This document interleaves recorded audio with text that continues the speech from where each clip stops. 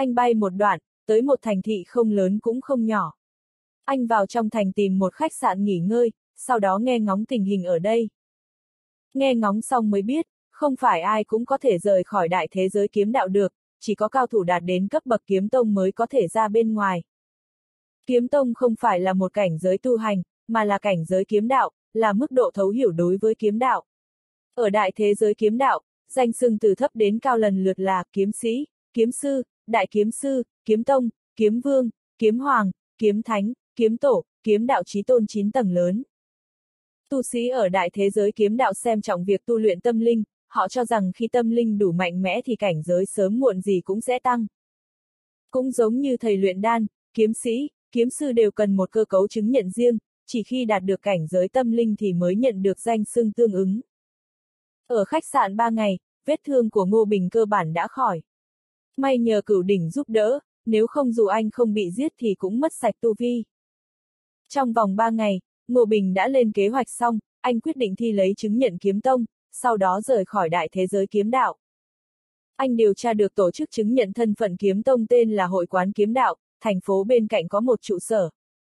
Mới sáng sớm anh đã lên đường tới thành phố bên cạnh, thành Thiên Vũ. Thành Thiên Vũ là một thành phố khá lớn, nơi này vốn chỉ là một trấn nhỏ, nhưng nhờ đã sinh ra một vị kiếm hoàng mạnh mẽ Thiên Vũ kiếm hoàng, nhờ ơn của kiếm hoàng nên chấn nhỏ dần dần trở nên phồn hoa, cuối cùng hình thành thành Thiên Vũ như bây giờ. Trên đường đến thành Thiên Vũ, Ngô Bình phi độn trên không trung. Bay được một đoạn thì anh vào một vùng hoang dã. Anh bỗng dừng lại trên không, ánh mắt nhìn vào một nơi trên mặt đất. Trên một đống đất đá đổ nát, có một chàng thanh niên vừa tắt thở, mắt anh ta trợn trừng, vẻ mặt tràn ngập sự tuyệt vọng và không cam lòng. Ngô Bình đáp xuống bên cạnh thi thể để quan sát, phát hiện người chết trông rất anh tuấn mạnh mẽ, lưng dài vai rộng, người mặc một bộ cẩm bào. Anh ta trúng độc nên chết, tu vi cũng không tệ, đã đạt đến cảnh giới long môn rồi. Ngô Bình bỗng thấy hứng thú với người này, anh chỉ ngón tay vào giữa chán anh ta, đọc hết chút ký ức còn sót lại. Mấy giây sau, anh biết được tình hình của người này. Thì ra người này tên là Tống Ngọc, là con vợ lẽ của nhà họ Tống một trong ba gia tộc lớn của thành Thiên Vũ, từ nhỏ đã nỗ lực tu hành, mong có ngày thành công. Lúc mười mấy tuổi, anh ta đã quen biết với một cô gái xinh đẹp tên Mộc Tiểu Ái. Hai người rất hạnh phúc, nhưng ngay ngày cưới của mình, vợ của anh ta đã bị anh cả làm nhục. Sau khi bị làm nhục, Mộc Tiểu Ái đã tự sát. Tống Ngọc Bi phẫn cùng cực, muốn đi trả thù cho vợ, kết quả bị vệ sĩ của bà cả đánh bị thương, đồng thời cho uống thuốc độc. Anh ta trốn khỏi Tống Phủ, đi tới đây thì không kiên trì được nữa, trước khi chết anh ta vẫn còn ôm hận. Hận nhà họ Tống, hận mẹ con bà cả, hận bố, hận ông trời. Nhưng bây giờ có hận đến thế nào cũng không còn ý nghĩa gì nữa, cuối cùng anh ta đã chết, ôm theo sự không cam lòng và uất hận tột cùng. Ngô Bình thở dài, tìm được một món đồ rất thông dụng ở đại thế giới kiếm đạo, kiếm bài. Ở đây, kiếm bài tương tự như chứng minh nhân dân, trên kiếm bài có ký hiệu thể hiện rõ đang ở cảnh giới nào. Ở đại thế giới kiếm đạo, người không có kiếm bài bất tiện đủ đường, có nó thì vạn sự hanh thông. Ví dụ như ở khách sạn lúc trước, vì không có kiếm bài nên Ngô Bình phải nộp tiền thuê gấp 10 lần. Lúc vào thành, anh cũng phải lẻn vào, đi bình thường thì không thể nào vào thành được. Ngô Bình nhặt kiếm bài của anh ta lên, gương mặt của anh dần thay đổi, chẳng mấy chốc đã biến thành gương mặt của đối phương. Anh chôn thi thể Tống Ngọc rồi nói, Tống Ngọc, tôi biết anh chết không nhắm mắt. Bây giờ tôi mượn thân phận của anh, để trả ơn, tôi sẽ tìm cơ hội báo thù cho anh. Nói rồi anh tiếp tục đi tới thành Thiên Vũ. Có hàng dài người đứng xếp hàng trước hội quán kiếm đạo của thành Thiên Vũ, bọn họ đều tới đây để thi. Bây giờ Ngô Bình hóa thân thành Tống Ngọc, Tống Ngọc vốn đã là đại kiếm sư, thế nên bây giờ có thể trực tiếp thi lấy thân phận kiếm tông. Ngô Bình xuất hiện không bao lâu thì có người phát hiện ra anh. Dù sao người có thân phận con vợ lẽ của nhà họ Tống cũng là người nổi tiếng ở thành Thiên Vũ, rất nhanh đã có người đi thông báo cho bà cả của nhà họ Tống. Chẳng bao lâu sau, một gã trai dẫn theo mấy người hầu xuất hiện, người này tên là Tống Linh Kiếm, chính là con trai trưởng nhà họ Tống. Hắn nhìn thấy Tống Ngọc không sao, lại còn tham gia thi chứng nhận thì vừa kinh ngạc vừa tức giận, chỉ thẳng mặt anh quát Tống Ngọc, mày còn dám trở về à? Ngô Bình nhìn người này một cái, nhờ những lời bàn tán xung quanh mà anh đoán được người này chính là Tống Linh Kiếm. Anh thờ ơ nói, Tống Linh Kiếm, quỳ xuống chịu chết đi. Tống Linh Kiếm sững sờ, sau đó nổi giận, hỗn xược. Thứ khốn kiếp mày mà cũng dám chống đối tao à? Bắt nó cho tao. Đám tay chân sau lưng hắn đều có cảnh giới cao hơn Tống Ngọc, nhận lệnh xong thì lập tức nhào lên. Ngô Bình phất tay, kiếm quang bay qua, mấy tên tay chân liền đầu lìa khỏi xác, máu tươi phun tung tóe. Đến chết bọn chúng cũng không hiểu vì sao mình chết. Tống Linh kiếm sợ hãi, đứng ngây ra như phỗng. Ngô Bình nhìn hắn, búng tay một phát, ấn đường của hắn đã bị kiếm khí xuyên thủng, đứng bất động. Vài giây sau, thi thể của hắn mới chậm chậm đổ xuống. Tống Ngọc, cũng xem như là tôi đã trả thù cho anh rồi, anh thầm nói. Anh giết người nhưng những người xung quanh không tỏ vẻ ngạc nhiên, chuyện này quá đỗi bình thường ở đại thế giới kiếm đạo. Mọi người đều là kiếm tu, ra tay khó tránh có thương vong. Ngô Bình tiếp tục xếp hàng, chẳng mấy chốc đã tới lượt anh. Anh vừa vào trong hội quán kiếm đạo, gia chủ nhà họ Tống, bố của Tống Ngọc đã vội đến, hung hăng tìm Tống Ngọc. Sau khi biết con trai cả bị giết, ông ta nổi trận lôi đình, lập tức đi tới đây để giết Tống Ngọc, trả thù cho con cả. Bà cả cũng nối gót đến. Ông ta nói, vợ, thằng ôn con này đã vào trong thi rồi, đợi nó ra ngoài rồi giết cũng không muộn. Ngô Bình vào hội quán, một người đàn ông hỏi thân phận, đồng thời kiểm tra kiếm bài của anh, sau đó cho người dẫn anh vào trong sân. Trong sân có một tấm bia đá, trên bia đá có khắc một bức tranh, vẽ một người tay cầm trường kiếm chỉ về phía trời đông, lờ mờ hiện ra một tia kiếm ý. Thì ra điều quan trọng nhất của kiếm tông là phải có kiếm ý mà mình thành thục. Ngô Bình đã luyện thành kiếm ý từ lâu, nên ải này không khó. Người đứng bên cạnh nhắc nhở, cậu chăm chú nhìn bức tranh trên tấm bia, nếu có thể khiến bức tranh cử động, đồng thời giữ được trong thời gian một nén nhang thì có thể nhận được danh hiệu kiếm tông. Diệp quân gật đầu, ánh mắt anh chăm chú nhìn bức tranh trên bia đá. Chẳng bao lâu sau, bức tranh đã cử động, người đó xuất ra đủ loại kiếm chiêu, kiếm ý sắc bén phóng về phía anh. Anh cũng kích hoạt kiếm ý để đánh với người kia, bất chợt, hai người đã vào trong một thế giới tinh thần huyền bí. Anh cảm giác được môi trường xung quanh đã thay đổi, hai người đang đứng trên một sàn đất bằng cực lớn, xung quanh toàn mây mù, không nhìn thấy bờ bến. Hai người mỗi người một thanh trường kiếm, nét mặt của đối phương mơ hồ, đâm một kiếm tới trước. Ngô Bình lập tức đánh trả, kiếm pháp của anh tinh diệu, hai chiêu đã đánh chết hình ảnh trên tấm bia đá. Rắc, bia đã vỡ nát, người phụ trách đứng ngơ ra một lát rồi gọi, bia vỡ. Có thể vào kiếm cung học kiếm. Sau đó có người chạy ra ngoài, sau đó nữa nhiều người bắt đầu bận rộn hẳn lên. Ngô Bình thấy rất ngờ vực, bọn họ đang làm gì vậy? Chẳng bao lâu sau, trước cửa hội quán đốt pháo hoa, có người khua chiêng gõ trống thông báo, thành thiên vũ, công tử Tống Ngọc đánh nát bia, chuẩn bị tới kiếm cung. Người phụ trách kia bây giờ mới tới trước mặt Ngô Bình, cúi đầu hành lễ long trọng, chúc mừng cậu Tống đã đánh nát bia, người của kiếm cung sắp tới rồi. Ngô Bình không hiểu, nhưng anh không thể thể hiện ra ngoài được, anh chỉ gật nhẹ đầu, sau đó đi theo ra ngoài hội quán. Bên ngoài hội quán, bố Tống Ngọc và bà cả đều tỏ ra kinh hãi, thế mà Tống Ngọc lại đánh vỡ bia. Sao có thể, tố chất của Tống Ngọc thế nào, bọn họ là người rõ nhất, Tống Ngọc tuyệt đối không thể làm được. Lúc thấy Tống Ngọc bước ra ngoài, bà cả quát lên, giết nó. Người của kiếm cung sắp tới rồi, bây giờ không giết thì không còn cơ hội giết nữa. Bốn cao thủ sau lưng bà ta đồng loạt ra tay, bốn đạo kiếm quang từ bốn hướng ập về phía Tống Ngọc. Ngô Bình đã đề phòng bọn họ từ trước, thấy họ vừa ra tay là anh đã dậm chân một cái, vô số kiếm khí đâm lên từ mặt đất, chớp mắt đã chém nát tươm đám bà cả và bố của Tống Ngọc. Bố của Tống Ngọc còn chưa tới cảnh giới thiên tiên, nào đỡ nổi kiếm khí khủng khiếp cỡ này. Giết người xong, anh đứng tại chỗ đợi người của kiếm cung tới. Khoảng mười mấy phút sau, một đạo độn quang đáp xuống, một người đàn ông mặc trường bào tím xuất hiện, không nhìn ra tuổi tác, đội một chiếc mũ nhọn, hỏi, ai là người đánh vỡ bia? Ngô Bình bước lên trước, là tôi. Người kia quan sát anh một hồi rồi nói, đi theo tôi. Nói rồi người kia phất tay, một đạo kiếm quang bay vút lên trời, hai người biến mất. Mười mấy phút sau, người mặc trường bào tím và Ngô Bình đã xuất hiện trước một cung điện hoành tráng. Trong cung điện có một thứ mà anh quen, bia thử kiếm. Món đồ này ở thiên địa kiếm tông cũng có một cái. Người mặc trường bào tím nói, đây là bia thử kiếm, từ xưa đến nay, thành tích của tất cả các kiếm tu cùng cảnh giới đều được ghi chép trên đây. Nếu cậu được xếp hạng trên 10.000 thì có thể gia nhập vào thiên tượng kiếm môn tôi.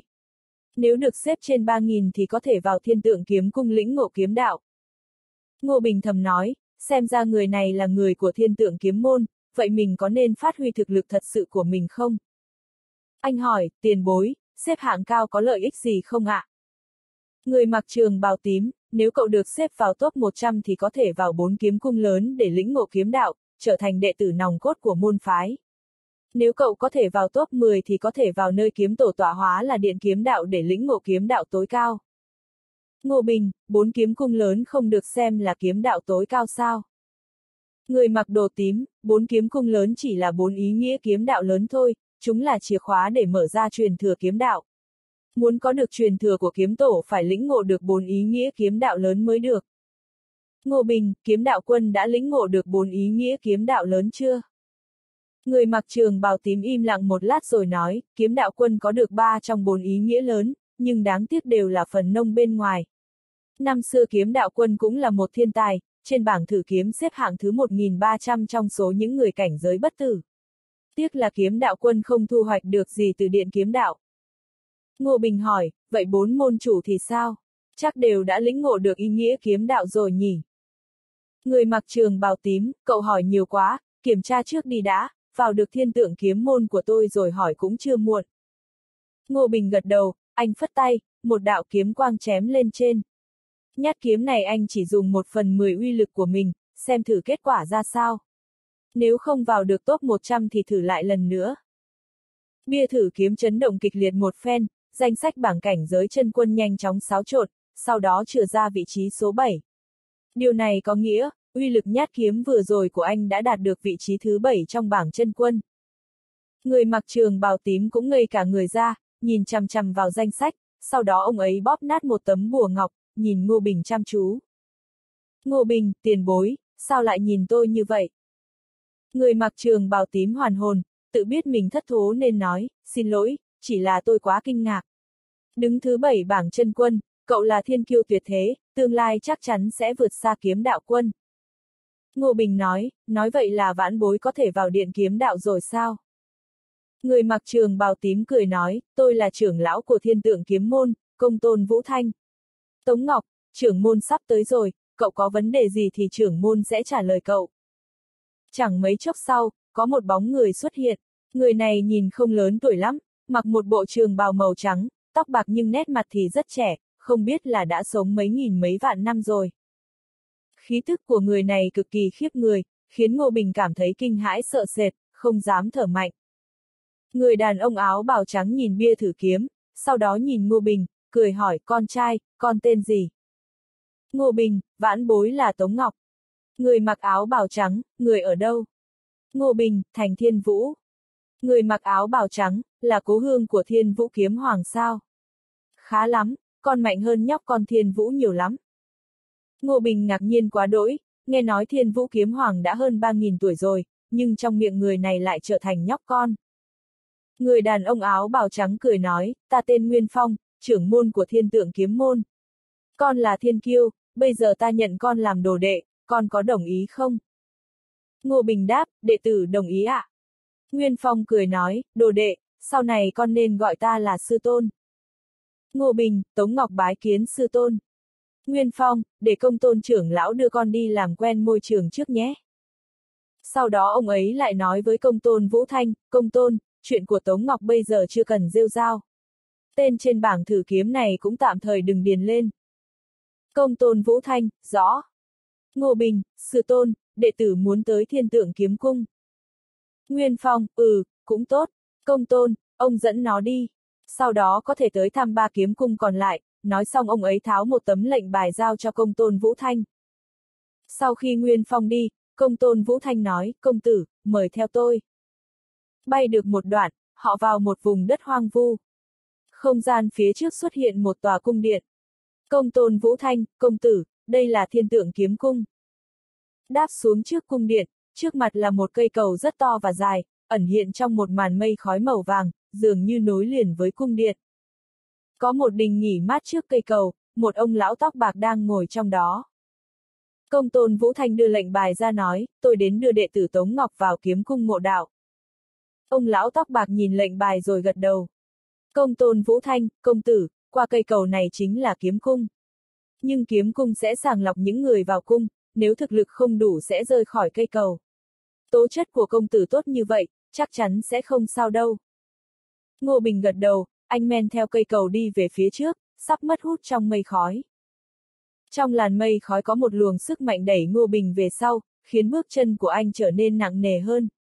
Nhưng thể chất của anh mạnh mẽ, luồng sức mạnh này không ảnh hưởng quá nhiều tới anh. Đi thêm vài bước nữa, lòng anh bỗng lo lắng không yên. May là anh đã khống chế cảm xúc rất nhanh, tiếp tục bước về phía trước. Sau khi đi được 100 bước, anh đã nhìn thấy cửa lớn của cung điện. Cửa đang đóng, trước cửa có một con rối kiếm đạo. Con rối kiếm đạo hai tay cầm kiếm, mũi kiếm cắm xuống đất. Khi anh đi tới trước mặt con rối, con rối bỗng đánh ra một kiếm nhanh như chớp, Ngô Bình phất tay, nắm lấy mũi kiếm, phát ra kiếm lực, con rối bị đánh bay mấy mét, loạn choạng lùi về sau. Sau một nhát kiếm, con rối thu kiếm lại, không tấn công nữa.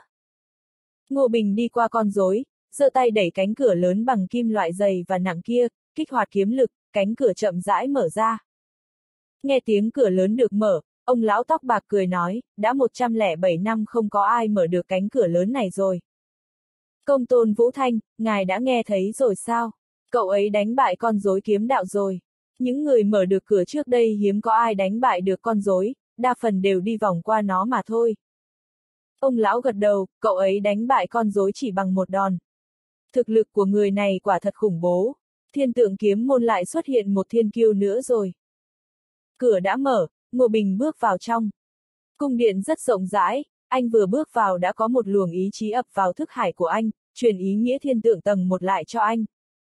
Nhận được ý nghĩa, anh nhớ lại kiếm lão của thiên địa kiếm tông. Có lẽ năm xưa kiếm lão cũng đã vào được âm dương kiếm cung, sau đó nhận được ý nghĩa âm dương tầng 1. Để mang ý nghĩa này đi, ông ấy đã ép mình phong ấn, mãi cho đến khi truyền lại ý nghĩa âm dương này cho anh mới rời khỏi nhân thế. Sau khi Ngô Bình nhận được ý nghĩa, ánh sáng vàng phía trước cuộn trào, một con rối kiếm đạo bước ra. Con rối này cầm một thanh trường kiếm, đánh về phía Ngô Bình. Ngô Bình đã từng trải qua tình huống như thế này rồi, năm xưa để học được ý nghĩa chân võ, anh cũng đã từng đánh với con rối. Ở tháp tiên võ cũng đã đánh với con rối.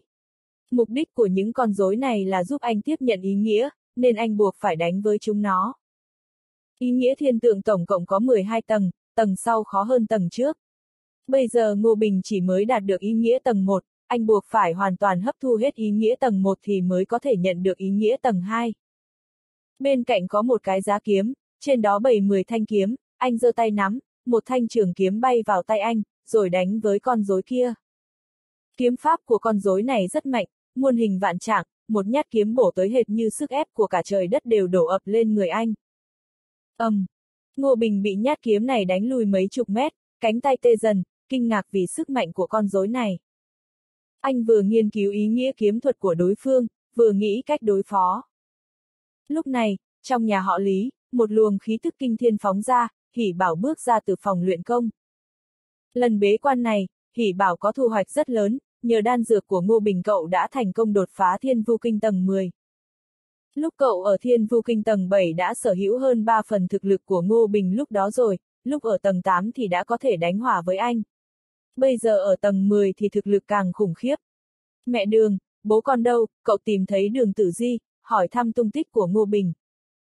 Đường tử di, bố con tới đại thế giới huyền hoàng rồi.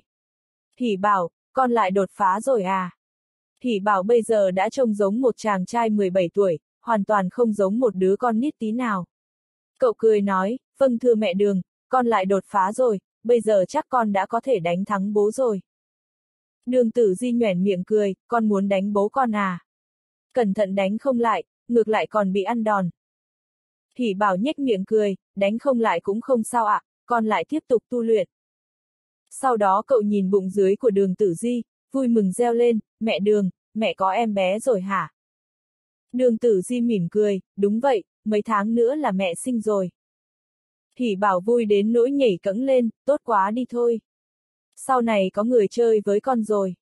Cậu bé vẫn là trẻ con, áp lỗ tai vào bụng để nghe, kết quả bị nhóc con trong bụng đạp cho một phát, hỉ bảo úi một tiếng sau đó cười ha hả, mẹ đường, em gái mạnh mẽ quá à. Đường tử di nói, hỉ bảo, sau này em gái ra đời, con làm anh trai phải bảo vệ em gái thật tốt nhé. Hỉ bảo gật đầu thật mạnh, đương nhiên rồi ạ, ai dám ăn hiếp em gái của con, con đánh chết nó. Hai mẹ con nói chuyện một hồi rồi đường tử di dẫn hỉ bảo đi thăm hỏi nữ đế Linh Hy. Mấy ngày nay nữ đế Linh Hy luôn bế quan tĩnh tu, gần đây mới xuất quan. Thấy đường tử di tới, cô ấy vội ra đón, em tử di, chị đang định tới thăm em đây chứ. Nương tử di cười đáp, chị Linh Hy, chị vẫn luôn bế quan, lúc Huyền Bình đi có để lại ít trà thanh lộ, em mang đến một ít cho chị thưởng thức. Nữ đế Linh Hy, cảm ơn em. Hai cô gái ngồi thưởng trà, hỉ bảo ngồi không yên nên chạy ra vườn hoa tìm năm con thuồng luồng nhỏ chơi. Năm con thuồng luồng đều đã lớn đến mười mấy mét, cũng rất nghịch ngợm. Nhìn thấy hỉ bảo xuất hiện, bọn nó đều hoảng loạn bỏ chạy, nhưng chẳng mấy chốc hỉ bảo đã tóm được một con lại. Hỉ bảo đánh con thuồng luồng đó mấy cái, quát nó, mày chạy cái gì, tao có đánh mày đâu. Đúng lúc này, cậu nhìn thấy một đạo độn quang bay lướt qua trên không, tốc độ cực kỳ nhanh. Nhưng bay ngang qua thì bay thôi, thế mà đối phương lại hỗn xược dùng thần niệm quét phía bên dưới, khiến người ta khó chịu. Hỉ bảo thả con thuồng luồng ra, tức giận quát, đồ không biết phép lịch sự kia, xuống đây cho tôi. Cậu giơ tay chộp lên trời, độn quang kia bỗng nổ tung, sau đó một bóng người rơi từ trên trời xuống, rơi tõm xuống hồ nước gần đó. Một con rùa nổi lên mặt nước, gặm vào cổ áo kẻ kia kéo lên bờ. Đây là một nữ tu sĩ, áo quần bị ướt nên đường dáng lộ hết ra ngoài. Thì bảo là một đứa con nít, đâu hiểu sự đời, lại cảm thấy cô gái này quá ốm, trên người không có chút thịt nào, chẳng đẹp. Bốp bốp, cậu vỗ mấy cái lên mặt cô gái, này, tỉnh lại đi. Cô gái ho vài tiếng rồi ngồi bật dậy, nhìn thấy hỉ bảo bên cạnh, cô gái quát lên, cậu tặc chết đi. Cô gái đánh một trường về phía hỉ bảo, hỏa quang từ lòng bàn tay tỏa ra tứ phía, đánh trúng ngực của hỉ bảo. Hỉ bảo không tránh, trường lực của đối phương đều bị cậu hấp thu hết, hóa thành năng lượng của cậu luôn. Cậu thấy kỳ lạ nên hỏi, sao cô lại đánh tôi? Cô gái bất ngờ, cậu, cậu không sao cả à? Hỉ bảo, tôi thì làm sao được chứ, tu vi của cô kém như vậy, còn đánh không lại con chó nhà tôi nữa mà. Nghe câu này giống như đang chửi người ta, nhưng điều hỉ bảo nói là sự thật. Cô gái tức tím mặt, cậu dám sỉ nhục tôi, biết tôi là ai không? Hỉ bảo hỏi, cô là ai? Cô gái lạnh giọng đáp, tôi là đệ tử của Ngọc Hư Cung, bố tôi là trưởng lão của Ngọc Hư Cung. Hỉ bảo đâu biết những thứ này, cậu nói, ồ, thì ra cô là người của Ngọc Hư Cung. Ngọc Hư Cung là nơi nào vậy? Cô gái cạn lời, nói, Ngọc Hư Cung là đạo trường của Ngọc Hư Cảnh Thiên, Ngọc Hư Đạo Quân là Đại La Kim Tiên đấy. Hỉ bảo, ô, rồi sao? Cô gái, bây giờ cậu xin lỗi tôi ngay, nếu không tôi sẽ phái người tới giết chết tất cả người ở đây, cô gái lạnh giọng nói, uy hiếp hỉ bảo. Tuy hỉ bảo suy nghĩ đơn giản nhưng câu nói nặng lời như giết chết tất cả người ở đây thì cậu vẫn có thể nghe hiểu. Gương mặt cậu nghiêm nghị, hỏi, sao cô lại muốn giết tất cả người ở đây? Người ở đây đều rất tốt, bọn họ là người thân nhất của tôi. Trong lòng hỉ bảo, tất cả người ở đây đều là người mà cậu bé phải bảo vệ, vì cậu xem nơi này là nhà, xem đường tử di, ngô mi, trương lệ là người thân. Cô gái cười khẩy, vì tôi là người của Ngọc Hư Cung, tôi có chỗ dựa, có gia thế. Có thể mặc sức chém giết thế lực nhỏ như chỗ mấy cậu. Bốp! Hỉ bảo tát một phát vào mặt cô gái, cái tát này rất nặng, nửa gương mặt cô gái lõng cả xuống, cô ta đau đớn hét lên một tiếng, đau đến nỗi toàn thân co rúm. Thì bảo hỏi, ý cô nói là Ngọc Hư Cung sẽ giết người ở đây à? Cô gái hổn hển nói, tên khốn đáng chết nhà cậu. Nhất định tôi phải nói bố tôi tới giết hết các người, không tha một ai. Sâu trong đáy mắt hỉ bảo lóe lên một tia sáng lạnh, Ngọc Hư Cung ở đâu? Cô gái hung hăng chừng mắt với cậu, có giỏi thì cậu đi theo tôi. Tôi phải nói bố tôi lột ra cậu, rút gân cậu. Hỉ bảo trầm ngâm vài giây rồi thản nhiên nói, ừ, tôi đi với cô. Ngọc Hư Cung là thế lực mạnh nhất trong Ngọc Hư Cảnh Thiên, cũng là nơi thiên chủ Ngọc Hư tỏa chấn. Nhưng Ngọc Hư Cung mà cô gái kia nói thật ra là đạo trường mà Ngọc Hư Cung xây dựng bên ngoài, tên đầy đủ là đạo trường thứ 60 của Ngọc Hư Cung. Đạo trường Ngọc Hư nằm trong vạn sơn, sơn môn nguy nga, có một dãy bậc thềm cực lớn dẫn đến một tòa cung điện. Một đạo độn quang đáp xuống, chính là hỉ bảo và cô gái kia. Cô gái đến Ngọc Hư cung thì cười khẩy, thẳng hôn con. Tới Ngọc Hư cung rồi, mày cứ đợi bị lột ra, rút gân mà chết đi. Hỉ bảo, con người cô kỳ cục thật đấy, sao cứ đòi lột ra tôi thế nhỉ, cô thích da của tôi à? Nó đâu có biến thành áo quần để mặc được đâu. Lúc này cô gái bỗng la lên, sư huynh, bố. Anh cả, mau tới cứu con. Giọng cô ta rất vang, vừa hét lên đã có một bóng người xông từ cung điện trên núi xuống, chớp mắt đã tới trước mặt, là một chàng trai trẻ tuổi. Nhưng thấy mặt cô gái bị đánh lõm vào, hắn hoảng hốt, Nguyên Vi sư muội, em sao thế? Cô gái tên Nguyên Vi kia khóc, sư huynh, mau giết nó đi. Thằng ôn con này đánh em bị thương đó, hu hu. Chàng trai trẻ này tên là Trương Duy Tiên, là thiên tài Nguyên Vi ngưỡng mộ nhất ở đạo trường, trẻ thế này mà đã là địa tiên cảnh giới bất tử rồi. Trương Duy Tiên nghe xong thì nổi trận lôi đình, nhìn chằm chằm hỉ bảo, thằng ôn con, dám đánh bị thương sư muội của tao, chết đi. Hắn không hỏi kỹ nguyên nhân, cũng không muốn biết đúng sai thế nào đã ra tay vỗ vào đầu hỉ bảo. Vì hỉ bảo tu luyện thiên vu kinh, nhìn có vẻ vô hại, tu vi thấp nên kẻ này hoàn toàn chẳng xem cậu ra gì. Bàn tay của hắn vừa chạm lên đầu hỉ bảo, ánh mắt hỉ bảo ánh lên tia sắc bén, trên đầu xuất hiện một đạo phù văn, phù văn xoay tròn, pháp lực của Trương Duy Tiên không ngừng bị phù văn hút vào, phù văn cũng theo đó mà càng lúc càng sáng. Nguyên Vi hoảng hốt, kêu lên, mày đang làm gì? Cảm nhận tiên lực đang không ngừng bị hút cạn, vẻ mặt Trương Duy Tiên méo mó, ánh mắt tràn ngập sự khiếp sợ, hét lên, mày là loại quái vật gì thế? Quá trình hút tiên lực càng lúc càng nhanh, chưa đến 10 giây, cơ thể của Trương Duy Tiên đã biến thành cho bụi, tu vi đã bị hỉ bảo hút sạch. Hút tu vi của đối phương xong, phù văn trên đỉnh đầu của hỉ bảo tỏa sáng lấp lánh rồi quay trở vào trong cơ thể cậu. Cậu nhìn Nguyên Vi nói, bố và mẹ tôi, mẹ đường và em gái, không ai được làm hại họ. Ai dám hại họ, tôi giết kẻ đó. Cuối cùng Nguyên Vi cũng đã biết vì sao cậu thiếu niên này lại theo mình tới Ngọc Hư Cung rồi, cậu ta muốn giết tất cả mọi người. Cô ta vừa kinh sợ vừa tức giận, mày, mày là thằng điên. Kẻ nào dám ngang ngược ở đạo trường Ngọc Hư, lại một tiếng quát vang lên, một gã trai bay tới, một bàn tay lớn vỗ xuống từ trên không, muốn vỗ chết hỉ bảo. Đám người này vừa lên đã đòi giết mình, tư duy của hỉ bảo cực kỳ đơn giản, ai muốn giết mình đều là kẻ thù, không cần khách sáo với chúng. Thế nên cậu cũng giơ tay ra, một bàn tay ánh màu u tối đánh ra, một phù văn đang xoay vòng với tốc độ cực nhanh giữa lòng bàn tay. Nguyên Vi thấy người tới thì chợt thấy yên lòng, vì đó là anh cả của cô ta, Nguyên Hạo hư tiên sơ kỳ. Thế nhưng, lúc bàn tay đen tiếp xúc với bàn tay của đối phương thì đã nuốt chửng trưởng của đối phương, sau đó tiếp tục đánh tới, chộp lấy tay của Nguyên Hạo. Nguyên Hạo cảm thấy tiên lực của mình không ngừng bị hỉ bảo hút hết, hắn vừa sợ hãi vừa kinh ngạc, hét lớn lên, dừng tay. ầm, um, một giây sau, cơ thể hắn nổ tung, hóa thành cát bụi. Sau đó, thần hồn của hắn lại tiếp tục bị luyện hóa, chỉ mười mấy giây đã hoàn toàn biến mất. thủy bảo thu hồi trưởng ấn, cảm nhận được một nguồn năng lượng khá mạnh đang vận hành trong cơ thể. Một mạch hút cạn tiên lực của hai người, cậu đã sở hữu một phần thần thông, pháp thuật của Ngọc Hư Cung. Nguyên vi suýt thì ngất đi, anh cả của mình cứ bị đánh chết như vậy sao? Anh ấy là hư tiên mà, sao có thể? Tao liều với mày, cô ta gào lên, nhào về phía hỉ bảo. Hỉ bảo đánh một trường lên đầu cô ta, cô tiểu thư nguyên vi này lập tức hóa thành cho bụi, tu vi bị hút sạch.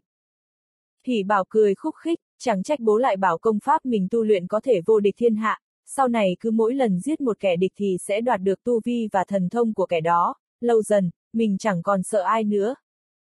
Vừa giết chết Nguyên Vi, một tiếng gào thét truyền tới, một tu sĩ trung niên đứng trên một đốm sáng bay tới từ phía xa. Ông ta tận mắt chứng kiến hỉ bảo đánh chết con gái mình, giống giận thằng hoắt, chết đi.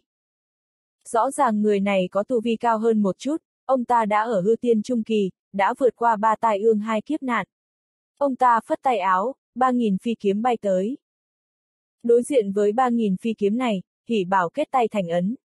Bầu trời và mặt đất xung quanh lấy cậu làm trung tâm, bỗng xuất hiện vô số phù văn phức tạp và cổ quái, cả không gian đều chịu sự khống chế của cậu. Ba nghìn phi kiếm bỗng mất khống chế, đồng loạt rơi xuống. Tu sĩ trung niên kia cũng bị không gian vây lấy, rơi từ trên cao xuống. Thì bảo tới trước mặt ông ta, vỗ một trưởng lên đầu ông ta, pháp lực hùng hậu bất chợt chảy vào trong cơ thể cậu. Người đàn ông trung niên kinh hoàng kêu lên, mày là vô tu. Còn chưa nói hết lời, ông ta đã biến thành cho bụi, tu vi bị hỉ bảo hút hết. Hỉ bảo nhìn tòa cung điện cao lớn nguy nga phía sau, lẩm bẩm, mình không cho phép bất kỳ ai hại người nhà của mình, chúng đều phải chết. Một bóng đen đáp xuống đạo trường Ngọc Hư Cung, bắt đầu một mình tàn sát. Trong đạo trường, cả trưởng lão lẫn đệ tử có hơn 3.500 người, ngoài những người đang ra ngoài thì tổng cộng có hơn 3.100 người đã chết. Giết người xong hung thủ nghênh ngang rời đi mà không để lại bất kỳ manh mối nào, thậm chí tất cả thi thể đều biến mất, hiện trường chỉ còn lại một đống cho xám. Thì bảo về lại Hưng Long, không nói chuyện mình giết người với bất kỳ một ai, bây giờ trong cơ thể cậu tràn ngập năng lượng, cảm thấy rất khó chịu, muốn nôn, dường như trong đầu cũng có vô vàn ý niệm, buồn bực bồn chồn. Cậu nhốt mình trong phòng, ôm gối, toàn thân run rẩy. Bỗng cửa mở ra, thiên chủ thanh tuyết bước vào hỏi, hỉ bảo, có phải bây giờ con cảm thấy khó chịu lắm không? Hỉ bảo vẫn còn là một đứa con nít, mắt ngấn nước, khóc lên, dì Thanh, con giết người rồi, bố có giận con không? Thiên chủ Thanh Tuyết khẽ thở dài, ngồi xuống bên cạnh cậu. Sau khi hỏi rõ những chuyện đã xảy ra, cô ta nhẹ nhàng nói, đó là một đám người tự đại, con giết bọn chúng là để bảo vệ gia đình mình, không sai. Nếu cô gái tên Nguyên Vi kia mạnh hơn con thì chắc chắn nó đã lập tức giết con rồi. Hơn nữa nó nói muốn giết tất cả người ở đây không phải là nói chơi. Có một số người thực lực mạnh thì muốn làm mưa làm gió gì cũng được, giết người đối với bọn chúng chỉ là một chuyện đơn giản như uống nước vậy. Hỉ bảo gật đầu, bây giờ con rất khó chịu. Thiên chủ thanh tuyết, con trai ngốc, con là vô tu, hút nhiều tu vi như vậy sao không khó chịu cho được. Con đã luyện thiên vu kinh tới tầng mấy rồi? Hỉ bảo, tầng 10 ạ. À. Thiên chủ thanh tuyết, thế thì tiếp tục đột phá đi, tu luyện đến tầng 11 là sẽ không khó chịu nữa. Thế nên hỉ bảo tiếp tục đóng cửa tu luyện, thiên chủ thanh tuyết thì ra khỏi phòng. Nữ đế Linh Hy đi tới nói, phu tu quả thật đáng sợ, một ngày đã lớn mạnh thêm rất nhiều. E là thực lực của hỉ bảo bây giờ đã không kém thần tiên rồi. Thiên chủ thanh tuyết, chính vì đáng sợ cho nên mới bị tiên giới kiêng rè, một khi lớn lên, thằng bé khó sống lắm. Nữ đế Linh Hy, trừ khi có người bằng lòng bảo vệ nó. Thiên chủ thanh tuyết, trước khi huyền bình trở về đừng để hỉ bảo ra ngoài nữa, nếu không dễ bị người khác phát hiện ra thân phận. Nói chuyện vài câu, nữ đế Linh Hy bỗng hỏi, thiên chủ, hình như chị đã khai mở được động thiên rồi. Thiên chủ thanh tuyết, cảnh giới động thiên chị đã có chuẩn bị từ lâu thế nên cũng khá là thuận lợi. Cái khó là cảnh giới thần tàng, 12 điểm thần tàng, kiếp trước chị mới mở được 3 điểm. Kiếp này, không biết mở được mấy điểm đây. Nữ đế Linh Hy rất bất ngờ, không ngờ thần tàng lại có 12 điểm. Thiên chủ thanh tuyết, đúng vậy. Thiên kiêu bình thường có thể khơi thông được 3 điểm thần tàng, thiên tài bình thường thì khơi thông được 2 điểm, tu sĩ bình thường chỉ khơi thông được 1 điểm là nhiều nhất. Cơ thể con người có 12 điểm thần tàng, 4 điểm đầu gọi là nhân tàng, 4 điểm giữa gọi là bí tàng, 4 điểm cuối cùng gọi là thiên tàng. 3 điểm thần tàng mà các thiên kiêu mở được đa số đều là 2 điểm nhân tàng và một điểm bí tàng. Nữ đế Linh Hy, vâng, em cũng vậy. Một điểm bí tàng trong đó có liên quan đến truyền thừa huyết mạch của em, một điểm thần tàng còn lại rất kỳ lạ, nó cho em một sức mạnh rất đặc biệt. Thiên chủ thanh tuyết, thật ra trong bốn điểm nhân tàng, hai cái sau là siêu phàm nhất, chỉ có huyết mạch của thái cổ chân nhân mới mở được. Yêu cầu của chị không cao, chỉ cần mở được 3 điểm nhân tàng với 3 điểm bí tàng là được. Còn về thiên tàng, đó là thứ liên quan tới vận khí, chỉ có thể mong cầu, không thể cưỡng cầu. Nữ đế Linh Hy, chẳng trách các chị đều phải chuyển thế tu lại. Thiên chủ Thanh Tuyết, Linh Hy, em có dự định gì? Ở bên cạnh huyền bình mãi à? Nữ đế Linh Hy, em vốn định sau khi đạt tới chân tiên thì sẽ rời đi, nhưng bây giờ em thay đổi ý định rồi, em phải theo người đàn ông này cả đời. Thiên chủ Thanh Tuyết, ồ, vì sao vậy? Nữ đế Linh Hy, đi theo anh ấy, lòng em yên tâm. Dù tu sĩ toàn thiên hạ đối đầu với em, em cũng không hoảng loạn. Thiên chủ Thanh Tuyết cười nói, cậu ấy là người có vận khí lớn. Thời gian trước trong luân hồi đại kiếp, cậu ấy đã nhân cơ hội bù đắp hết hối tiếc, tiếp sau đây chắc chắn tu vi của cậu ấy sẽ tăng vùn vụt. Nữ đế Linh Hy, thiên chủ, chị thì sao? Sao chị lại ở đây thời gian dài như vậy? Thiên chủ thanh tuyết đáp, chỉ có vài chỗ cần cậu ấy giúp, nên tạm thời sẽ không đi. Hơn nữa, chị đã quyết định sẽ làm người hộ đạo cho cậu ấy.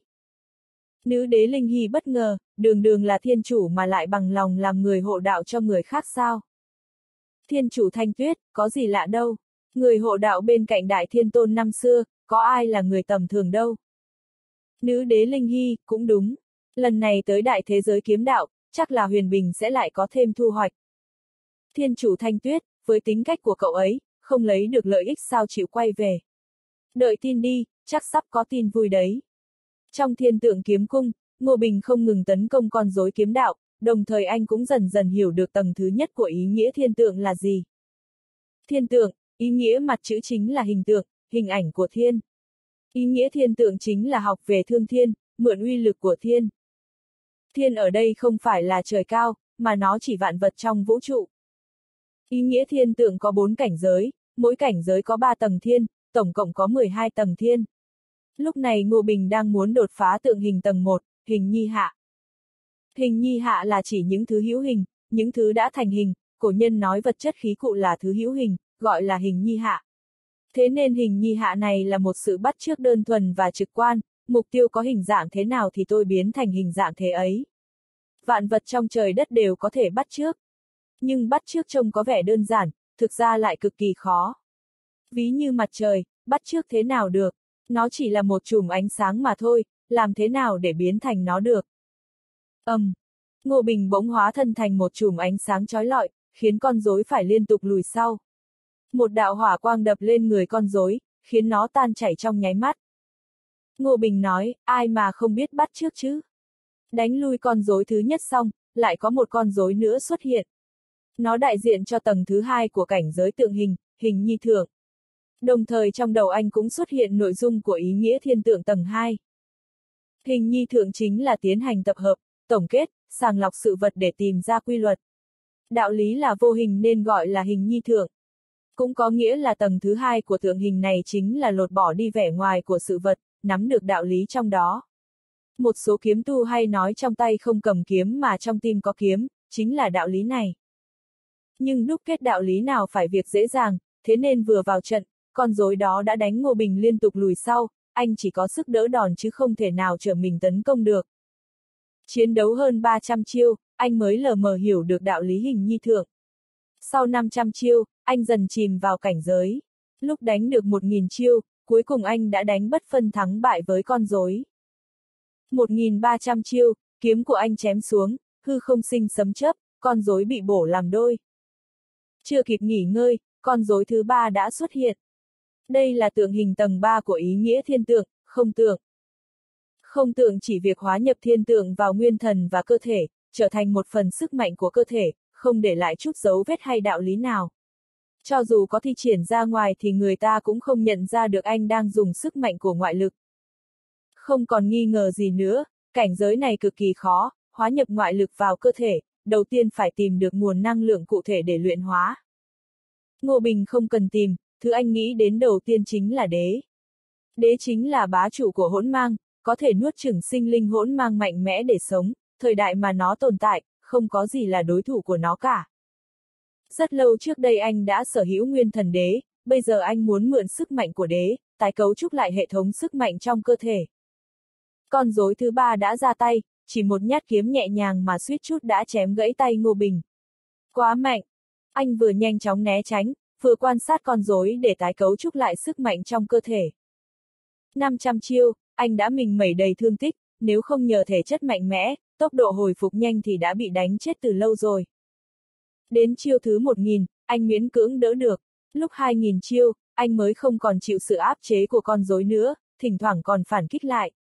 3000 chiêu, sức mạnh của anh đã được tái cấu trúc thành công, tùy ý phất một kiếm, trong vô số thời không của vũ trụ, sức mạnh của đế cộng hưởng với chiêu kiếm, sau đó ảnh hưởng lên cơ thể và nguyên thần của anh. Âm. Um, con rối kiếm đạo mạnh mẽ đã bị đánh bay chỉ trong tích tắc, cánh tay nát nghiến, ngực bị lún vào, không còn sức chiến đấu nữa. Không tưởng quá mạnh, Ngô Bình cũng kinh ngạc. Lúc này, lại một đạo ý thức nữa rót vào thức hải của anh, lần này là toàn bộ cảnh giới thứ hai của ý nghĩa thiên tượng, cảnh giới vạn tượng. Cảnh giới vạn tượng cũng có ba tầng, tầng thứ nhất là tiểu thiên tượng, tầng thứ hai là đại thiên tượng, tầng thứ ba là vạn tượng.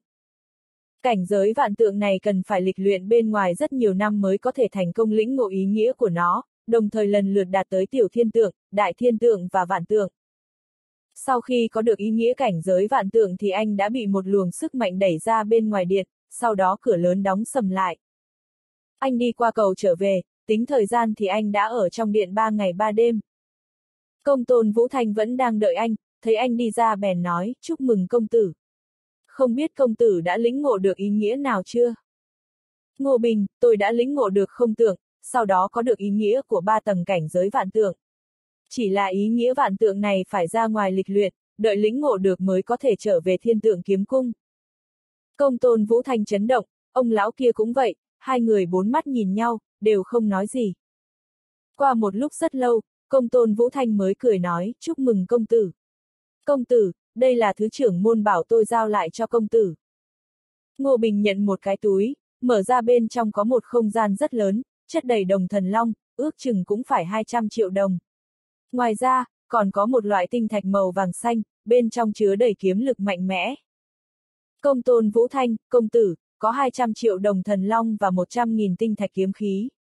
Tinh thạch kiếm khí này là kiếm tổ để lại, bên trong phòng ấn kiếm khí khủng bố. Dùng tinh thạch kiếm khí này có thể đúc ra kiếm phù, hoặc bày bố kiếm trận. Ngoài ra còn có 10 thiên tượng kiếm phù, 10 kiếm quang độn phù, lúc công tử gặp nguy hiểm có thể dùng chúng nó để đối phó với kẻ địch. Ngô Bình, thay tôi cảm ơn sư tôn. Công tôn Vũ Thanh, bên trong còn có một quyển sách ngọc, đây là một món pháp bảo để liên lạc. Nếu công tử có chuyện gì thì có thể viết lên đó, trưởng môn và tôi sẽ lập tức biết ngay. Ngô Bình, tôi biết rồi. Cảnh giới tiểu thiên tượng này phải ra ngoài lịch luyện, thế nên tôi muốn ra bên ngoài đại thế giới kiếm đạo để xông pha một phen. Công tôn Vũ Thanh suy nghĩ rồi nói, cũng được, nhưng công tử nhất định phải chú ý an toàn, tự bảo vệ mình cho tốt. Nếu gặp nguy hiểm thì có thể dùng sách ngọc để cầu cứu. Ngô Bình, được, công tôn trưởng lão, vậy tôi đi đã nhé. Ngô Bình đi rồi, ông lão mới cười nói, ôi trời ạ. Mới lần đầu vào đã nhận được đến cảnh giới thứ hai ý nghĩa vạn tượng rồi, khủng khiếp thật. Công tôn Vũ Thanh cười đáp, đúng vậy. Năm xưa, kiếm đạo quân cũng chỉ mới có được ý nghĩa tầng đầu tiên, kiếm đạo quân muốn lĩnh ngộ tầng thứ hai nhưng hơn 100 năm vẫn không có chút tiến triển nào. Ông lão, để cậu ấy ra ngoài, không sợ gặp nguy hiểm sao? Công tôn Vũ Thanh, trưởng môn đã có chuẩn bị rồi. Trên chiếc túi kia có một tia ý niệm của ngài, một khi gặp nguy hiểm thì kiếm thiên tượng sẽ lập tức phá hư không, bay đến trong nháy mắt để cứu người. Ông lão bất ngờ, kiếm thiên tượng sao? Đó là thanh kiếm mà kiếm tổ đã đích thân rèn ra, từng chém sinh linh hỗn mang, từng giết đại la đạo quân. Công tôn Vũ Thanh, hết cách rồi, trưởng môn rất xem trọng cậu ấy, tuyệt đối không để cậu ấy xảy ra chuyện.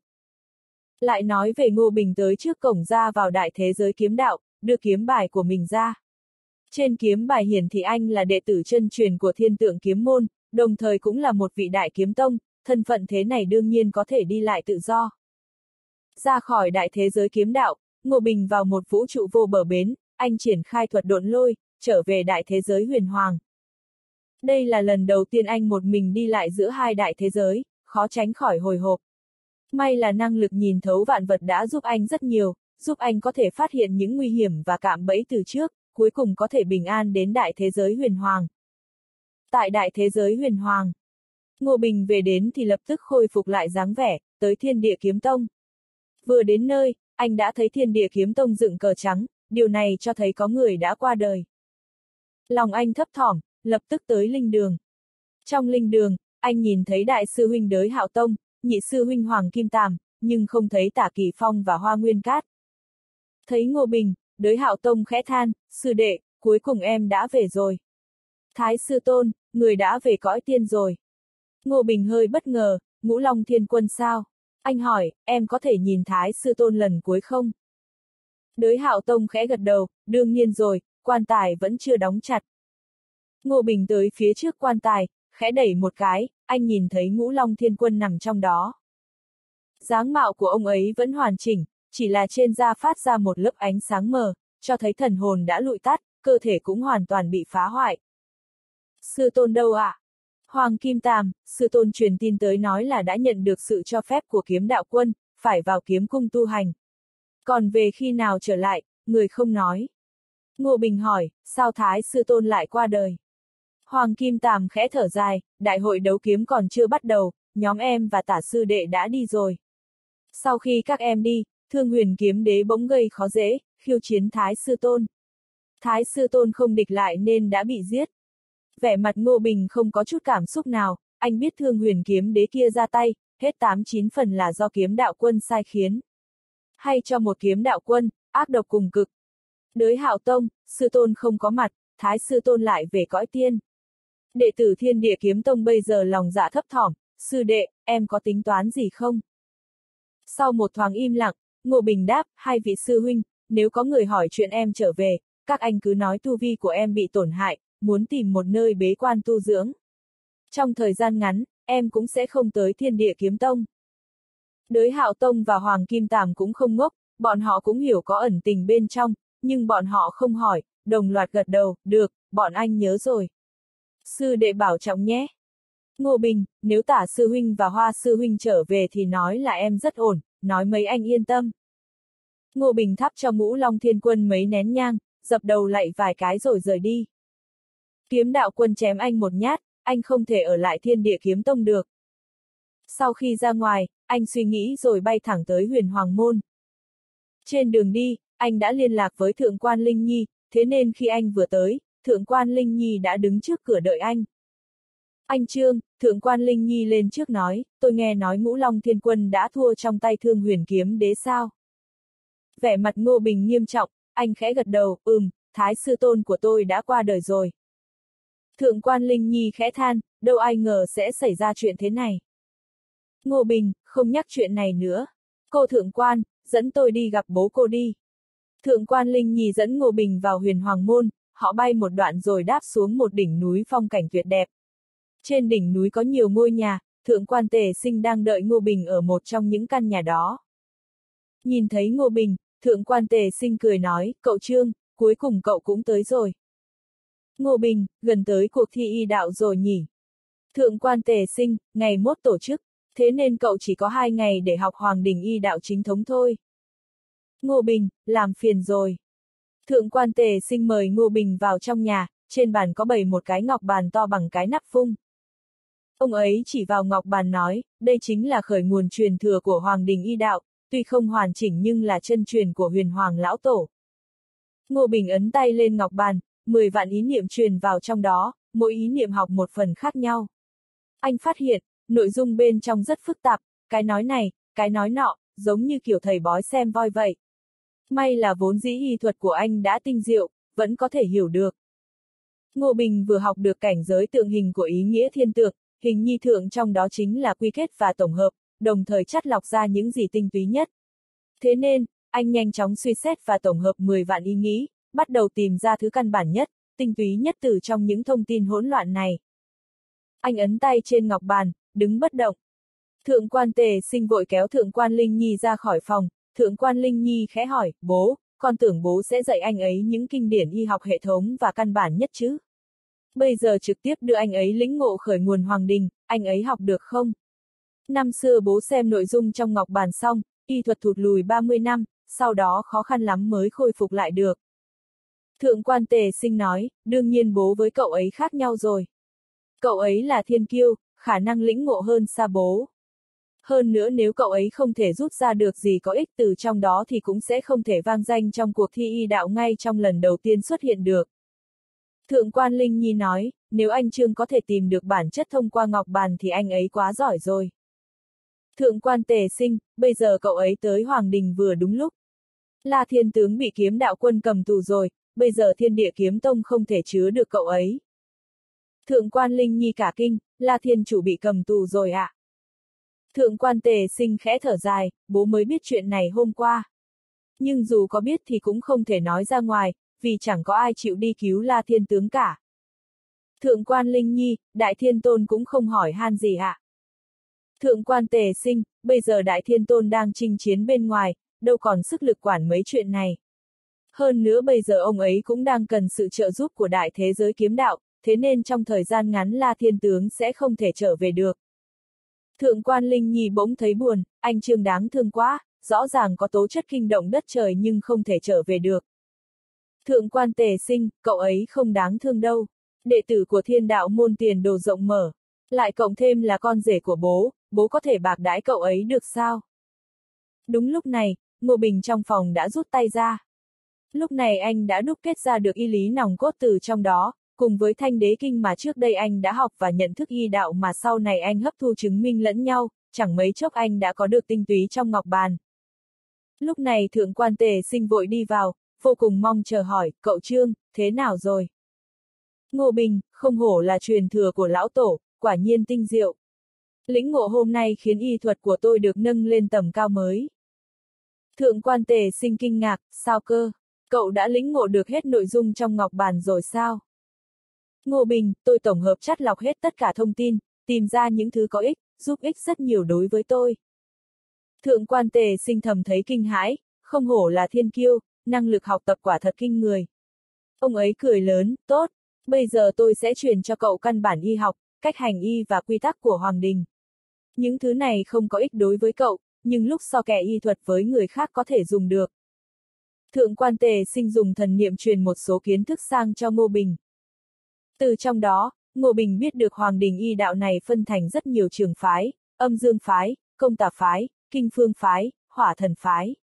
Trong đó còn phân ra châm cứu, phương thuốc, dược lý, độc lý, vân vân, cực kỳ phức tạp. Thật ra Ngô Bình biết hết những cái này, chẳng qua chỉ là quy vào hệ thống y học Hoàng Đình mà thôi. Anh nhận được thì có thể dùng được ngay, hơn nữa còn dùng một cách cao minh hơn người khác nữa. Ngô Bình chuyên tâm học tập, đến lúc anh học thấu y đạo, quy tắc Hoàng Đình thì đã sang ngày hôm sau rồi. Thượng quan tề sinh cười nói, cậu Trương, cậu đi nghỉ ngơi trước đi, ngày mai tôi lại tới. Thượng quan Linh Nhi không đi, cô ấy lấy một ít trái cây và điểm tâm cho Ngô Bình. Ngô Bình cũng lấy hạt dưa anh Giang ra cho cô ấy ăn, ngồi hàn huyên, thượng quan Linh Nhi cười nói, vị hạt dưa của anh Giang ngon quá, Giang bằng cách luyện đan à. Ngô Bình, thật ra không có gì khó, chút nữa tôi dạy cho cô. Thượng quan Linh Nhi gật đầu, ừm. Hai người đang nói chuyện thì bỗng có một chàng trai xông vào. Người này trẻ tuổi, mày kiếm mắt sáng, vô cùng anh Tuấn, mặc một bộ đồ màu lam, đầu đội mũ ngọc. Nhìn thấy thượng quan Linh Nhi đang đút trái cây cho Ngô Bình thì người này bỗng nổi trận lôi đình, Linh Nhi, thế mà em lại lén lút thân mật với người đàn ông khác sau lưng anh, em có xứng với anh không?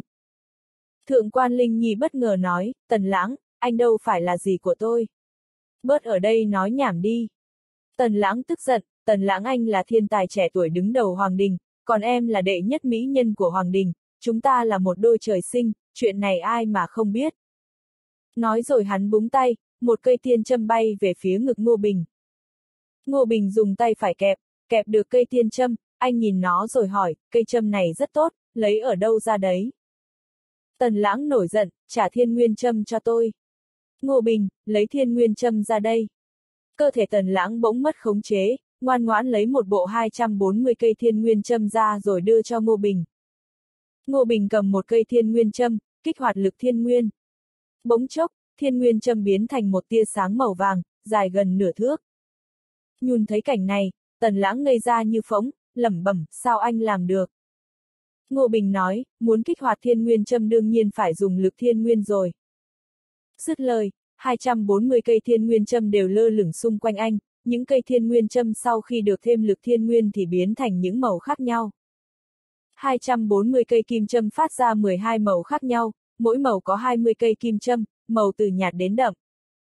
Một giây sau, 240 cây kim châm bị anh hút vào cơ thể, lúc nào cũng có thể lấy ra để dùng.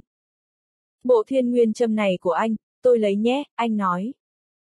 Tần lãng giận dữ, trả thiên nguyên châm cho tôi. Nếu không anh không xong với tôi đâu.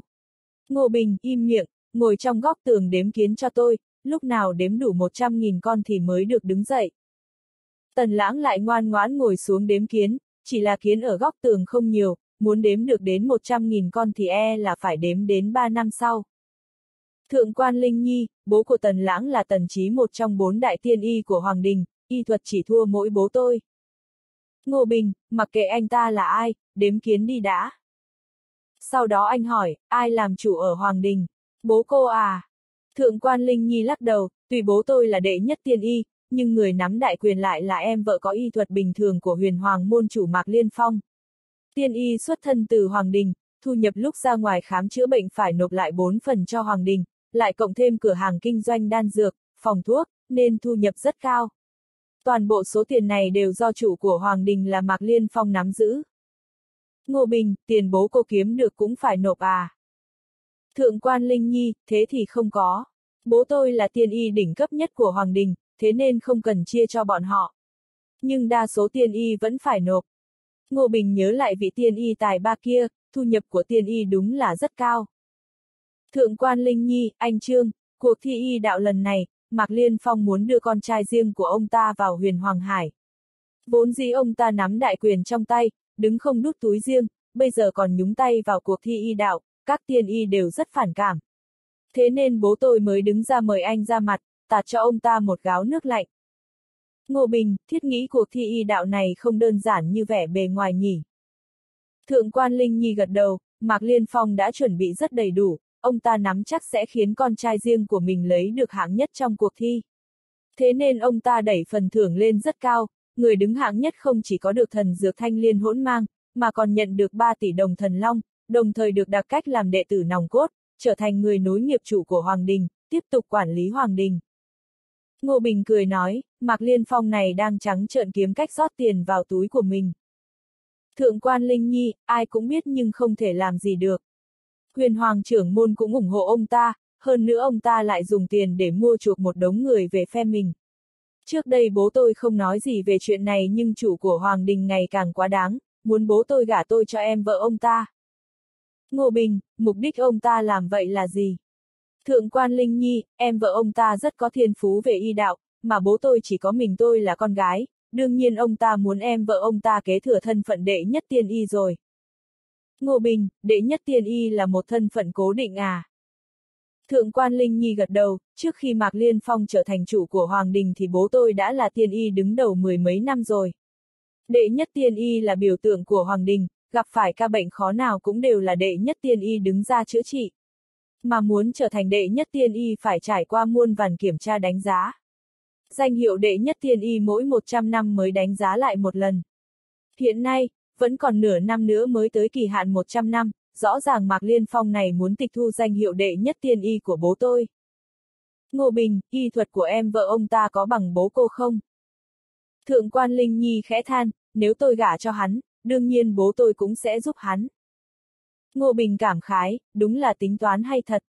Thượng quan Linh Nhi, mấy năm nay bố tôi lo lắng không yên, vốn định rời khỏi Hoàng Đình, đứng ra làm riêng. Nhưng hôm đó nghe tôi kể về y thuật của anh xong thì ông ấy rất vui mừng, thế nên mới đến thiên địa kiếm tông để gặp anh. Ngô Bình bây giờ mới hiểu nguyên nhân, anh nói, bố cô muốn để danh hiệu đệ nhất thiên y cho tôi sao? Thượng quan Linh Nhi gật đầu, đúng vậy. Chỉ cần có danh hiệu đệ nhất thiên y, Mạc Liên Phong có một tay che trời cỡ nào cũng không dám động đến anh, vì anh chính là bộ mặt của Hoàng Đình. Ngô Bình gật đầu, không ngờ trong này có nhiều sự tình như vậy, xem ra tôi phải liều mạng một phen rồi. Thượng quan Linh Nhi cười nói, anh đã có được khởi nguồn của Hoàng Đình y đạo rồi, đám người kia sao bỉ với anh được. Ngô Bình, cô nói cụ thể cho tôi biết mai sẽ thi những gì đi. Thượng quan Linh Nhi nói cho anh biết, cuộc thi ngày mai sẽ phân thành bốn phần. Đầu tiên là trả lời câu hỏi do bốn vị đại tiên y cùng đưa ra. Tất cả thí sinh sẽ trả lời ngay tại đó, điểm tối đa là 100, số điểm đạt được trong phần này sẽ được cộng vào tổng điểm. Phần thi thứ hai là thực hành dược lý và đan đạo, yêu cầu phải trực tiếp điều chế thuốc và luyện đan, sau đó do các dược sư chấm điểm. Điểm của phần này rất cao, điểm cao nhất cho điều chế thuốc là 200, cao nhất cho luyện đan là 500, tổng cao nhất là 700 điểm. Phần thi thứ ba là cứu người tại chỗ. Cuộc thi y đạo sẽ cung cấp bệnh nhân cho các thí sinh, bệnh của các bệnh nhân từ nhẹ tới nặng, đồng thời được đánh số thứ tự, bệnh nhân mang số 1 là dễ chữa trị nhất, bệnh nhân mang số 12 là khó chữa nhất. Trong đó, mỗi thí sinh sẽ có một bệnh nhân mang số 1, độ khó tương đương nhau, bệnh nhân mang số 2 thì chỉ có 30 người, ai chữa trị xong bệnh nhân mang số 1 trước thì sẽ giành quyền chữa trị bệnh nhân mang số 2. Tương tự, bệnh nhân mang số 3 chỉ có 25 người, thế nên những thí sinh có tốc độ chữa trị chậm sẽ mất cơ hội giành chữa trị bệnh nhân mang số 3. Khó chữa trị nhất là bệnh nhân mang số 12, chỉ có một người, chữa trị xong bệnh nhân mang số 12 sẽ đạt được 500 điểm. Cuối cùng là phần thi giành lượt trả lời, do 10 vị tiên y ra 10 câu hỏi khác nhau, các thí sinh giành lượt trả lời. Trả lời đúng một câu giành được 10 điểm, giành được quyền mà trả lời sai sẽ bị trừ 5 điểm. Điểm đạt được trong 4 phần thi sẽ được cộng lại và xếp hạng, ba thí sinh có điểm cao nhất sẽ được vào huyền Hoàng Hải, có được truyền thừa vô thượng của huyền Hoàng Đạo Tổ. Nghe Thượng quan Linh Nhi giới thiệu xong, Ngô Bình hỏi, nếu tôi lấy được hạng nhất, mọi sự chuẩn bị của Mạc Liên Phong đều công cốc, ông ta có chó cùng rứt dậu không? Thượng quan Linh Nhi, dù ông ta hận đến mấy cũng bó tay, vì sẽ có rất nhiều người từ các môn phái khác đến xem cuộc thi y đạo, còn có các vị tiên y nữa. Dù Mạc Liên Phong có mặt dày đến đâu cũng không dám làm gì chúng ta. Nhưng chắc chắn ông ta sẽ động tay động chân vào cuộc thi, còn về việc ông ta sẽ gian lận thế nào thì tôi cũng không đoán được. Ngô Bình, xem ra không dễ gì giành được hạng nhất, lúc nào cũng phải đề phòng người ta tính kế. Nói chuyện một hồi, Ngô Bình bắt đầu dạy Thượng quan Linh Nhi giang hạt dưa. Thượng quan Linh Nhi có chút thiên phú, học một buổi chiều, trà mà cô ấy sao ra cũng khá ngon rồi. Buổi tối, thượng quan tề sinh vội vã trở về nói, Linh Nhi, cậu Trương, tối nay hai đứa động phòng luôn đi. Ngô Bình xứng người, tối nay ạ. À? Thượng quan tề sinh gật đầu, có tin bên Mạc Liên Phong rồi, có thể ông ta sẽ phủ nhận thân phận của cậu. Thế nên để chứng minh thân phận cậu là con rể của tôi, thì hai đứa phải động phòng luôn đêm nay đi. Thượng quan Linh Nhi cúi đầu, bố, không còn cách nào khác ạ. À? Thượng quan tề sinh nói, cách này có gì không tốt. Hai đứa cuối cùng cũng thành vợ chồng, sớm mấy ngày có gì không tốt đâu. Nói rồi ông ấy cười, được rồi, bố còn có việc, sáng mai sẽ qua sớm. Thượng quan tề sinh đi xong thì không khí trong phòng trở nên mờ ám. Một lúc lâu sau, thượng quan Linh Nhi mới lên tiếng phá vỡ bầu không khí gượng gạo, anh Trương, anh có đói không? Hay là chúng ta uống vài ly? Ngô Bình, ừ, cũng được. Thượng quan Linh Nhi chuẩn bị đồ ăn và rượu xong, sau ba ly rượu, thượng quan Linh Nhi đã tựa vào lòng anh. Đợi đến lúc trời tối, hai người đã đóng cửa hành sự. Trời chưa sáng, Ngô Bình đã dậy. Thượng quan Linh Nhi thay đồ cho anh, dịu dàng nói, mong hôm nay anh sẽ thành công, vang danh thiên hạ. Ngô Bình cười nói, Linh Nhi, gọi anh là Huyền Bình được rồi. Thượng quan Linh Nhi khẽ gật đầu, Huyền Bình, chút nữa em sẽ gọi hết người hầu trong nhà tới gặp anh, sau này anh chính là con rể nhà họ thượng quan rồi. Ngô Bình, ừm, được. Quản gia dẫn một đám người hầu, đầy tớ cùng các vị quản sự tới. Những người quản sự này có người quản ruộng đất, có người quản việc làm ăn, có người quản vườn thuốc, có người quản tiền lương, mỗi người mỗi việc. Là đệ nhất tiên y của Hoàng Đình, gia sản của nhà họ thượng quan đúng là đáng nể. Lúc quản gia đưa sổ sách của nhà họ thượng quan cho anh xem, anh cũng hoảng hồn. Tính sơ sơ, gia sản của thượng quan tề sinh không dưới 5 tỷ đồng thần long. Đây là còn chưa kể những thứ ông ấy siêu tầm nữa. Tiên nhân của tiên giới và đại thế giới huyền hoàng thích siêu tầm hơn, nhưng thứ bọn họ siêu tầm khác với những người phàm thế tục siêu tầm. Bọn họ siêu tầm toàn là những thần vật thượng cổ, công pháp quý hiếm, thần binh lợi khí, pháp bảo đan dược, v, v. Những người này gặp mặt anh xong thì lui xuống, Ngô Bình cũng không xem kỹ sổ sách, dù sao bây giờ anh vẫn còn là một người ngoài. Hơn nữa, cho dù anh đã làm rể nhà này thì những chuyện này cũng không đến lượt anh quản. Linh Nhi, sổ sách không cần phải đưa anh xem đâu. So về kiếm tiền, anh không hề thua kém bác đâu, bây giờ hai người đã xác định mối quan hệ nên anh gọi thượng quan tề sinh là bác. Thượng quan Linh Nhi cười nói, bố em cũng không quản chuyện trong nhà, thường đều giao cho kẻ dưới làm hết. Bọn họ vô cùng trung thành với nhà em, đáng để tin tưởng. Chẳng bao lâu sau, thượng quan tề sinh đã xuất hiện, ông ấy cười hỏi, cậu Trương chuẩn bị thế nào rồi? Ngô Bình, thưa bác, con đã chuẩn bị xong rồi. Sau này bác cứ gọi con là Huyền Bình đi ạ. Thượng quan tề sinh cười đáp, được, Huyền Bình, chúng ta đi thôi, đã có rất nhiều người tới rồi. Ba người rời khỏi đỉnh núi, bay tới một quảng trường cực rộng. Quảng trường này chính là nơi huyền hoàng môn tổ chức những sự kiện trọng đại, bây giờ dùng để tổ chức cuộc thi y đạo. Xung quanh quảng trường sắp xếp rất nhiều chỗ ngồi, có chỗ lơ lửng trên không, có chỗ đặt trên mặt đất. Những chỗ ngồi đặt trên mặt đất đều dành cho những trưởng lão và đệ tử bình thường. Là đệ nhất tiên y, chỗ ngồi của thượng quan tề sinh được đặt ở vị trí thứ hai phía bên trái, bên cạnh chỗ ngồi chủ của Hoàng Đình. Bên phải chỗ ngồi của huyền hoàng trưởng môn là chỗ ngồi của chủ của huyền môn và những nhân vật nòng cốt trong những môn khác. Ngô Bình nhìn xung quanh, ở quảng trường đã tụ tập hàng chục nghìn người, đông đen, hơn nữa người ta vẫn không ngừng kéo đến. Anh không kìm được hỏi, Linh Nhi, rốt cuộc huyền hoàng môn có bao nhiêu đệ tử? Thượng quan Linh Nhi trả lời, đệ tử của Hoàng Đình không nhiều, tầm 10.000 người. Đệ tử huyền môn thì khá nhiều, tổng cộng không dưới 7-80 nghìn. Còn có mấy nghìn trưởng lão và hàng triệu tạp dịch nữa. Ngô Bình, Hoàng Đình là y đạo, bên huyền môn hình như là chuyên về trận pháp phải không?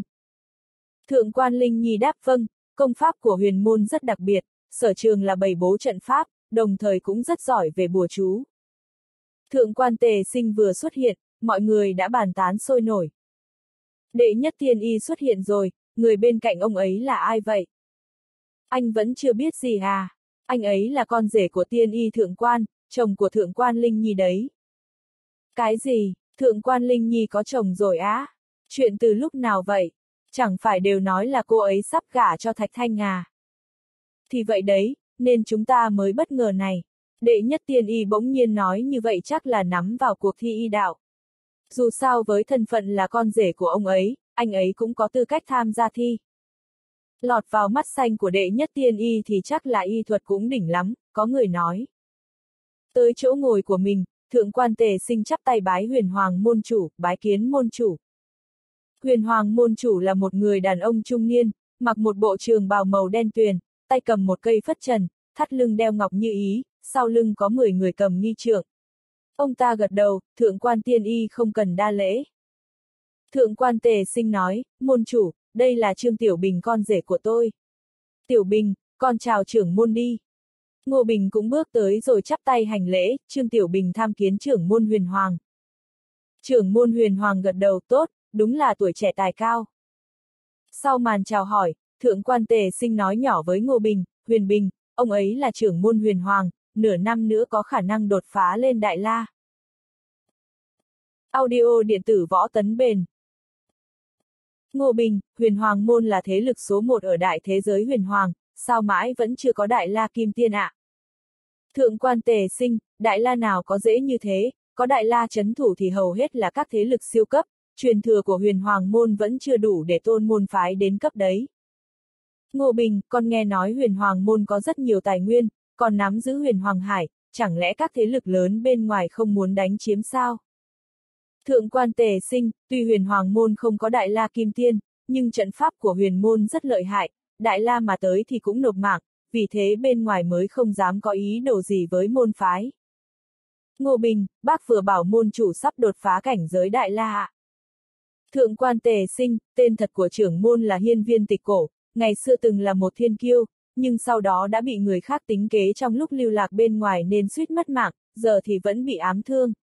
Sau khi quay về thì ông ấy không rời khỏi đây lần nào nữa, nhưng tu vi vẫn tăng lên, cách đây không lâu, bác phát hiện ám thương ngày xưa của ông ấy đã biến mất, vì thế bác mới đoán ông ấy sẽ đột phá trong nửa năm tới.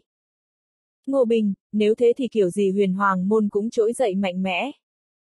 Thượng quan tề sinh, mong là thế, nhưng con đường thành đại la có vô vàn nguy hiểm. Trong lúc hai người đang thì thầm to nhỏ thì liên tục có thêm người xuất hiện bên cạnh. Có một đám người đi tới, dẫn đầu là một người đàn ông trung niên mặt dài, tóc xóa, mặc trường bào màu vàng, đi cùng còn có sáu cô hầu gái xinh đẹp.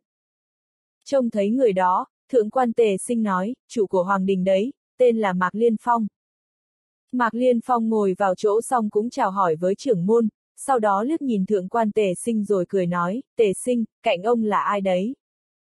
Thượng quan tề sinh, đây là Trương Huyền Bình con rể của tôi. Chủ của Hoàng Đình và chủ của huyền môn đều là các trưởng lão nòng cốt của huyền Hoàng môn. Huyền Hoàng môn chia làm năm cơ quan lớn, nhưng hai trong số đó thì không làm gì, một người suốt ngày bế quan, người thì đi du lịch khắp nơi nên việc chính đều do trưởng môn và chủ của Hoàng Đình với huyền môn quản lý. Mạc Liên Phong cười nói, tề sinh, chúng ta đã giao hẹn sẽ tác thành cho con gái ông với em vợ tôi rồi cơ mà. Sao giờ lại có anh con rể nào xuất hiện thế này? Đừng nói là ông vơ đại một người làm con rể đấy nhé. Thượng quan tề sinh không giận mà nói, ông Mạc, Trương Tiểu Bình là thiên tài y đạo, tôi đã truyền y đạo cho thằng bé lâu rồi, không thì tôi đã chẳng dẫn nó đến đây. Mạc Liên Phong cười khẩy rồi nói với một người thanh niên ở cạnh, Thạch Thanh, anh rể xin lỗi cậu, hoa nhà người ta có chủ rồi, sau anh sẽ kiếm cho cậu mối khác. Người thanh niên tên là Thạch Thanh cười lạnh nói, anh, em không phục. Ngoài Mạc Thái ra thì thế hệ trẻ của Hoàng Đình có ai hơn em chứ? Nói rồi, hắn lạnh lùng nhìn Ngô Bình rồi hỏi, anh có tư cách gì mà đòi cưới thượng quan Linh Nhi? Bị người khác chất vấn ngay trước mặt nhiều người như vậy, Ngô Bình chỉ thờ ơ nói, tôi có tư cách hay không thì liên quan gì đến anh. Anh có phải con tôi đâu mà phải lo vụ này. Thạch Thanh nổi giận, láo lếu, dám ăn nói ngông cuồng ở đây à? Giờ tôi muốn khiêu chiến anh, dám nhận lời không? Ngô Bình, khiêu chiến tôi. Nếu đến con mèo con chó khiêu chiến mà tôi cũng phải nhận lời thì sống làm sao được. Nếu anh muốn khiêu chiến tôi thì đấu luôn trong cuộc thi y đạo này này. Thạch Thanh lạnh giọng nói, ai thèm thi y đạo với anh. Tôi muốn đọ thực lực kia, dù y thuật có cao đến mấy mà thực lực kém thì cũng vứt. Ngô Bình, tôi khuyên anh đừng đòi tỉ thí với tôi làm gì, tôi mà nặng tay là anh chết luôn đấy. Anh là em vợ của ông Mạc, tôi mà đánh chết anh thì mất hay ra. Thạch Thanh cười khẩy nói, nếu anh đánh chết được tôi thì đó là bản lĩnh của anh, còn không thì hãy cút khỏi đây và tránh xa Thượng quan Linh Nhi ra. Thượng quan Linh Nhi bực mình nói, Thạch Thanh, anh là địa tiên bất tử rồi mà lại khiêu chiến người ở cấp thấp hơn, anh không thấy xấu hổ à? Thạch Thanh, không dám đánh thì biến. Ngô Bình thở dài nói, được thôi, nếu anh thèm chết như thế thì để tôi cho anh toại nguyện. Anh nói với trưởng môn huyền hoàng, trưởng môn, người này một mực đòi khiêu chiến tôi, nếu tôi đánh chết anh ta thì xin người đừng trách tội. Thiên viên tịch cổ thờ ơ nói, quyền cước không có mắt, ai đánh chết được đối thủ thì là bản lĩnh của người đó, không sao cả. Cậu cũng phải nghĩ cho kỹ, nếu cậu bị Thạch Thanh đánh chết thì tôi cũng không giúp gì được đâu. Ngô Bình, vâng. Thạch Thanh đã bước ra, Mạc Liên Phong truyền âm cho hắn, anh đã truyền tiên lực cấp thần tiên vào người cậu rồi, cậu chỉ có một cơ hội thôi nên phải nắm lấy, hãy hạ nó bằng một chiêu. Thạch Thanh, anh rể cứ yên tâm ở em, em đã nghe ngóng về thằng này rồi, nó còn chưa ngưng tụ được nguyên anh, dù không dùng đến lực thần tiên thì em cũng hạ nó được. Mạc Liên Phong, đừng khinh định, nó là thiên kiêu của thiên địa kiếm tông đấy, thực lực của thiên kiêu rất khó đoán, tốt nhất cậu cứ dùng lực anh truyền cho mà đánh nó. Thạch Thanh, vâng, em nhớ rồi. Lúc này, Thạch Thanh đã bay đến một khoảng đất trống rộng rãi, hắn ngoắc tay với Ngô Bình rồi nói, mau đến đây chịu chết. Ngô Bình bay lên cao rồi hỏi, đánh luôn được chưa? Thạch Thanh, ra tay đi. Thạch Thanh vừa nói dứt câu thì thấy một đường kiếm lóe lên, cực ít người tại đây có thể nhìn thấy đường kiếm ấy, vì nó quá nhanh. Thậm chí Thạch Thanh còn chưa kịp phản ứng gì thì đã bị đường kiếm chém đứt đôi người. Trong mắt hắn chứa đầy vẻ chấn động và không cam tâm, hắn có lực thần tiên nhưng chưa dùng tới thì đã chết rồi ư. Quỳnh. Ngay sau đó, Thạch Thanh bị chém đứt đôi người đã ngã xuống trong vũng máu. Mọi người đều im phăng phắc, đến khi người Thạch Thanh nổ tung thì họ mới ý thức được là trận đấu còn chưa bắt đầu thì đã kết thúc rồi. Ngô Bình phủi tay rồi quay về chỗ như chưa từng có chuyện gì xảy ra, anh nói, xin lỗi, quyền cước vô tình nên tôi lỡ giết người mất rồi. Mạc Liên Phong đứng bật dậy rồi lườm Ngô Bình với ánh mắt như muốn giết người. Trưởng môn cũng kinh ngạc, ông ấy nhìn thấy rõ đường kiếm của Ngô Bình nên biết đường kiếm ấy rất đáng sợ, sao anh có thể luyện được. Thượng quan tề sinh cũng hết hồn hết vía, ông ấy biết Ngô Bình rất mạnh, nhưng không ngờ lại mạnh đến mức này, phải biết rằng anh mới ở cảnh giới địa tiên kết thai thôi, trong khi Thạch Thanh hơn hai những hai cảnh giới lớn mà vẫn bị anh hạ trong một nốt nhạc. Đến thiên kiêu cũng không thể mạnh tới vậy được. Mạc Liên Phong, cậu dám giết em vợ tôi, chịu chết đi. Mạc Liên Phong không cần biết lý lẽ gì hết mà ra tay luôn, một tia sáng bay về phía Ngô Bình, ẩn chứa trong đó là khí tức cực độc và tà, chỉ cần chạm vào nó thì thiên kiêu cũng bị phế. Thượng quan tề sinh vung tay lên, một màn sáng ngăn cách giữa hai người, tia sáng của Mạc Liên Phong chạm vào màn sáng đó thì đã hóa thành sương mù. Ông Mạc, Thạch Thanh là người khiêu chiến trước, hơn nữa trưởng môn cũng đã nói sống chết tự chịu, sao giờ ông lại ra tay với con rể tôi, ông ấy gào lên chất vấn. Mạc Liên Phong thất bại nên phẫn hận nói, không giết nó thì tôi biết ăn nói sao với bên nhà vợ. Thượng quan tề sinh cười lạnh nói, ông Mạc, nếu ông dám giết con rể tôi thì tôi thể nhất định sẽ giết thằng con riêng Mạc Thái của ông. Chuyện Mạc Liên Phong có con riêng thì ai cũng biết nhưng không dám nói ra, giờ thượng quan tề sinh nói to trước mặt bao người như vậy, hơn nữa còn lớn giọng uy hiếp nên khiến Mạc Liên Phong thấy khó xử.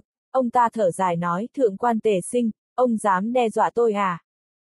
Hiên viên tịch cổ thấy bất ổn nên nói thôi, ông Mạc, chuyện qua rồi, cái chết của Thạch Thanh không thể trách Trương Huyền Bình được. Mạc Liên Phong hừ mạnh một tiếng rồi không nói gì nữa.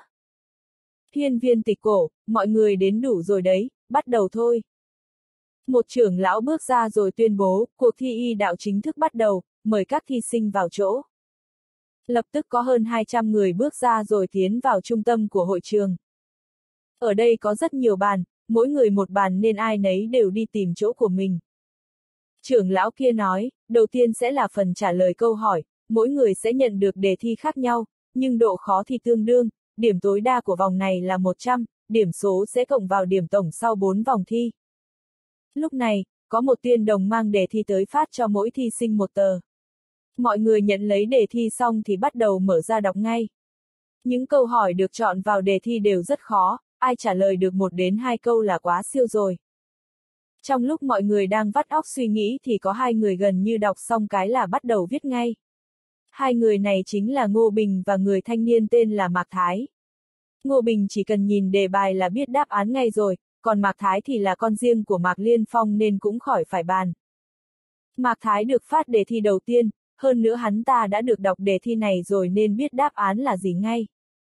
Tuy thế nhưng người hoàn thành xong nhanh nhất vẫn là Ngô Bình, vài phút sau thì Mạc Thái mới xong. Đáp án được chia ra rồi mang lên cho 6 tiên y chấm điểm. Ngô Bình làm xong nhanh nhất nên cũng được chấm điểm đầu tiên, tiên y số 1 đọc đáp án của anh xong thì chấn động, sau đó đôi mắt như phát sáng. Ông ấy nhanh chóng cho anh 100 điểm. Đáp án của người thứ hai cũng khá tốt nên cũng được 100 điểm. Trong số 6 người chấm thi thì có 3 người là người của Mạc Liên Phong, nhưng họ vẫn phải cho Ngô Bình 100 điểm.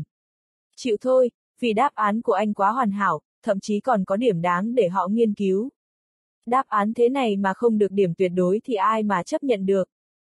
Tuy Mạc Thái đã biết trước đáp án, nhưng bài thi cũng không thể so với Ngô Bình được. Trong 6 người chấm thì có 3 người cho hắn ta 100 điểm, hai người cho 90 điểm và một người cho 95 điểm. Ở thế thắng chắc rồi mà Mạc Thái lại thua, điều này khiến Mạc Liên Phong bắt đầu sốt sắng. Phải biết rằng, để người con riêng của mình có lợi thế, ông ta đã đẩy giải thưởng lên rất cao, nhớ giờ Ngô Bình mà thắng thì biết làm thế nào bây giờ. Ông ta lập tức gọi Mạc Thái rồi thì thầm to nhỏ, con làm ăn kiểu gì thế? Bố đã đưa đáp án cho con rồi cờ mà, sao vẫn thua thằng kia? Mạc Thái vò đầu bứt tai nói, con cũng thấy lạ, hay dám khảo thiên vị nó. Vớ vẩn, trong sáu giám khảo thì đã có ba người của phe mình rồi, ba người còn lại thì bố lạ gì nữa. Họ sẽ thiên vị con, chứ không giúp Trương Tiểu Bình đâu. Mạc Thái không cam tâm nói, khó hiểu thật, con đã học theo cổ tịch, đã thế còn mời vài tiên y đến hướng dẫn làm bài, sao lại thua nó được nhỉ?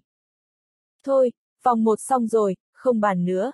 Quan trọng nhất là vòng 2, bố đã mời hẳn dược lão đến dạy con luyện thuốc, còn mời thêm đại sư luyện đan 4 sao đến dạy con luyện đan, cố đừng làm bố thất vọng, Mạc Liên Phong trầm giọng nói. Mạc Thái, bố yên tâm, con đã luyện thuốc mấy trăm lần rồi, kiểu gì cũng được điểm tuyệt đối, còn đan dược thì con cũng luyện nhiều lắm, 200 nắm chắc trong tay rồi. Con không tin mình thua Trương Huyền Bình ở vòng này. Mạc Liên Phong, đừng sơ suất, phải cố hết sức vào. Vâng ạ. Mọi người nghỉ ngơi một lát thì vòng thi thứ hai bắt đầu. Vòng này thi luyện đan và thuốc, trị bệnh cứu người thì không thể thiếu thuốc và đan dược được. Nhưng luyện thuốc và luyện đan là việc rất khó, vì thế các tiên y cũng chỉ hiểu sơ qua, còn hầu hết mọi người đều không biết gì. Người luyện chế được đan dược thì còn hiếm hơn, vì thế thầy luyện đan thường có tiền đồ và kiếm nhiều tiền hơn tiên y. Nếu một người có trình độ luyện đan cao thì không cần làm tiên y làm gì. Vị trưởng lão trước đó công bố, bây giờ bắt đầu thi luyện thuốc, có 20 loại thuốc trong danh sách, điểm cao nhất cho loại thuốc dễ luyện chế nhất là 30 điểm, điểm cao nhất cho loại thuốc khó luyện nhất là 200 điểm. Mọi người hãy tự chọn loại thuốc mà mình muốn luyện chế. Ngay sau đó, Mạc Thái đã chọn một phương thức luyện thuốc tương đương 150 điểm, sau đó lấy lò luyện ra làm luôn. Hắn ta đã được thầy luyện thuốc truyền thụ cho cách làm, tuy còn non tay nhưng vì hắn ta chỉ tập luyện đúng một loại này nên vẫn làm khá tốt. Ngô Bình cũng chọn, nhưng anh chọn loại thuốc 200 điểm. Lấy dược liệu xong, anh lơ tiên y lò thuần nhất ra rồi vào việc. Cách luyện thuốc của anh trông rất tự tin, đôi tay anh như đang múa để cho dược liệu vào lò. Thuốc này có tên là ngũ tâm tán, với anh mà nói thì không khó luyện chút nào. Vì thế, khi Mạc Thái vẫn còn đang cắm cụi luyện thuốc thì Ngô Bình đã làm xong rồi, có tia sáng màu xanh ánh từ trong lò luyện ra, anh bắt lấy rồi ngưng tụ thành thuốc bột màu xanh nhạt. Thấy Ngô Bình hoàn thành phần thi nhanh chóng, lập tức có người đến lấy thuốc của anh rồi mang đến cho năm vị trưởng lão nhận xét. Họ đều là các nhân vật lớn của luyện dược giới nên có trình độ luyện thuốc rất cao, vì thế họ sẽ chịu trách nhiệm chấm thi ở vòng này. Khi thuốc của Ngô Bình được mang đến, cả năm người đừng sững sờ, sau đó đứng bật dậy. Họ nhìn Ngô Bình bằng ánh mắt phức tạp, sau đó trụng đầu thì thầm với nhau, sau đó một người nói, chúng tôi cùng quyết cho thuốc này 200 điểm. Mạc Thái vẫn đang luyện thuốc bắt đầu run tay, suýt nữa cho nhầm dược liệu vào, hắn ta khó tin nói, không thể nào. Mạc Liên Phong cũng kinh hãi, nhưng vẫn nhắc con mình tập trung. 15 phút sau, Mạc Thái mới luyện thuốc xong. Năm vị dược sư nhìn thuốc của hắn ta xong thì không tỏ thái độ gì, cuối cùng mọi người thương lượng rồi cho Mạc Thái 95 điểm. Trong 95 điểm này có ít nhất 15 điểm là nể mặt Mạc Liên Phong, không thì Mạc Thái chỉ được 80 điểm thôi. Mạc Thái nhăn mặt, sau đó nhìn chằm chằm vào Ngô Bình, không hiểu tại sao anh lại luyện thuốc siêu đến vậy. Ngô Bình không muốn lãng phí thời gian nên hỏi trưởng lão hướng dẫn, tôi luyện đan luôn được không? Trưởng lão kia, được, có 10 loại đan dược, loại thấp nhất là 50 điểm, cao nhất là 500 điểm, cậu tự chọn đi. Ngô Bình đã chọn phong lôi đan 500 điểm rồi đi lấy dược liệu, tiếp theo lấy thần lò long hổ ra luyện chế. Theo quy tắc, chỉ cần luyện chế ra đan dược nhị phẩm sẽ được điểm tuyệt đối, nhưng để cho chắc nên anh đã luyện chế đan dược nhất phẩm. Đương nhiên anh cũng là người luyện chế đan dược xong đầu tiên, khi anh đặt 5 viên đan dược lên trước mặt các thầy luyện đan thì họ đều phải gật gù. Một người trong số đó cười nói, cậu Trương có tài luyện đan siêu phàm, chúng tôi khâm phục. Ngô Bình, quá khen. Cuối cùng, năm giám khảo hội ý rồi cho anh 500 điểm. Cứ thế, Ngô Bình cũng đã giành được điểm tuyệt đối ở vòng này. Mạc Thái hoàn toàn thất vọng, Ngô Bình được 700 điểm rồi thì hắn ta đuổi theo kiểu gì. Cuối cùng vì quá áp lực nên hắn ta không phát huy được tốt trong lúc luyện đan, vì thế đã luyện chế thất bại, chỉ được 75 điểm.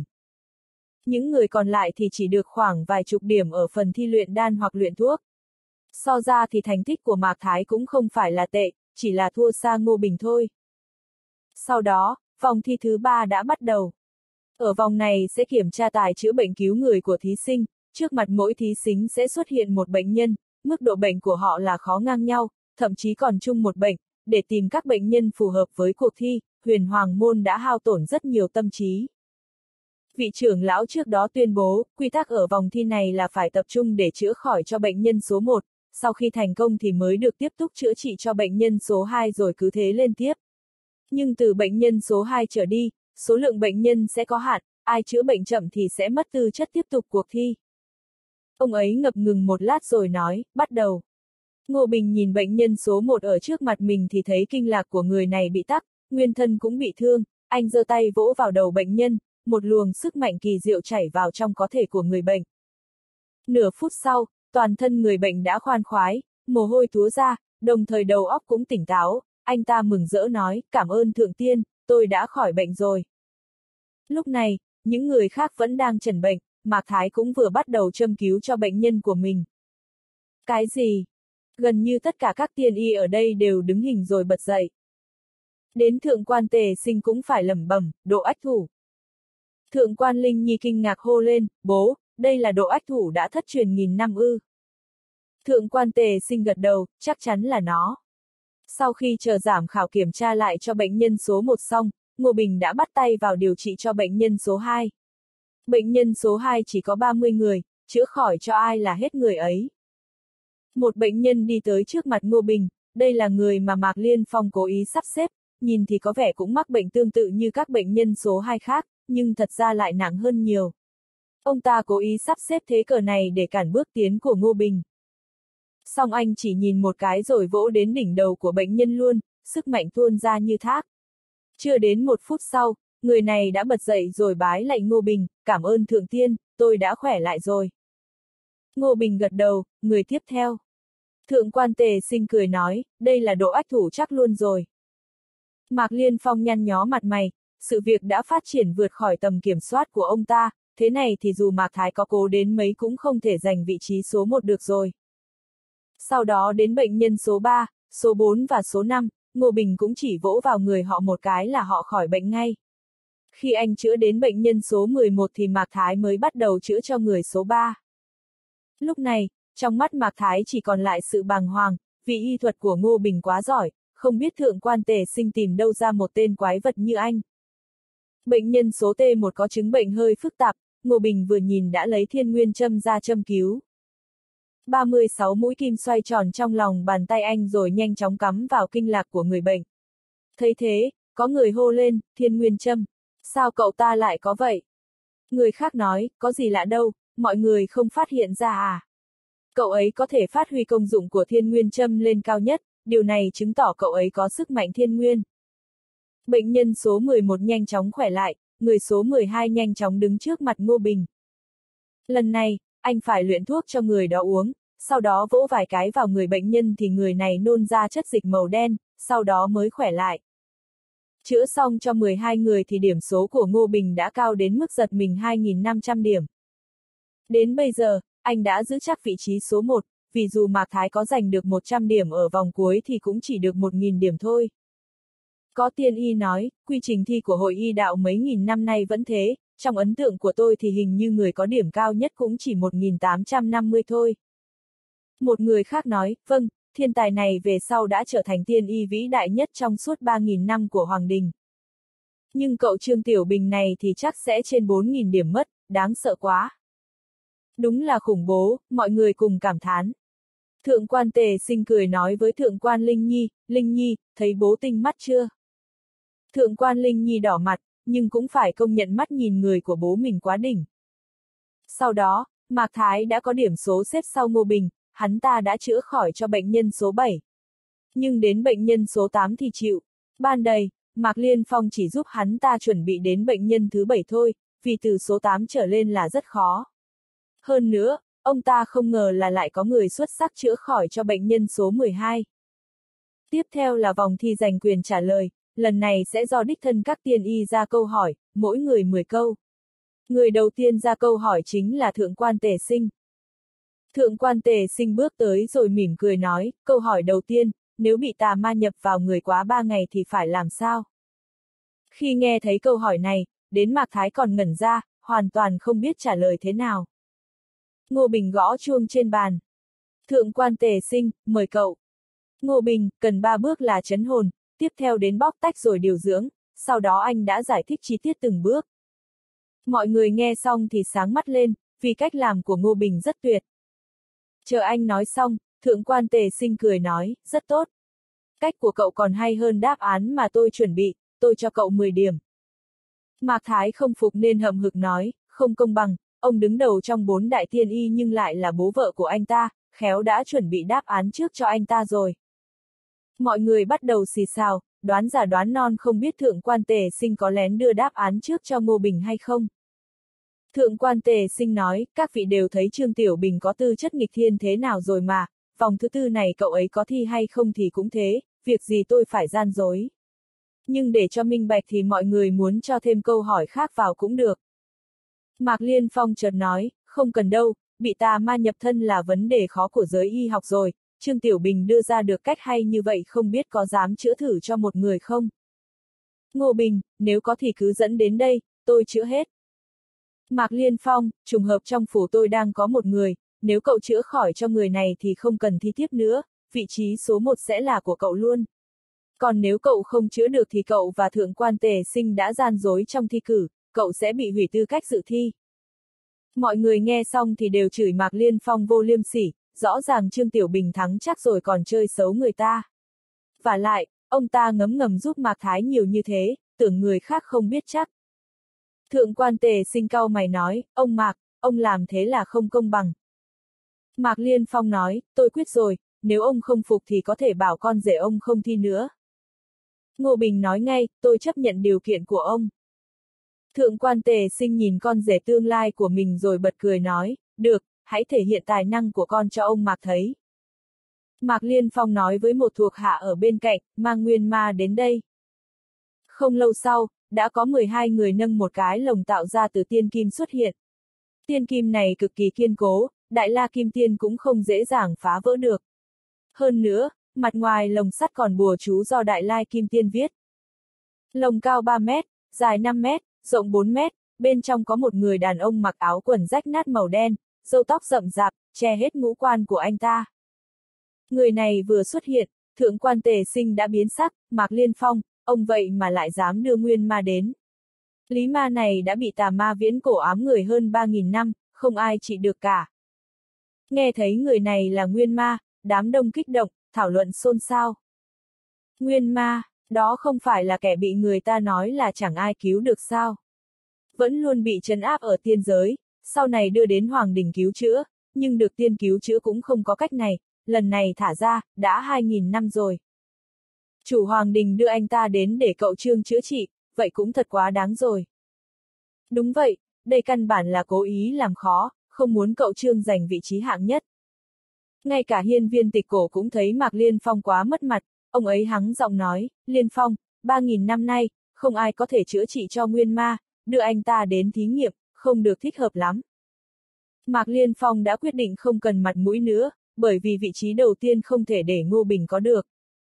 Ông ta nghiêm túc nói, trưởng môn, là Trương Tiểu Bình này đồng ý, tôi cũng không ép anh ta. Ngô Bình nhìn người trong lòng, cảm thấy tà ma trong thân thể anh ta đã dung hợp thành một thể với người này rồi, hơn nữa hai người cũng chung sống hòa bình. Chuyện này khiến anh rất tò mò, tình huống này là sao chứ? Anh lạnh nhạt nói, được, để tôi thử xem. Thấy Ngô Bình không phản đối, mọi người đều hiếu kỳ nhìn qua, chẳng lẽ anh thật sự có thể chữa trị được nguyên ma? Ngô Bình đến trước lồng sắt, nói tôi không hiểu rõ về bệnh nhân này. Thượng quan tề sinh đi đến, nói, 3.000 năm trước, người này từng là đệ nhất thiên kiêu tiên giới.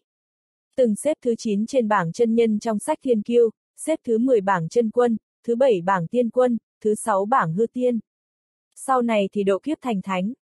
Ngô Bình kinh ngạc, mạnh vậy sao? Thượng quan tề sinh gật đầu, đáng tiếc, sau khi anh ta trở thành hư tiên, chẳng biết tại sao đột nhiên lại nhập ma, về sau mới phát hiện, là bị một ma linh cổ xưa mạnh mẽ chiếm hữu. Khi đó, mấy vị kim tiên ra tay giúp đỡ, cũng không làm được gì ma linh cổ xưa này. Kể xong ông ta lại nói tiếp, cậu có thể chữa được không? Ngô Bình quan sát một lúc, có thể chữa, chỉ là hơi rắc rối chút. Mọi người kinh ngạc, người này nói là có thể chữa được. Mạc Thái cười lạnh, anh ta là nguyên ma đấy. Không có thể chữa được cả, anh cũng không thể. Ngô Bình không quan tâm đến hắn ta, lại lấy ra châm thiên nguyên, châm vào đầu nguyên ma ba kim châm thiên nguyên. Gương mặt người này bị râu tóc che lấp, vậy mà lại chậm rãi ngẩng đầu, hai tay tách ra, để lộ gương mặt anh Tuấn trả tuổi. Đôi mắt anh ta, một bên đen như mực, một bên sáng như sao. Anh là ai? Sao lại đánh thức tôi? Anh ta hỏi, âm thanh rất thu hút, vừa dịu dàng lại vừa bình tĩnh. Ngô Bình, tiền bối, anh đang khống chế ma linh viễn cổ bằng việc ngủ mê sao? Người này gật đầu, đúng vậy, ta ngủ mê, nó cũng phải ngủ mê, chỉ đành xem cuối cùng ai vượt qua ai thôi. Ngô Bình, tôi có thể giúp tiền bối chấn áp ma linh cổ xưa này, thậm chí giúp anh luyện hóa nó. Đối phương rất bình tĩnh nói, 3.000 năm nay, đã có 157 người nói với tôi như vậy rồi, anh là người thứ 158. Ngô Bình, tôi khác với bọn họ, tôi lợi hại hơn bọn họ. Nói xong anh lại nói tiếp, mở lồng ra, tôi muốn đi vào. Mọi người kinh ngạc, có y tiên nói, tuyệt đối không được. Thực lực nguyên ma này rất đáng sợ, một khi anh ta phát điên thì chỉ có đại la kim tiên có thể kiểm soát. Ngô Bình, không cần lo lắng, sau khi tôi đi vào, các người cứ khóa lồng lại. Nghe anh nói muốn đi vào trong lồng, thượng quan Linh Nhi vội đứng dậy, huyền bình, không được như vậy. Ngô Bình cười nói, Linh Nhi không cần lo lắng, tôi sẽ không làm chuyện không nắm chắc. Thượng quan tề sinh như suy nghĩ gì đó, nói, được thôi, vậy cứ mở lồng sắt ra, nếu có chuyện xảy ra, mọi hậu quả do lão phu chịu. Khi tiên đứng đầu đã nói như vậy rồi, người khác đương nhiên cũng chẳng có ý kiến gì. Có người lấy 12 chìa khóa, lần lượt mở ra, lúc này mới mở cửa lồng. Người ngồi trong lồng cũng không có ý định ra khỏi lồng, Ngô Bình sải bước lớn đi vào, ngồi đối diện với anh ta. Lúc này, người bên ngoài căng thẳng đóng cửa lồng, khóa lại. Ngô Bình ở trong lồng nói, bây giờ, anh nên tin tôi rồi chứ. Người đàn ông có chút kinh ngạc, bởi vì Ngô Bình là người đầu tiên dám đi vào trong lồng chữa trị cho anh ta. Anh không sợ chết sao, anh ta nói. Ngô Bình, không sợ, bởi vì tôi sẽ không chết. Người đàn ông cười lạnh, anh tự phụ quá rồi. Có những lúc, tôi cũng không thể khống chế được bản thân mình. Ngô Bình bặm môi, thầm nói tiền bối cũng đừng quá căng thẳng, trên bảo sách thiên kiêu, tôi vừa trở thành nhân vương được xếp trong 10 người đứng đầu, sơ ngưng nguyên thần, cũng đứng thứ năm. Nếu bây giờ tôi kiểm tra, thì chắc chắn đứng đầu bảng nguyên thần. Người đàn ông kinh ngạc, đứng đầu bảng nguyên thần. Không thể nào. Ngô Bình cười nói, anh cảm thấy, tôi lừa anh thì ích gì. Người đàn ông trừng to mắt, vẻ mặt vô cùng kinh ngạc nói, nếu mà đứng nhất, thì đúng thật rất kinh khủng. Ngô Bình, vì vậy, anh phải tin tôi, phối hợp với tôi. Bây giờ, chúng ta làm quen với nhau trước đi, tôi tên Lý Huyền Bình. Người đàn ông im lặng vài giây, Khương thần kinh. Ngô Bình, anh Khương, tuy anh lớn hơn tôi mấy nghìn tuổi, nhưng luận về y thuật, chắc chắn anh không bằng tôi. Vì vậy tôi hy vọng tiếp sau đây anh có thể toàn lực phối hợp với tôi. Khương thần kinh, được, tôi đồng ý thử. Ngô Bình nói, bước thứ nhất, tôi sẽ mượn sức mạnh sấm sét, phong ấn tà ma, sau đó giúp anh luyện hóa nó. Khương thần kinh, được. Ngô Bình trà sát hai tay, trong tay bỗng xuất hiện 3.000 thần châm do sấm chấp tạo thành, những thần châm này bỗng chốc xuất hiện, cùng lúc xuyên vào trong thần hồn Khương thần kinh. Sau đó, toàn bộ châm thiên nguyên đều đâm vào thân thể anh ta, đồng thời anh cũng niệm thần chú, hai tay làm dấu. Chớp mắt, ma linh cổ xưa nằm sâu trong linh hồn Khương thần kinh bỗng nổi giận, điên cuồng phản công. Thế nhưng sấm chấp đầu tiên trong hỗn độn uy lực kinh người, mạnh mẽ chấn áp nó. Khương Thần Kinh cũng bắt đầu luyện hóa tà ma dưới sự dẫn dắt của Ngô Bình. Anh ta và tà ma vốn ngang sức nhau, hôm nay lại có thêm Ngô Bình giúp sức, lập tức chiếm thế thượng phong. Chưa đến nửa khắc đồng hồ, ma linh cổ xưa kia đã bị ép thành một đóm ma quang màu đen, ma quang không ngừng bị tiêu hao, càng lúc càng yếu. Sau hai khắc đồng hồ, Khương Thần Kinh bỗng mở bừng hai mắt, lạnh lùng nói, diệt. Một làn gió tinh thần thổi mạnh ra, ma linh cổ xưa hoàn toàn bị tiêu diệt, hóa thành thần hồn chi lực đơn thuần, dung nhập vào thần hồn Khương Thần Kinh. Khương Thần Kinh chậm chậm đứng dậy, sau đó cẩn thận thi lễ với Ngô Bình, đa tạ. Mọi người đều kinh ngạc, nguyên ma khôi phục rồi. Mạc Liên Phong vô cùng kinh sợ, nói, sao có thể? Trưởng môn huyền hoàng cũng đứng dậy, ánh mắt đầy vẻ khó tin. Khương Thần Kinh vươn tay nắm lấy lồng sắt, bỗng vang lên âm thanh rõ ràng, lồng tự động mở ra, anh ta mời Ngô Bình đi ra trước, sau đó mới đi theo ra sau. Ngô Bình, anh Khương, anh có dự định gì không? Khương Thần Kinh nói, tôi phải quay về nhà một chuyến trước, gặp người nhà, rồi tôi lại đến tìm anh. Ngô Bình cười nói, cũng được. Hiên viên tịch cổ vội tiến lên, anh ta thi lễ với Khương Thần Kinh, tiền bối, Khương Thị hiện tại đã là một trong thất đại thiên tinh thế gia của tiên đình rồi. Khương Thần Kinh hỏi, ngươi là ai? Hiên viên tịch cổ vội nói, vãn bối hiên viên tịch cổ, là trưởng môn huyền hoàng môn. Khương Thần Kinh không quan tâm đến anh ta, nói với Ngô Bình, huynh đệ, đại ơn không chỉ nói xuông. Đợi tôi báo thù xong sẽ đến tìm anh. Anh ta không nói nhiều, khinh không rời đi, người bỗng chốc đã biến mất. Ngay khi anh ta biến mất, không gian xung quanh bỗng gãy khúc, trật tự đại đạo cũng nổ tung. Vẻ mặt hiên viên tịch cổ thay đổi, kinh hô nói, mạnh thật. Thượng quan tề sinh, người trên bảng hư tiên, có thể không mạnh sao? Anh ta đã từng là thánh nhân, thực lực thật sự có thể giết chết đại la sơ cảnh. Hiên viên tịch cổ bỗng cười ha ha, nói với Ngô Bình, Trương Tiểu Bình, cậu làm tốt lắm. Bây giờ, tôi tuyên bố cậu là người đứng đầu. Được thánh nhân của thiên tinh thế gia gọi là huynh đệ, hiện tại ai dám coi thường Ngô Bình. Hiên viên tịch cổ cũng không dám. Hiên viên tịch cổ nói, lấy phần thưởng đến. Phần thưởng thứ nhất, là bảo vật chân quý huyền hoàng môn cất giữ bao nhiêu năm, thanh liên hỗn mang. Thanh liên hỗn mang này, được giữ trong một khối thủy tinh lớn. Cách lớp thủy tinh, tất cả mọi người đều có thể cảm nhận được khí chất bất phàm của nó. Khi nhìn thấy thanh liên hỗn mang, ánh mắt Ngô Bình bỗng sáng lên kỳ lạ. Món thứ hai là túi tiền, bên trong có 3 tỷ thần long tệ. Đương nhiên, kể từ bây giờ Ngô Bình chính là đệ tử cốt cán của huyền hoàng môn, hơn nữa tương lai còn có cơ hội tiếp quản chức vị chủ hoàng đình. Mắt thấy bố cục tự mình bày ra mất tác dụng hoàn toàn, vẻ mặt Mạc Liên Phong càng trở nên khó coi. Thế nhưng, chuyện càng khiến ông ta bất ngờ hơn ở phía sau, hiên viên tịch cổ bỗng nói, bổn trưởng môn tuyên bố, kể từ bây giờ, sẽ do thượng quan tề sinh đảm nhận chức chủ hoàng đình. Đề cử ông ấy trở thành thành viên cốt cán thứ sáu của bản môn. Mạc Liên Phong giật mình, nói anh rể, để hắn làm chủ hoàng đình, vậy còn ta thì sao? Hiên viên tịch cổ liếc nhìn cậu em vợ rồi lạnh lùng nói, cậu vẫn là nòng cốt. Nhưng, Mạc Liên Phong vẫn còn muốn nói gì đó nhưng ánh mắt sắc lạnh của hiên viên tịch cổ khiến ông ta phải im lặng và từ từ cúi đầu. Hiên viên tịch cổ mỉm cười với Ngô Bình, lúc nào cậu cũng có thể đến huyền Hoàng Hải, với tư chất của cậu thì nhất định sẽ có thu hoạch. Ngô Bình, đa tạ trưởng môn. Hội y đạo kết thúc, mấy người Ngô Bình quay về nhà thượng quan. Thượng quan Linh Nhi, phụ thân, sao bỗng dưng trưởng môn lại thay đổi thái độ. Trước đó ông ấy còn rất lạnh lùng với Ngô Bình, thiên vị Mạc Liên Phong mà. Thượng quan tề sinh mỉm cười, vì nguyên ma. Thượng quan Linh Nhi, vì hắn ta sao? Thượng quan tề sinh, đệ nhất thiên kiêu của tiên giới quay về, nhất định sẽ khiến tiên giới dậy sóng, với tài nguyên của nhà họ Khương, cộng thêm việc hấp thụ thái cổ ma linh được luyện hóa, không bao lâu nữa Khương thần kinh sẽ lại bứt phá. Đến lúc đó, ông ta sẽ là chỗ dựa vững chắc cho Ngô Bình. Thượng quan Linh Nhi gật đầu, cũng đúng. Khương thần kinh quá đáng sợ, ai dám động đến huyền bình thì phải suy nghĩ đến việc sẽ bị ông ta báo thù trước. Ngô Bình, anh không dựa dẫm bất cứ ai. Sau này anh nhất định sẽ thành công hơn cả Khương thần kinh. Anh không nói dóc, ở cùng cảnh giới, thành tựu của anh cao hơn nhiều so với Khương thần kinh.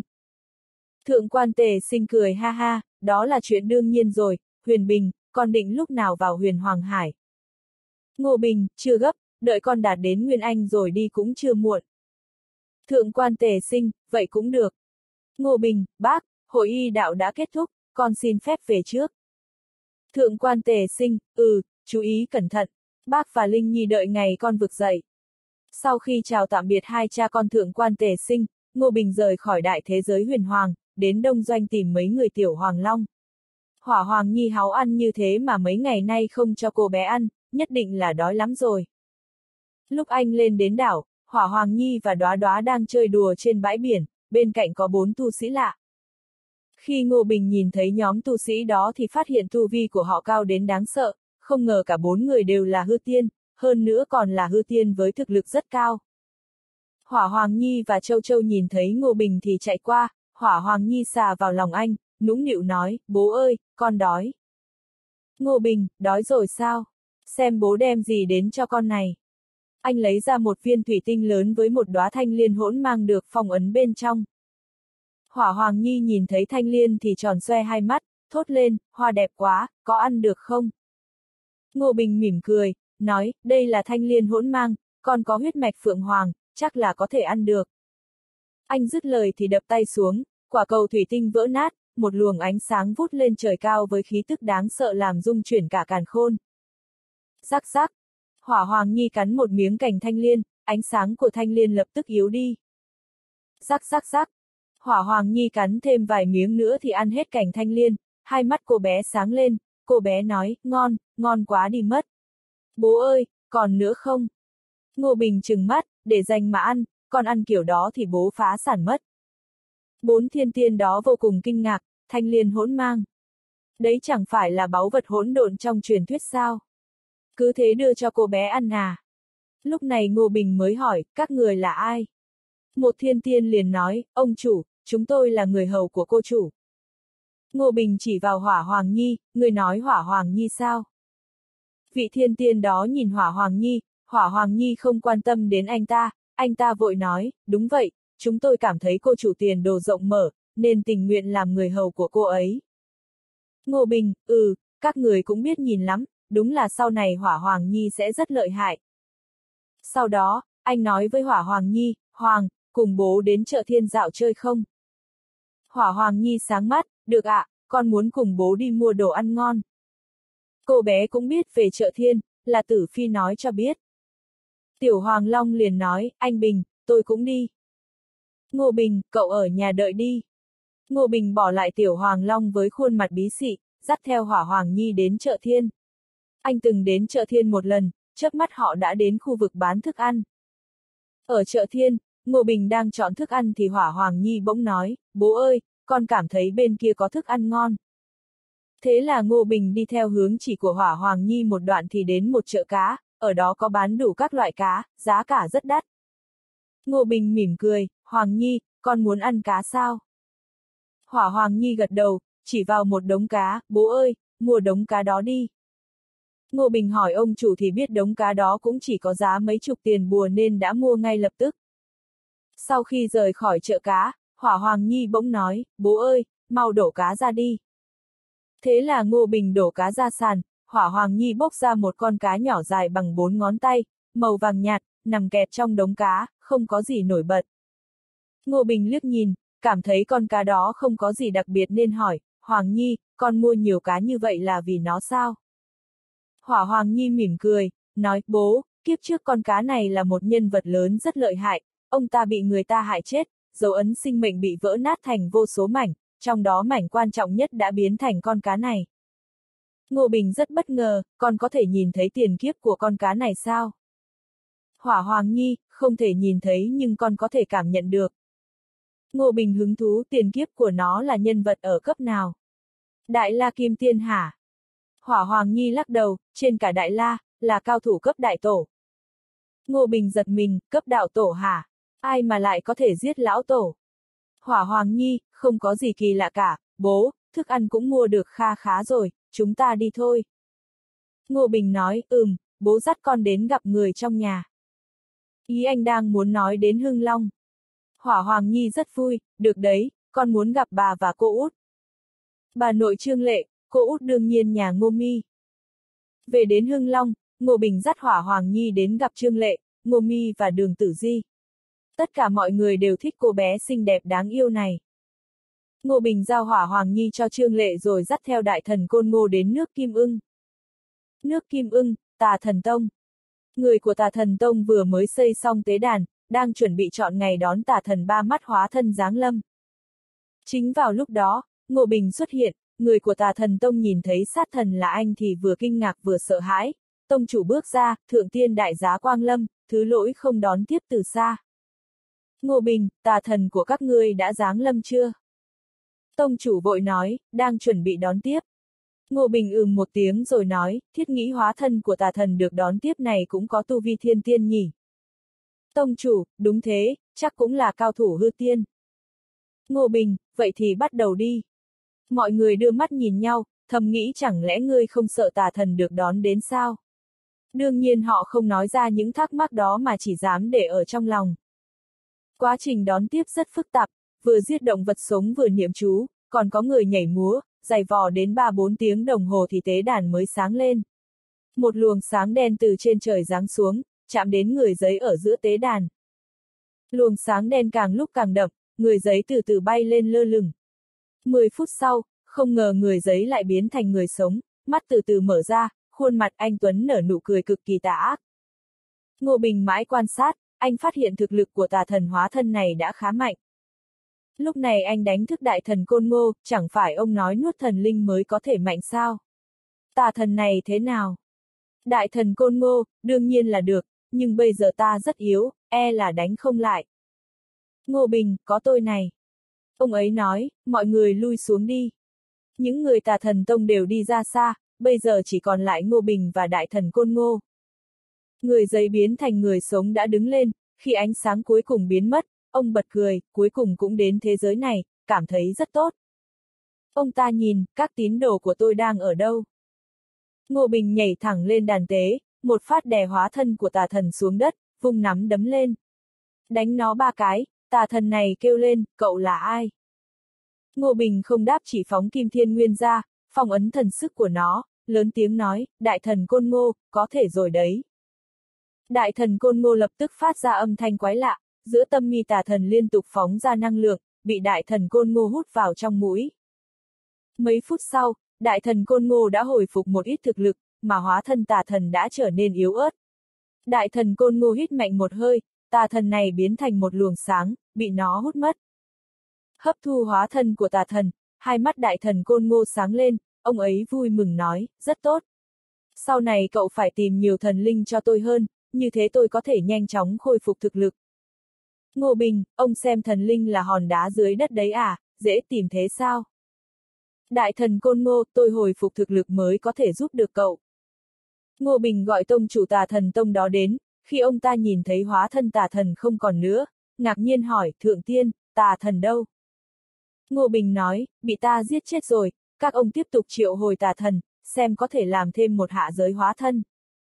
Tông chủ trợn mắt há mồm, lẩm bẩm, chuyện này, tà thần không ngốc, hóa thân bị giết, e là ông ta sẽ không bị lừa lần thứ hai đâu. Ngô Bình hỏi, bình thường làm sao các ông giao lưu với tà thần ba mắt? Người này nói, có thể thông qua giấy đốt thần để giao tiếp với thần ba mắt. Ngô Bình nói, vậy tôi nói, ông viết. Người này bất lực gật đầu, lấy một giấy bùa màu xanh ra, chuẩn bị bút bùa đợi Ngô Bình nói. Ngô Bình suy nghĩ một chút, nghe nói ông là thần ba mắt, lá gan nhỏ như chuột, vợ ngủ với người khác cũng không dám hó hé. Nếu tôi là ông thì chi bằng chết cho xong, còn làm thần gì nữa chứ? Ông làm mất mặt thần quá. Tôi nghe nói ông là một kẻ bỏ đi nên tôi đã giết hóa thân của ông rồi. Ha ha, đừng nói là thực lực của ông kém cỏi, căn bản chẳng thể đỡ được một đòn. Cuối cùng tôi cảnh cáo ông đừng dáng hóa thân xuống nữa, nếu không tôi giết đến địa bàn của ông, nghe rõ không? Nói rồi anh hỏi tông chủ tà thần tông đang ngây người, viết xong chưa? Tông chủ tà thần tông lau mồ hôi, thượng tiên, viết xong rồi. Ngô Bình rất hài lòng, được rồi, đốt cho ông ta đi. Một ngọn lửa sáng lên, giấy thần biến thành luồng sáng, bay vào không trung. Giấy thần này vừa đốt không bao lâu, trên đàn tế bỗng xuất hiện tia sấm sét tạo thành một vòng xoáy năng lượng màu đen, bên trong vang lên tiếng gầm gừ như tiếng sấm. Ngô Bình nghe thấy tiếng gào đầy tức giận, cười nói, đây là tà thần ba mắt đang tức giận sao? Tông chủ tà thần tông run rẩy, run giọng nói, chắc là thế. Thượng tiên, tà thần ba mắt vừa giận lên không chừng sẽ giáng chân thân xuống. Ngô Bình, trước khi làm rõ tình hình bên này, ông ta không dám giáng chân thân xuống. Quả nhiên một luồng sáng màu xám chuyển động trong vòng xoáy rơi xuống, ánh sáng đó chậm rãi ngưng tụ thành bộ dáng con người, giữa chán ông ta có con mắt thứ ba, trông rất quái lạ. Ngô Bình nhìn một lúc, cảm thấy có lẽ đối phương có thực lực cấp chân tiên, không dễ đối phó. Anh nói, khó đánh bại, chỉ có thể dùng mưu. Anh lấy một lá bùa kiếm thiên tượng ra, tay trái cầm bùa, tay phải phát ra kiếm quang kinh người. Kiếm quang ngưng tụ thành một bàn tay lớn chân áp hóa thân của tà thần ba mắt đó. Cảnh giới kiếm đạo của anh đã là cảnh giới không tưởng, dễ dàng dựa vào uy lực của kiếm phù để chấn áp tà thần. Tà thần ba mắt cảm nhận được áp lực cực lớn, không động đậy được, cũng không có sức phản kháng, ông ta vừa kinh ngạc vừa nổi giận, rốt cuộc cậu là ai? Ngô Bình mặc kệ ông ta nói, côn ngô, mau lên. Đại thần côn ngô lập tức nhào sang dùng cách trước đó, ông ấy nhanh chóng luyện hóa hóa thân của tà thần này. Đại thần côn ngô dần mọc ra một cơ thể và tứ chi mới, cuối cùng biến thành một người đàn ông trung niên cao lớn và dũng mãnh, khí tức của ông ấy còn mạnh hơn cả hóa thân của tà thần ba mắt lúc nãy. Đại thần Côn Ngô nói, bây giờ tôi đã hồi phục một ít thực lực rồi. Ngô Bình, đại thần Côn Ngô, ông về nhà canh giữ trước đi. Đại thần Côn Ngô gật đầu rồi biến thành luồng sáng bay ra khỏi đó. Tông chủ đó khiếp sợ, cả người run rẩy. Ngô Bình vung một tay lên, kiếm quang chấn động, lập tức hủy luôn đàn tế, sau đó nói với người đó, tà thần tông đã giải tán, các ông cút hết đi. Vâng vâng, người này như thể chạy trốn vội vàng chạy ra khỏi đó. Sau khi người này đi, Ngô Bình phóng linh biến ra, một chân san bằng tà thần tông, từ nay về sau thế giới này không còn tà thần tông nữa. Tiêu diệt xong tà thần tông, anh đến bộ phận của thiên địa kiếm tông ở nước Kim ưng. Bộ phận này do mấy người ở Thục Sơn kiếm phái ban đầu như Lưu Vọng Công, Trần Đạo Huyền quản lý, một số người ở ngoại viện Thục Sơn ban đầu như Mộc Tâm Lan, Lâm Thanh Giao, Lâm Bích Giao, đều ở đây. Từ khi tu luyện thiên địa kiếm quyết do Ngô Bình truyền dạy, tu vi của mọi người đã tiến bộ rất nhanh, họ hiện là thế lực lớn nhất trong nước Kim ưng. Những người nòng cốt như Lưu Vọng Công mời Ngô Bình đến vào trong điện nói, Huyền Bình, nếu không nhờ cậu ra mặt giải quyết, kết cục của mấy người bọn tôi sẽ cực kỳ thê thảm. Ngô Bình, mặc dù nơi này rõ ràng là thuộc về thiên địa kiếm tông nhưng đệ tử đã cho mọi người quyền tự chủ rất lớn, gần như cùng không khác thục sơn kiếm phái năm đó là mấy. Mọi người cố gắng tu luyện, mau chóng đột phá. Trần Đạo Huyền, Huyền Bình, bọn ông đã tuyển đệ tử từ tứ phương về để gia tăng huấn luyện, đa số đệ tử trước kia của Thục Sơn cũng đã trở về đây, phỏng chừng không bao lâu nữa thực lực của bọn ông sẽ vượt qua Thục Sơn phái ban đầu. Ngô Bình gật đầu, vậy thì tốt, cha nuôi có cần gì thì có thể nói với con bất cứ lúc nào. Ngay lúc này, một giọng nói vang lên từ ngoài điện, các người đều ở đây bàn cái gì thế? Vừa dứt lời, một thanh niên bước vào, vẻ mặt hắn lộ ra vẻ kiêu ngạo, ánh mắt như xem thường người khác. Nhìn thấy hắn, Trần Đạo Huyền thấp giọng nói, người do thiên địa kiếm tông phái đến để theo dõi chúng ta. Người này không biết Ngô Bình, hắn trợn mắt nhìn anh hỏi, anh là ai, tại sao lạ mặt thế? Ngô Bình, kẻ khốn nào đó, đến cả tôi mà cũng không biết. Lâm Thanh Giao, vị này là Trương Tiểu Bình, đệ tử của tông chủ. Đối phương nghe thế cũng không sợ mà chỉ cười mỉa, tông chủ đã mất tích rồi, bây giờ tông chủ do thiên sầu thiên quân thay thế, còn tôi là cháu ngoại của thiên quân, Tào Võ. Ngô Bình đã biết trước, một khi La Thiên Tướng không thể quay về kịp lúc, thiên địa kiếm tông chắc chắn sẽ phản lại, nhưng không ngờ lại thay đổi nhanh như thế. Tào Võ lại nói, còn nữa thiên sầu thiên quân đã ra lệnh gạch bỏ Trương Tiểu Bình ra khỏi thiên địa kiếm tông, bắt đầu từ bây giờ anh đã không còn liên quan gì đến thiên địa kiếm tông nữa.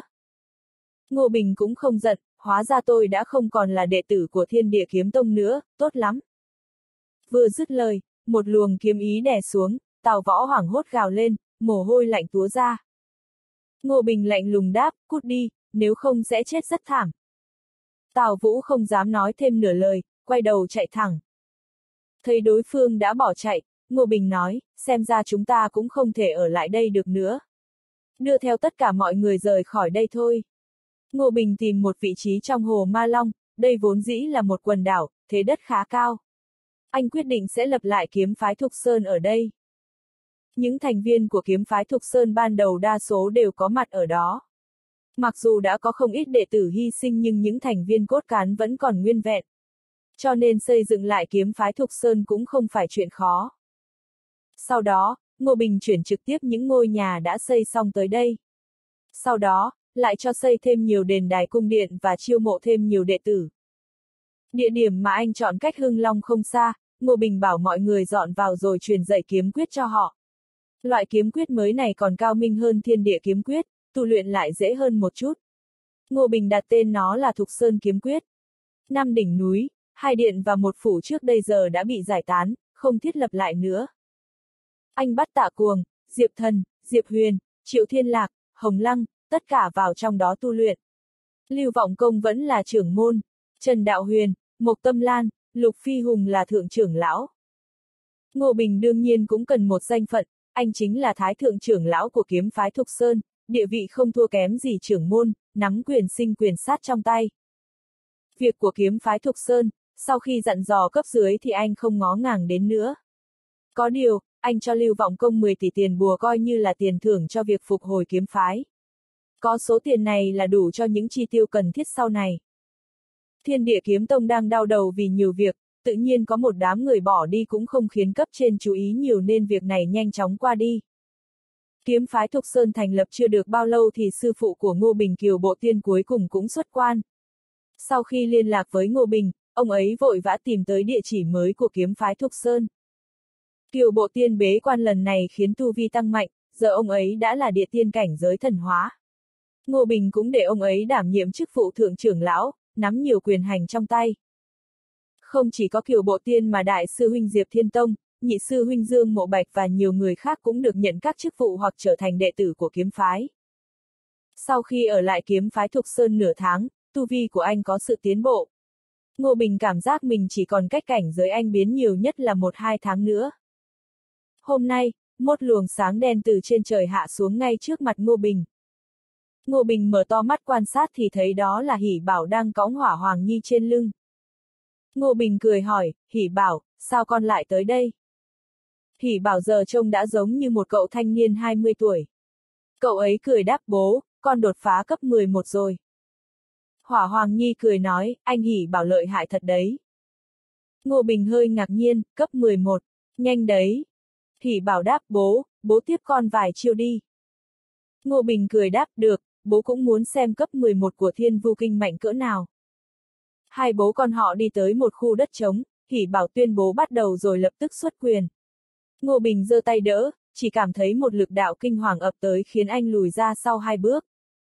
Hỷ bảo lập tức xuất chiêu thứ hai, có điều cổ tay cậu đã bị Ngô Bình tóm lấy, hất nhẹ một cái là Hỷ bảo đã ngã sóng xoài ra đất. Hỷ bảo ngã u cả đầu, kinh ngạc hỏi, bố, sao bố làm được vậy? Ngô Bình, con chỉ có lực mạnh thôi chứ không hiểu võ học. Nào, để bố dạy con cách dùng lực đánh người. Hỷ bảo là vô thể trí tôn, học hỏi cực nhanh. Ngô Bình dạy qua một hai lần là Hỷ bảo lập tức làm được giống hệt.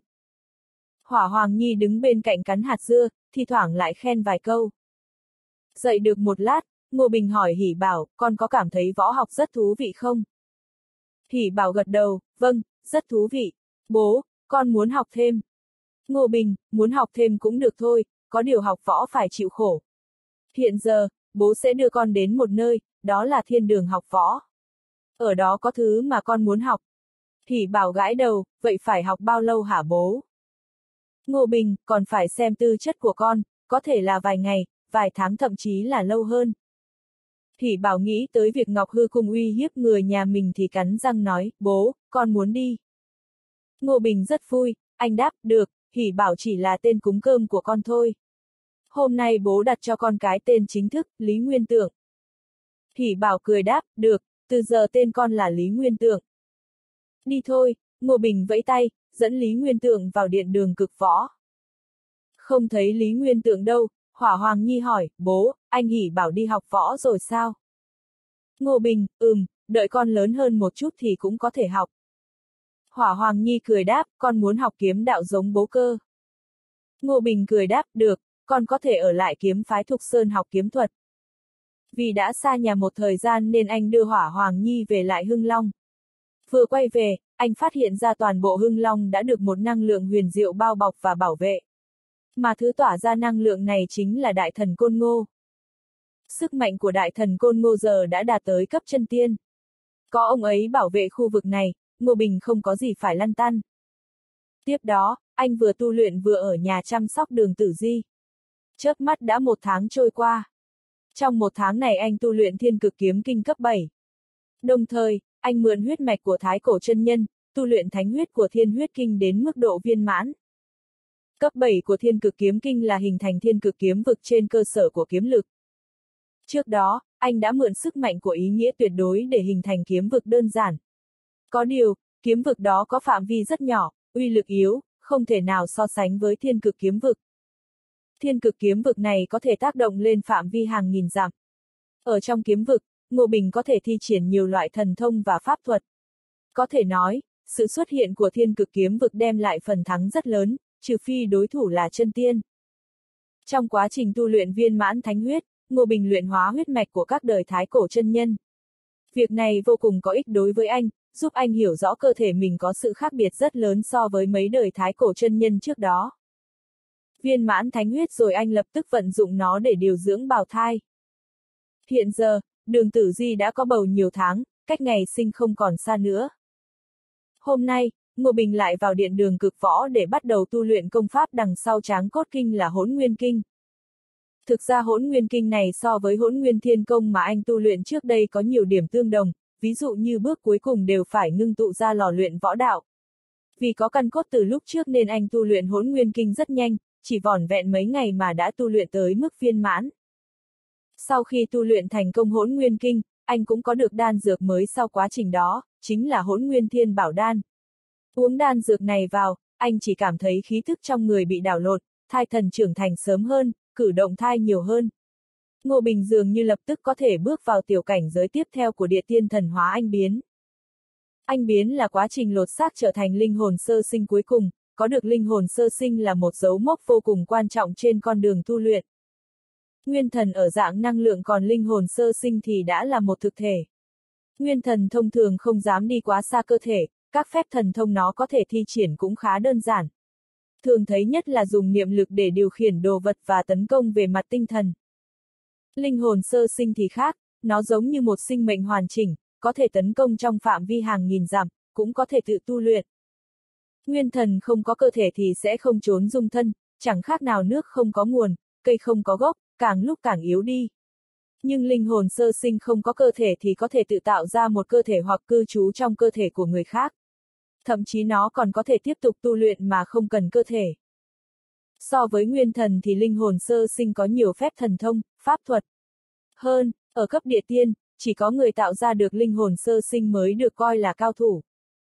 Linh hồn sơ sinh của Ngô Bình không giống của người khác, mỗi một bước anh đều tu luyện đến cảnh giới cực viên mãn nên linh hồn sơ sinh của anh là linh hồn sơ sinh cấp thần hay còn gọi là thần anh.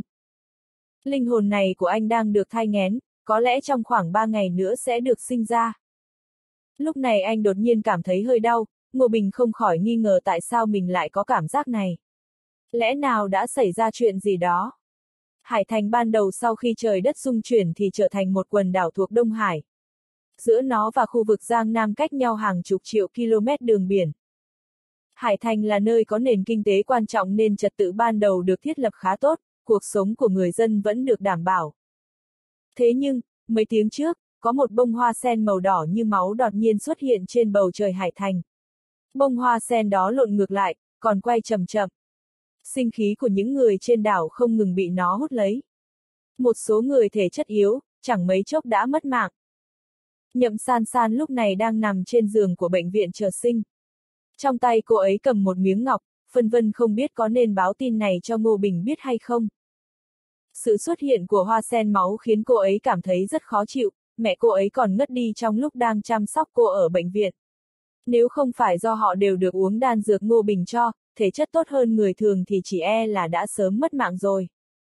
Lúc này, bụng cô ấy đau quằn quại, đứa trẻ sắp được sinh ra nhưng các hộ sinh đều đã ngất, không ai giúp được cô ấy. Cô ấy vội vã bóp nát miếng ngọc bội. Miếng ngọc vỡ ra, Ngô Bình đang ở hưng long đột nhiên giật mình thẳng thốt, nhậm san san gặp chuyện sao. Anh không kịp nghĩ nhiều, hóa thành một tia sáng lao vút đi, chẳng mấy chốc đã tới Hải Thành. Khi anh nhìn thấy hoa sen máu thì đột nhiên nổi giận đùng đùng. Anh giơ tay phóng ra một đạo kiếm quang, đạo kiếm quang bay thẳng về phía hoa sen máu. Hoa sen máu phát ra ánh sáng đỏ khiến kiếm quang của anh văng ra. Sau đó, một tiếng Phật hiệu vọng lên, một tăng nhân đứng tuổi mặc áo choàng đỏ xuất hiện, chắn đằng trước bông sen máu. Tăng nhân nhìn Ngô Bình hỏi, hậu bối, tại sao cậu dám động vào pháp bảo của Phật gia? Chán sống rồi sao? Ngô Bình đáp, thu lại thứ này ngay, nếu không đừng trách tôi không khách sáo. Anh có thể nhận ra hòa thượng trước mặt không dễ chơi, tu vi của ông ta có lẽ ở cấp chân tiên. Tăng nhân cười cổ quái đáp, không khách sáo. Cậu cảm thấy cậu đánh thắng được tôi sao? Ngô Bình cười lạnh, ông tự tìm đến chỗ chết thì đừng trách tôi. Anh giơ tay lên, kiếm phù thiên tượng bay ra.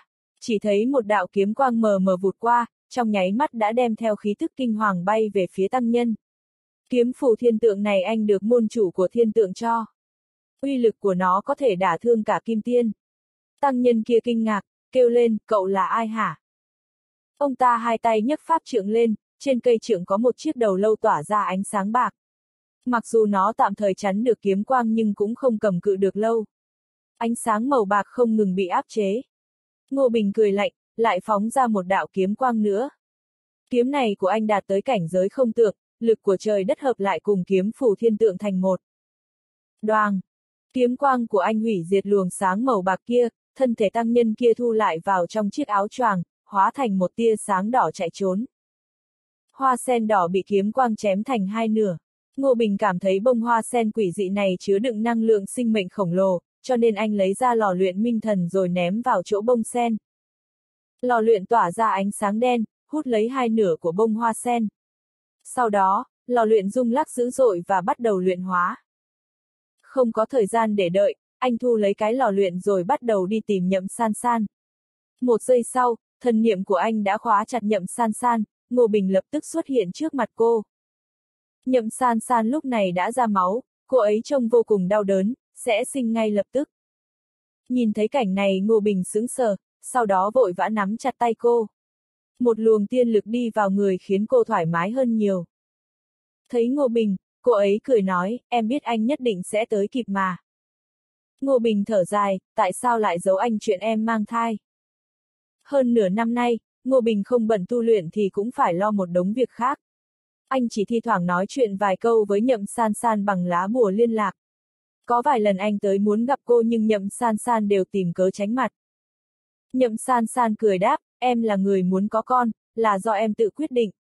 Anh bận như vậy, em sợ anh bị phân tâm, cho nên mới không nói với anh. Ngô Bình dịu dàng lau mồ hôi trên trán cô rồi nói, em thật là ngốc. Trong lúc nói chuyện, thánh huyết trong cơ thể anh đi vào bào thai. Đó là một bé trai, rất khỏe mạnh. Mẹ nhậm san san cũng tỉnh lại. Ngô Bình vỗ một cái lên vai bà ấy, một luồng khí ấm nóng đi vào cơ thể khiến tinh thần bà tỉnh táo và sảng khoái gấp trăm lần. Ngô Bình, cháu đến rồi, bà ấy cười nói. Ngô Bình gật đầu đáp, bác gái, cháu tới muộn rồi. Cháu xin lỗi. Mẹ nhậm san san cười đáp, không sao không sao, là san san không cho bác nói với cháu. Đúng rồi, để bác đi gọi bác sĩ. Ngô Bình, bác gái, không cần đâu, để cháu đỡ đẻ cho. Sau khi thai nhi hút được thánh huyết, Ngô Bình tiếp tục giúp thai nhi điều dưỡng. Nhậm san san không còn khó chịu nữa, cảm giác đau đớn cũng biến mất, cơ thể ngược lại còn rất thoải mái. Lúc này nhìn gương mặt cô ấy rất hạnh phúc, đứa trẻ thì sắp ra đời còn người đàn ông của cô thì đang ở ngay bên cạnh, như vậy là quá đủ để khiến cô hạnh phúc. Ngô Bình hỏi, bác trai đâu rồi? Nhậm san san, bố em ban nãy còn ở đây mà sau đó nhận được một cuộc điện thoại xong liền chạy ra ngoài, hỏi đi đâu ông ấy cũng không nói. Ngô Bình, ở Hải Thành vẫn tốt chứ? Anh xem tin tức, họ nói ở đây còn tốt hơn ở Giang Nam. Nhậm san san thở dài đáp, tốt gì cơ chứ? Con người ở đây giờ chia thành các giai cấp khác nhau. Giờ người làm quan và người có tu vi là có địa vị nhất. Cũng may là trước đó anh tặng em một ít tiền bùa, còn phái người bảo vệ em, không thì em còn sống không tốt bằng người bình thường nữa. Lúc này anh cảm nhận được lò luyện minh thần rung lắc rất mạnh nên lôi nó ra xem. Lúc này lò luyện đang không ngừng phun ra khói tím. Qua mấy phút sau, một ánh sáng chín màu tỏa ra xung quanh, ngưng tụ thành một đài sen cửu phẩm. Đài sen phát ra chín loại thần quang. Con người đi vào trong ánh sáng này thì cảm thấy vô cùng dễ chịu. Trong truyền thuyết, chỉ có Phật Đà mới đủ tư cách ngồi lên đài sen cửu phẩm, tại sao thứ cao quý như vậy lại được nhả ra từ lò luyện minh thần? Lẽ nào liên quan đến hoa sen máu kia? Nhậm san san kinh ngạc hỏi, anh, đây là gì vậy? Ngô Bình, là đài sen cửu phẩm, đồ tốt. Nói rồi, tay phải anh tóm lấy đài sen. Đài sen này ngưng tụ lại thành một luồng sáng chín màu. Sau đó Ngô Bình đẩy nó vào trong bụng nhậm san san. Nhậm san san cảm thấy bào thai trong bụng cử động bất thường. Đài sen này đã thay cho dây rốn, tiếp tục cung cấp dinh dưỡng cho đứa trẻ. Ngô Bình cười nói, con của chúng ta rất may mắn. Nó có được thánh huyết của anh và cả đài sen cửu phẩm này. Tương lai nó chắc chắn sẽ là tuyệt thế anh hùng. Nhậm san san cười đáp, em không hiểu lắm nhưng anh nói vậy thì sẽ là như vậy. Ngô Bình, san san, đưa theo bố em rồi cùng anh về Hưng Long đi. Nhậm san san, em nói với bố rồi nhưng bố nói bạn bè người thân đều ở đây, hơn nữa nhiều người còn đang cần giúp đỡ. Cho nên ông ấy không đành lòng rời đi. Ngô Bình gật đầu, ừm, vậy cũng được, anh sẽ cử thêm người tới đây. Đúng lúc này Nhậm San San nhận được một cuộc điện thoại, người gọi là Nhậm Thiên Thắng. Trong điện thoại giọng ông ấy vô cùng gấp gáp, San San, gọi mẹ con rồi đi khỏi đó ngay. Mau lên. Nhậm San San ngẩn người rồi hỏi, bố, có chuyện gì vậy? Tại sao lại phải đi gấp như vậy? Đầu dây bên kia vọng tới nhiều tạp âm rồi sau đó điện thoại bị ngắt luôn. Nhậm san san sợ hãi hỏi Ngô Bình, Huyền Bình, liệu có phải bố em gặp chuyện rồi không? Ngô Bình, em đừng lo lắng, để anh thử tìm kiếm. Anh thả thần niệm ra bao phủ toàn bộ hải thành. Trong nháy mắt anh đã khóa được vị trí của Nhậm Thiên Thắng. Lúc này Nhậm Thiên Thắng đang quỳ trên mặt đất, ông ấy đang ở trong một sòng bạc. Một thanh niên đang lạnh lùng nhìn chằm chằm ông ấy, nói ông chủ nhậm, không phải ông lắm tiền lắm sao? Thế nào, mới thua có một ít mà đã sợ rồi sao? Nhậm thiên thắng nặn ra một nụ cười đáp, cậu chủ vũ, tôi thực sự hết tiền rồi. Gã thanh niên, hết tiền. Lần trước ai bỏ ra 200 triệu tiền bùa mua vật phẩm phát cho người gặp nạn. Ông có tiền đi làm từ thiện mà không có tiền để chơi với tôi sao? Nhậm thiên thắng thở dài đáp, chính vì đã tiêu hết sạch tiền nên giờ tôi mới không còn tiền để chơi. Gã thanh niên cười đáp, hết tiền. Không sao cả, để tôi phái người tới nhà ông lấy. Nghe nói ông có cô con gái đẹp lắm, vừa hay tôi cũng muốn gặp. Nhậm Thiên Thắng mặt biến sắc đáp, cậu chủ vũ, con rể tôi tu vi cao lắm, tên là Ngô Bình, rất có danh tiếng trong giới tu hành. Gã thanh niên kia cười hi hi đáp, Ngô Bình sao? Chưa từng nghe tới, ông có thể gọi điện cho con rể, bảo anh ta tới cược với tôi vài ván. Muốn cược sao, thích thì chiều. Đột nhiên một người thanh niên xuất hiện ở cửa. Nhìn thấy anh, nhậm thiên thắng mừng rỡ reo lên, Ngô Bình. Con đến lúc nào thế? Ngô Bình, vợ sắp sinh mà con không tới được hay sao? Anh bước một bước đã tới trước mặt gã thanh niên, dìu nhậm thiên thắng đứng lên rồi nói, bác trai, không cần lo lắng, có con đây rồi. Gã thanh niên đánh giá Ngô Bình một lượt rồi cười lạnh hỏi, anh chính là con rể nhậm thiên thắng. Đến đúng lúc lắm, bố vợ anh chơi không nổi thì anh vào thay đi. Đoàng! Gã thanh niên chưa nói hết câu thì đã bị anh ấn đầu đập xuống đất. Tu vi của anh ta không thấp, là địa tiên cảnh giới thuần dương, nhưng bị đập đầu xong thì đầu ong ong, vỡ cả mặt, răng thì dụng hết. Ngô Bình túm đầu gã nhấc lên, lúc này mặt gã đã nát bét, máu tươi chảy không ngừng. Muốn cược à, đương nhiên là được. Xung quanh sát khí bắt đầu xuất hiện, bọn chúng là vệ sĩ của gã thanh niên, tu vi khá cao. Quỳ xuống, Ngô Bình ra lệnh. Đoàng! Bốn cao thủ kia quỳ dạp xuống đất, trên mặt là sự kinh hãi không thể làm trái lời Ngô Bình. Lẽ nào anh là thiên tiên?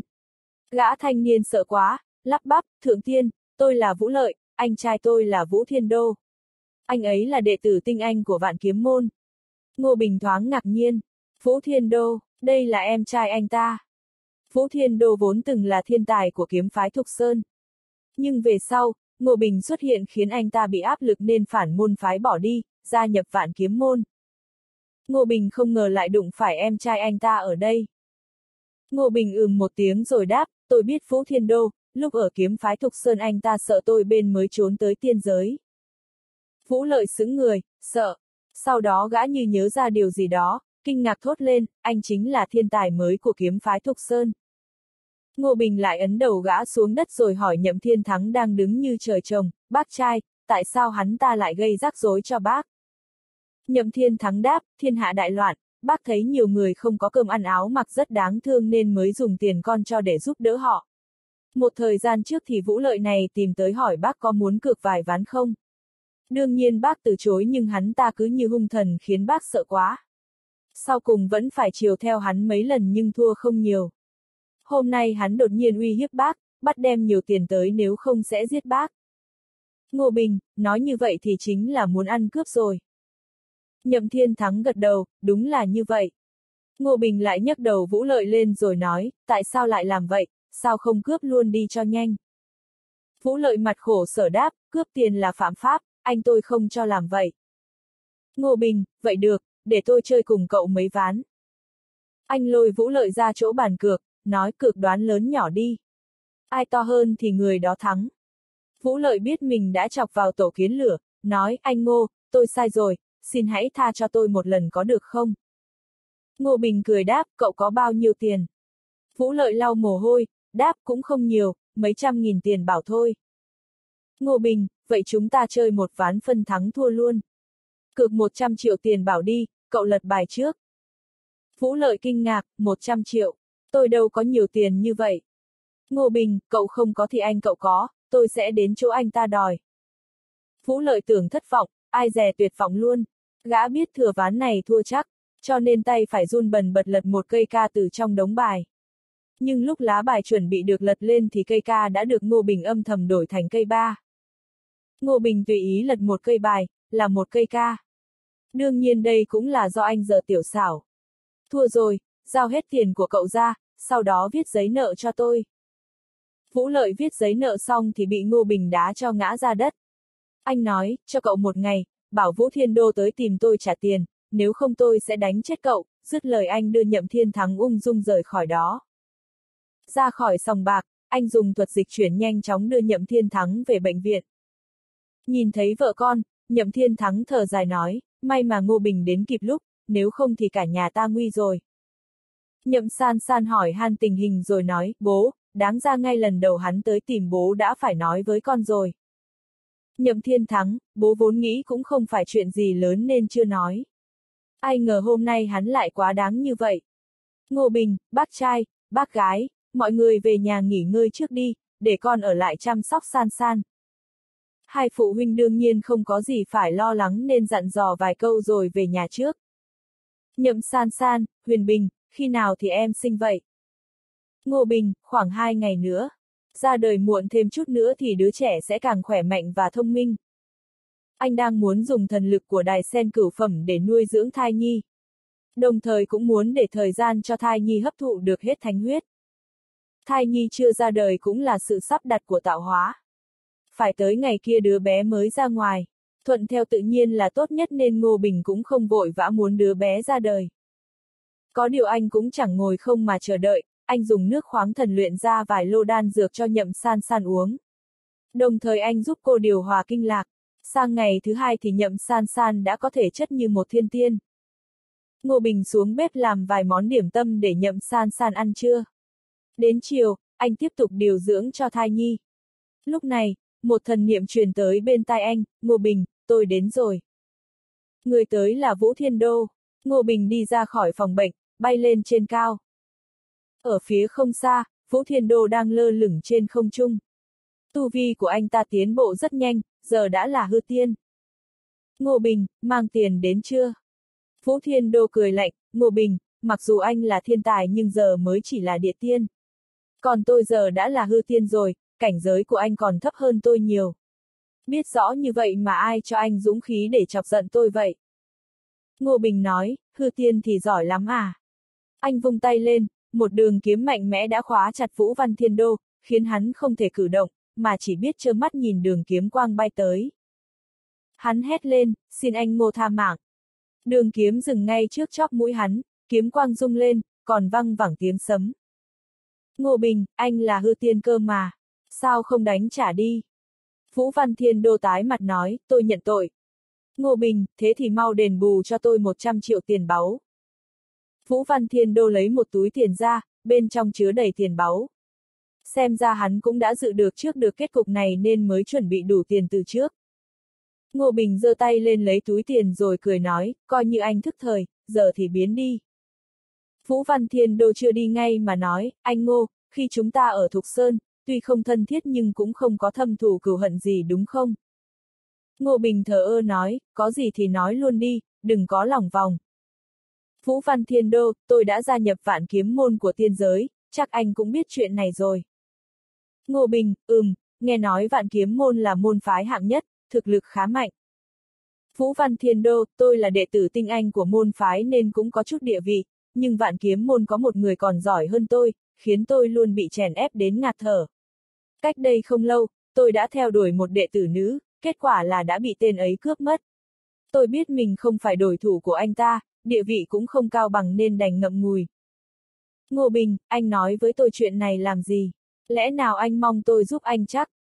Phú Văn Thiên Đô, đương nhiên tôi không dám ước ao như thế, nhưng tôi biết một chuyện, có lẽ anh sẽ có hứng thú với nó. Ngô Bình, chuyện gì?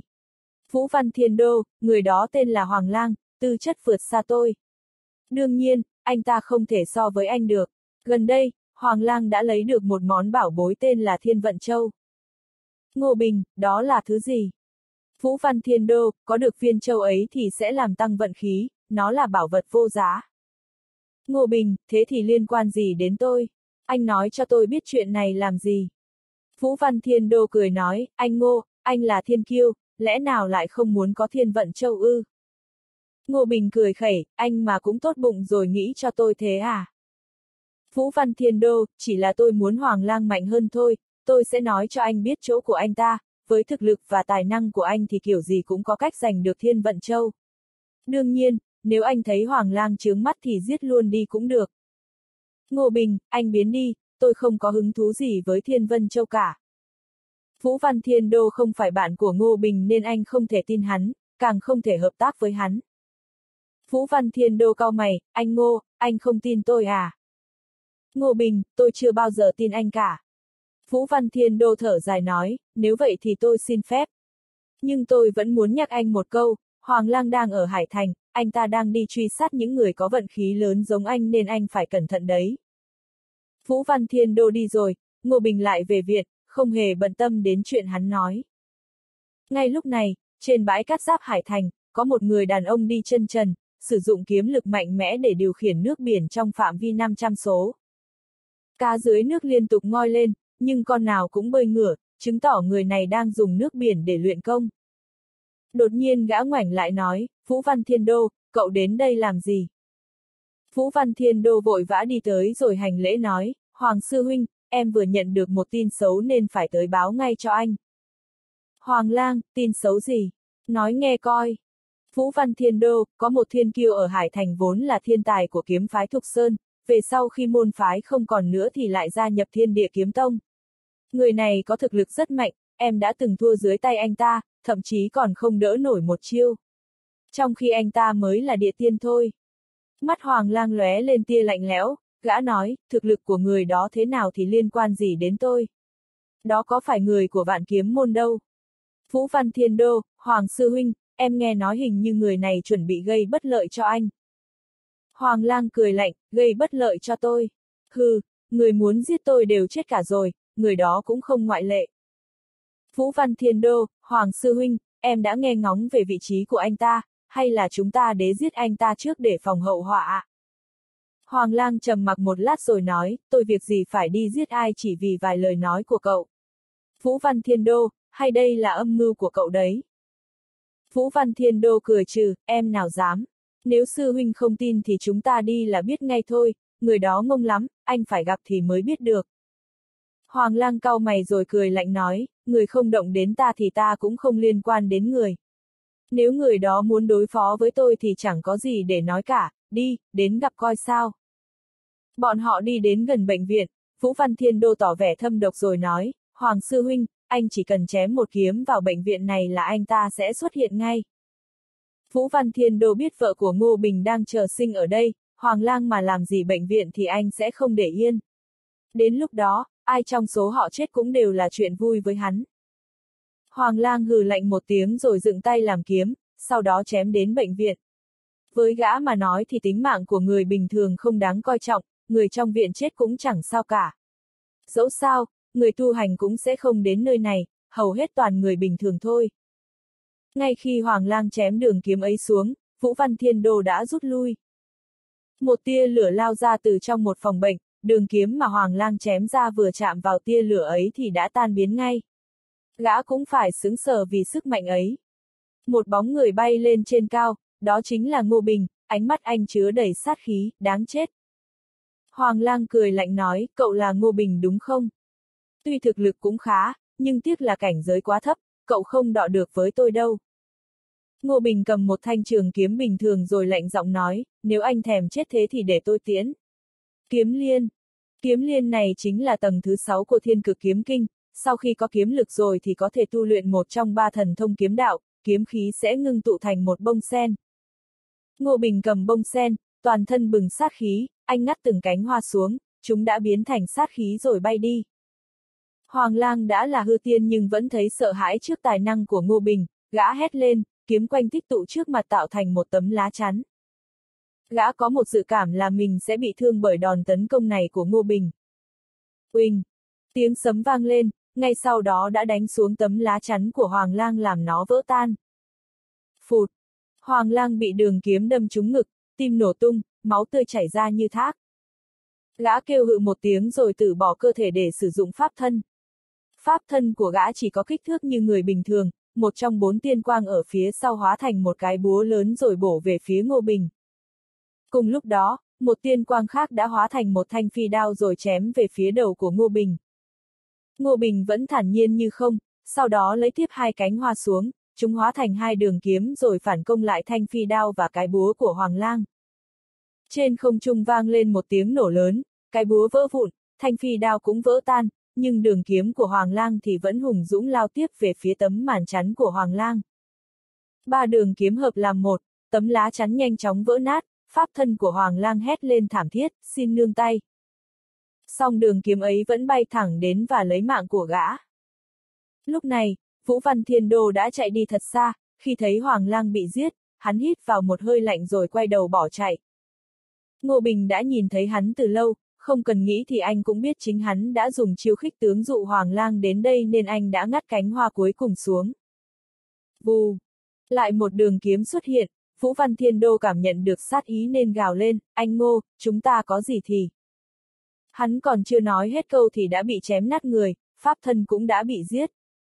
Giết hai người đó xong, Ngô Bình đã tìm được một cái nhẫn chữ đồ trên thi thể của Hoàng Lang, gã cố tình giấu trong dạ dày, có lẽ vì muốn Ngô Bình không lấy được. Lấy nhẫn xong, Ngô Bình ném hai thi thể xuống biển rồi mới quay về phòng bệnh. Nhậm san san hỏi, Huyền Bình, bên ngoài có chuyện gì vậy? Ngô Bình, không có gì, có hai thi thể rơi từ trên trời xuống, sau đó anh ném xuống biển rồi.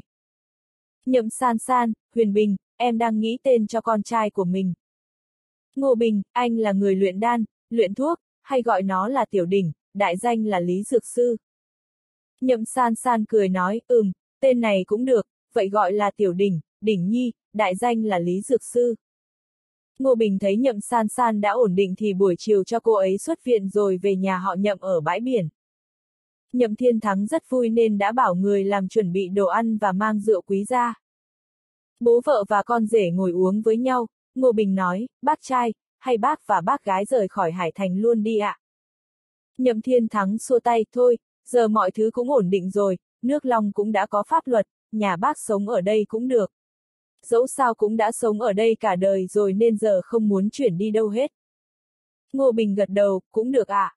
Anh hỏi tiếp, thái thú của Hải Thành là ai ạ? À? Nhậm Thiên Thắng ngẫm nghĩ rồi nói, hình như tên là Thu Vô Dạ. Thu Vô Dạ. Ngô Bình nhớ ngày trước, trên đường đến núi Long Hổ Thần, anh đã gặp Thu Vô Dạ. Anh ta là đệ tử của Bạch Đế Tông, tư chất cũng khá, hai bọn họ còn chia nhau thịt ăn. Anh nói, tối nay, con sẽ đến chào Thu Vô Dạ. Mọi người sống ở đây thì kiểu gì cũng cần được chú ý. Nhậm Thiên Thắng ngạc nhiên nói, con quen Thái Thu ư. Ngô Bình, từng gặp một lần ạ. À. Nhậm Thiên Thắng, nếu thế thì tốt rồi. Ăn cơm xong, Ngô Bình bảo Nhậm San San đi nghỉ, còn mình thì đến nhà Thái Thú. Phủ Thái Thú nằm ở phía tây của đảo, mới xây cách đây không lâu. Phía trước cổng có hai người canh gác, thấy Ngô Bình đến thì họ hỏi, anh có việc gì không? Ngô Bình, phiền anh vào báo có bạn cũ cùng sông pha Long Hổ Tiên Cảnh đến chơi. Người đó thấy Ngô Bình có khí chất phi phàm thì vội nói, xin anh chờ một lát, dứt lời thì chạy vào bẩm báo ngay. Không lâu sau, đã có một tia sáng bay từ trong nhà ra rồi đứng trước mặt Ngô Bình, đó chính là Thu Vô Dạ. Khi anh ta nhìn thấy Ngô Bình thì cười nói, là anh à? Anh là Trương Linh bảo giả mạo đúng không? Ngô Bình cười nói, lúc ấy tình thế bắt buộc nên tôi phải giấu thân phận thật của mình, khiến anh Thu chê cười rồi. Tên thật của tôi là Ngô Bình, giờ đang là tổng đốc ở một nơi. Thu vô giả cười nói, ra là anh tổng đốc Ngô.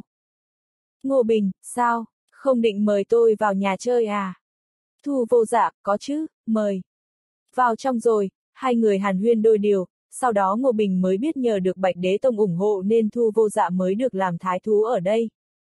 Thu vô dạ, thanh danh của anh Ngô như tiếng sấm rền, anh còn là võ tông truyền kỳ số một của học viện võ đạo nữa chứ. Ngô Bình, tin ấy cũ rồi, giờ tôi đã là võ vương truyền kỳ, nhưng tôi chưa đi kiểm tra lại. Thu vô dạ dựng ngón tay cái nói, ngày trước ở Long Hồ Tiên Cảnh, anh cũng dẫn đầu mà, tôi thật sự bái phục. Ngô Bình, anh Thu, tuy chúng ta mới gặp nhau hai lần, nhưng rất có thiện cảm với nhau. Nếu anh ưng thì chúng ta kết bạn nhé. Thu vô dạ cười phá lên nói, tôi mong còn không được. Ngô Bình phát hiện, thu vô dạ đã là địa tiên thần hóa rồi. Anh ngẫm nghĩ rồi lấy một viên tam bảo thần đan ra, nói, đây là đan dược mà tôi mới luyện chế, hôm nay tôi tặng cho anh.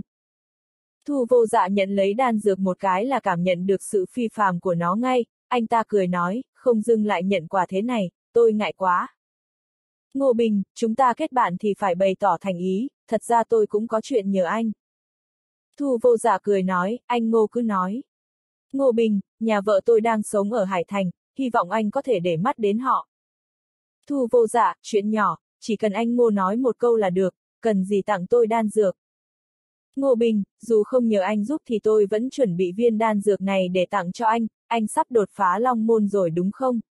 Có lẽ viên đan dược này sẽ giúp ích được cho anh đó. Thu vô dạ vội nói, cảm ơn anh Ngô. Hai người nói chuyện đến sáng sớm thì Ngô Bình mới ra về. Về đến nhà họ nhậm, anh lấy nhẫn chữ đồ rồi mở ra, bên trong có khá nhiều đồ, gồm một cái hộp ngọc được để ở một chỗ riêng, Ngô Bình mở tiếp ra thì thấy có một hạt châu đang tỏa ra khí tức kỳ diệu. Anh tu luyện đại mệnh vân thuật nên biết ngay đây là khí thức của vận khí, chắc chắn đây là thiên vận châu.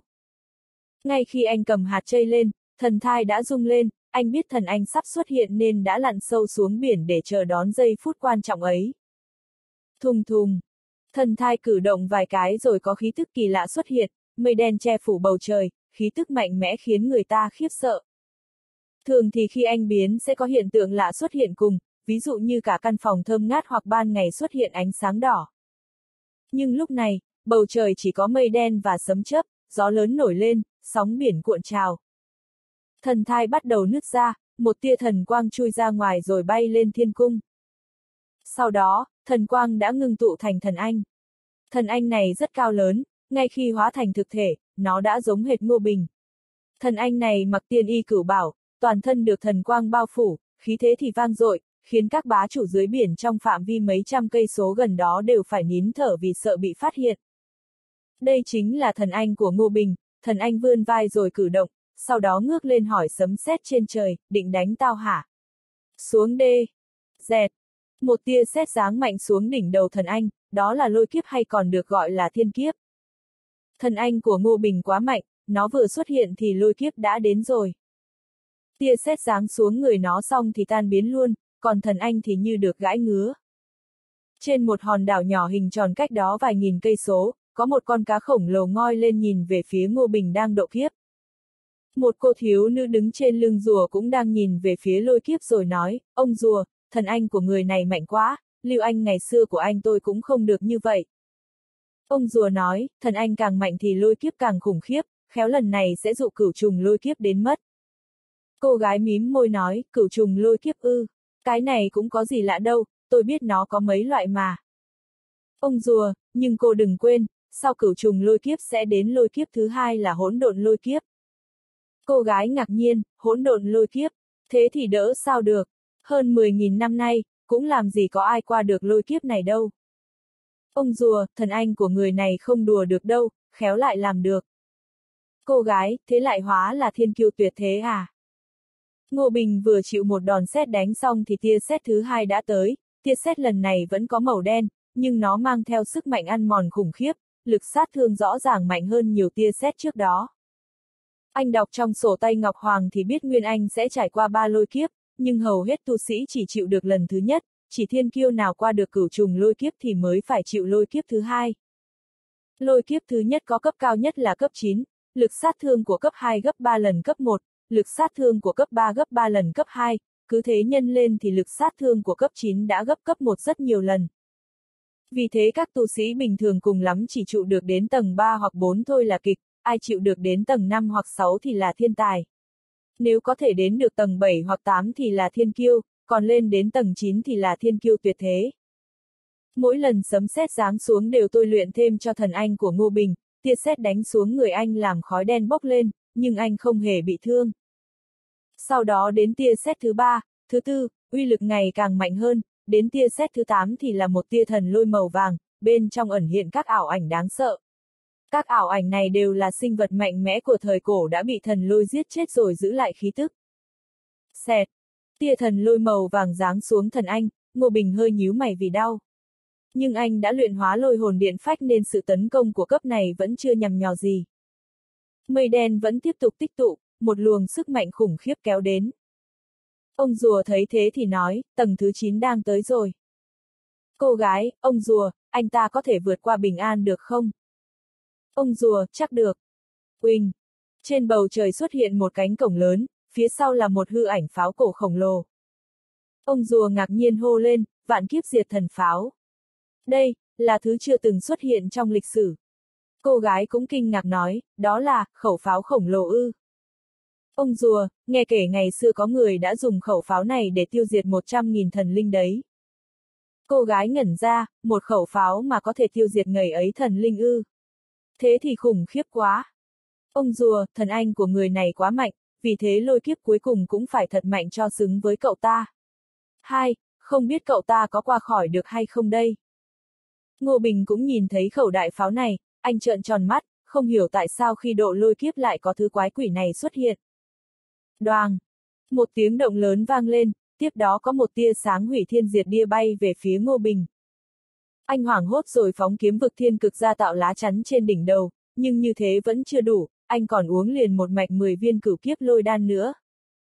Tia sáng ấy đã che phủ toàn bộ tấm lá chắn của Ngô Bình, ánh sáng chói mắt khiến không ai nhìn thấy gì, chờ khi nó biến mất thì Ngô Bình đen nhẻm đang đứng giữa trời. Tiên y cửu bảo đã bị phá hủy, đầu tóc anh cháy xém, mặt nhom nhem. Cuối cùng, anh vẫn trụ lại được, tuy rằng cũng đã bị thương nhẹ. Anh vận chuyển thần lực, bên ngoài cơ thể xuất hiện quần áo từ điện phách, lớp da chết chóc ra, để lộ lớp da mới. Đau chết mất thôi, anh lẩm bẩm một câu rồi thu thần anh về. Khi thần anh quay lại, anh lấy thiên vận châu ra rồi nuốt vào bụng. Sau đó, không còn thấy Ngô Bình đâu nữa. Đi mất rồi, cô gái thở phào một hơi, không biết tại sao thấy Ngô Bình bình an vượt qua lôi kiếp, cô ấy lại thấy hơi vui. Ông rùa, công chúa hãy nhớ tướng mạo của cậu ta, sau này người đến đại lục nếu có gặp lại thì còn nhận ra. Cô gái hỏi, ông rùa, lôi kiếp thứ hai của anh ta như thế nào vậy? Ông rùa, hỗn độn lôi kiếp rất đáng sợ, đến tôi cũng không ngờ cậu ta có thể qua được. Không lâu sau, Ngô Bình đã quay về nhà họ nhậm. Lúc này, trời vừa hửng sáng, khi mặt trời ló dạng, nhậm san san vừa rửa mặt xong thì thấy hơi đau bụng. Cô ấy nói, Huyền Bình, em sắp sinh rồi. Ngô Bình bảo cô ấy nằm lên giường rồi khẽ vỗ vào bụng cô ấy, có một tia sáng bay ra, nhậm san san không cảm thấy đau nữa, nhưng đứa trẻ đã chào đời thật rồi. Một em bé được đài sen cửu phẩm nâng lên cao, trông nó rất đáng yêu, vừa giống Ngô Bình vừa giống nhậm san san. Thằng bé đang mút ngón tay, đôi mắt đã mở, nó không hề khóc như những đứa trẻ bình thường, mà lại cười khanh khách. Lần đầu làm bố, Ngô Bình cảm thấy rất lạ lắm, anh nhẹ nhàng bế đứa bé lên rồi thơm nó, con trai, gọi bố đi nào. Thằng bé chỉ cười rồi rúc vào lòng anh, sau đó bay tới chỗ nhậm san san, thì ra nó đòi thi sữa mẹ. Nhậm san san cởi áo, Ngô Bình ấn nhẹ tay một cái, sữa mẹ đã chảy ra như suối, đứa bé bắt đầu bú sữa. Nhậm san san vừa cho con bú vừa vui vẻ nói, Huyền Bình, Đỉnh Nhi không giống những em bé bình thường. Ngô Bình, đương nhiên, trong người nó có thánh huyết, lại nhận được lợi ích của đài sen cửu phẩm, tương lai chắc chắn sẽ là thiên kiêu tung hoành thiên hạ. Lúc này, vợ chồng Nhậm Thiên Thắng cũng đã vào, nhìn thấy cháu ngoại, hai vợ chồng hào hứng nhảy nhót đòi bé em bé. Nhưng cô cậu chưa ăn no nên mặc kệ ông bà mình, cứ thế ti mẹ tiếp. Sau khi no nê rồi, thằng bé mới cho mọi người bế. Tất cả mọi người đều bế nó một lượt, ai cũng thấy cô cậu đáng yêu nên không muốn nhường cho ai khác. Ngô Bình cười nói, san san, chờ anh một lát, anh đi rồi về ngay. Một lát sau, Ngô Bình đã xuất hiện trên đảo của Đông Danh, anh nói với Tiểu Hoàng Long, đi theo tôi. Tiểu Hoàng Long mừng rỡ nói, anh Bình, anh dẫn tôi đi đâu thế? Ngô Bình, con trai tôi vừa ra đời, sau này cậu hãy phụ trách việc bảo vệ nó. Tiểu Hoàng Long chớp mắt nói, cháu tôi chào đời rồi à? Tốt, tôi đi ngay. Ngô Bình, biến nhỏ lại tẹo đi. Nói rồi, anh điểm vào người Tiểu Hoàng Long, nó lập tức thu nhỏ lại, trông rất đáng yêu. Mười phút sau, Ngô Bình đã quay về nhà họ nhậm rồi lấy Tiểu Hoàng Long ra. Nhìn thấy con rắn này, người làm và vợ chồng nhậm thiên thắng đều sợ hãi, nhưng khi nhìn kỹ lại thì họ mới thấy nó là một con rồng. Tiểu Hoàng Long bay lên cao rồi tò mò nhìn đỉnh nhi, cu cậu kháu đấy. Chắc chắn thành tựu sau này không thua gì bố. Ngô Bình, thế nên tôi mới nhờ cậu bảo vệ thằng bé. Tiểu Hoàng Long cười nói, anh Bình yên tâm, có tôi đây rồi thì cu cậu sẽ lớn lên khỏe mạnh và an toàn. Nhóm nhậm thiên thắng ngơ ngác nhìn nhau, ông ấy hỏi, Tiểu Bình, đây là rồng à? Ngô Bình, Hoàng Long có huyết mạch mạnh nhất trong các loài rồng, sau này có nó ở đây thì San San và Đỉnh Nhi sẽ được an toàn. À, con cũng nói chuyện với Thu vô dạ rồi, có việc gì thì bác cứ đến tìm anh ta. Nhậm Thiên Thắng mừng rỡ rồi đồng ý ngay. Đến trưa, Ngô Bình đã đưa hai mẹ con Nhậm San San đến Hưng Long. Đứa bé vừa ra đời nên đương nhiên phải đi gặp bà nội và cô ruột. Vợ chồng Nhậm Thiên Thắng không nỡ rời xa cháu ngoại nên cũng đòi đi theo. Khi Trương Lệ nhìn thấy Đỉnh Nhi thì thấy như nằm mơ, bà hỏi cháu trai mẹ đây à? Nhậm san san cười nói, đúng là cháu mẹ đấy ạ, thằng bé là Đỉnh Nhi, đại danh là Lý Dược Sư. Trương Lệ vui mừng đến rơi lệ, sau đó bế Đỉnh Nhi lên. Ngô Mi cũng vui lắm, nhanh chóng chạy đến bé thằng bé. Sau đó, Ngô Bình sai người chuẩn bị tiệc để mình đãi bố mẹ vợ. Đường tử di cũng đến, nhìn thấy đỉnh nhi, cô ấy cũng rất thích, sau đó mong chờ ngày mình cũng sinh ra một cục cưng đáng yêu giống vậy. Cả nhà đều vui vẻ, ai nấy đều súm lại quanh đỉnh nhi. Đột nhiên long hổ tiên cảnh rung lên, Ngô Bình vội ra ngoài xem xét tình hình. Anh vừa đi ra thì đã nhìn thấy có một đám mây đen khổng lồ ở trên trời, ngoài ra còn loáng thoáng nghe thấy tiếng sấm. Đại thần Côn Ngô đã răng trước kết giới để tránh sấm sét giáng xuống khiến mọi người bị thương. Ngô Bình híp mắt lại, biết người này đến với ý đồ xấu nên hỏi, ai thế? Đám mây tản đi, để lộ ra một dáng người cao lớn với khí tức bức người, Ngô Bình có thể thấy đó là một vị thần tiên. Người thanh niên này có sấm sét vây quanh người, hắn lạnh lùng nhìn Ngô Bình rồi hỏi, là cậu giết tử lôi thiên quân hả? Ngô Bình hiểu ra ngay, hóa ra người này đến trả thù. Anh bay lên cao rồi thờ ơ nói, đúng thế. Người thanh niên mặc áo bào màu bạc, tóc cũng cùng màu, đôi mắt xẹt điện, hắn nói, tử lôi thiên quân là bố của tôi, tôi là dạ cuồng đồ, hôm nay đến giết cậu để trả thù cho bố tôi. Ngô Bình cười lạnh, anh nghĩ mình mạnh hơn tử lôi thiên quân à? Dạ cuồng đồ bình thản nói, tôi biết cậu giỏi nên đã mượn ngũ lôi trùy của sư phụ, để tôi xem cậu đỡ được mấy búa. Hắn vừa nói dứt câu thì đã có một cái búa ngũ sắc xuất hiện trong tay, bên trên còn có tia sét đùng đoàng. Ngô Bình không nói nhiều, sau thần anh thì thực lực của anh đã ngang với thần tiên rồi. Trong thần anh có bốn chấm chế do kiếm thần hoa thành, uy lực của chúng rất mạnh. Anh động tinh thần, một cấm chế lập tức xuất hiện, bên cạnh anh có thêm một thanh kiếm thần màu tím. Đây chính là tài năng của thần anh, biến sức mạnh thành vũ khí. Sau đó, ba cấm chế còn lại cũng rung lên, bốn thanh kiếm thần lơ lửng bên ngoài cơ thể Ngô Bình, mỗi thanh một màu khác nhau. Ngô Bình vung tay lên nói, đi. Một thanh kiếm màu bạc phóng đi trước, nó chém thẳng về phía ngũ lôi trùy. Dạ cuồng đồ vung cái búa lên, năm con lôi xà xuất hiện rồi tấn công thanh kiếm bạc. Cheng! Thanh kiếm rung lên, tỏa ra vô vàn đường kiếm khí về phía con lôi xà. Các kiếm khí này rất đáng sợ, mấy con lôi xà đã bị chém thành nhiều đoạn. Hơn nữa, ngũ lôi trùy của dạ cuồng đồ cũng bị bổ đôi. Hắn hoảng hốt rồi không chút do dự quay đầu bỏ chạy. Lên! Ngô Bình búng ngón tay, thanh kiếm thần màu đỏ xuất phát, sau đó lập tức đuổi theo dạ cuồng đồ. Cậu dám! Hắn hét to lên, nhưng cơ thể đã bị chém đứt đoạn rồi tan biến. Ngô Bình cao mày, vì anh phát hiện dạ cuồng đồ đã dùng bùa thế thân vào giây phút quyết định, vì thế hắn vẫn chạy thoát mất rồi, thứ anh chém được chỉ là con rối thế thân mà thôi. Dạ cuồng đồ, nhất định tôi sẽ đánh tới thiên vực cửu lôi để lấy mạng anh. Đánh bại dạ cuồng đồ xong, Ngô Bình đáp xuống đất. Hỏa Hoàng Nhi chạy tới rồi cười nói, bố, con muốn đi bế em.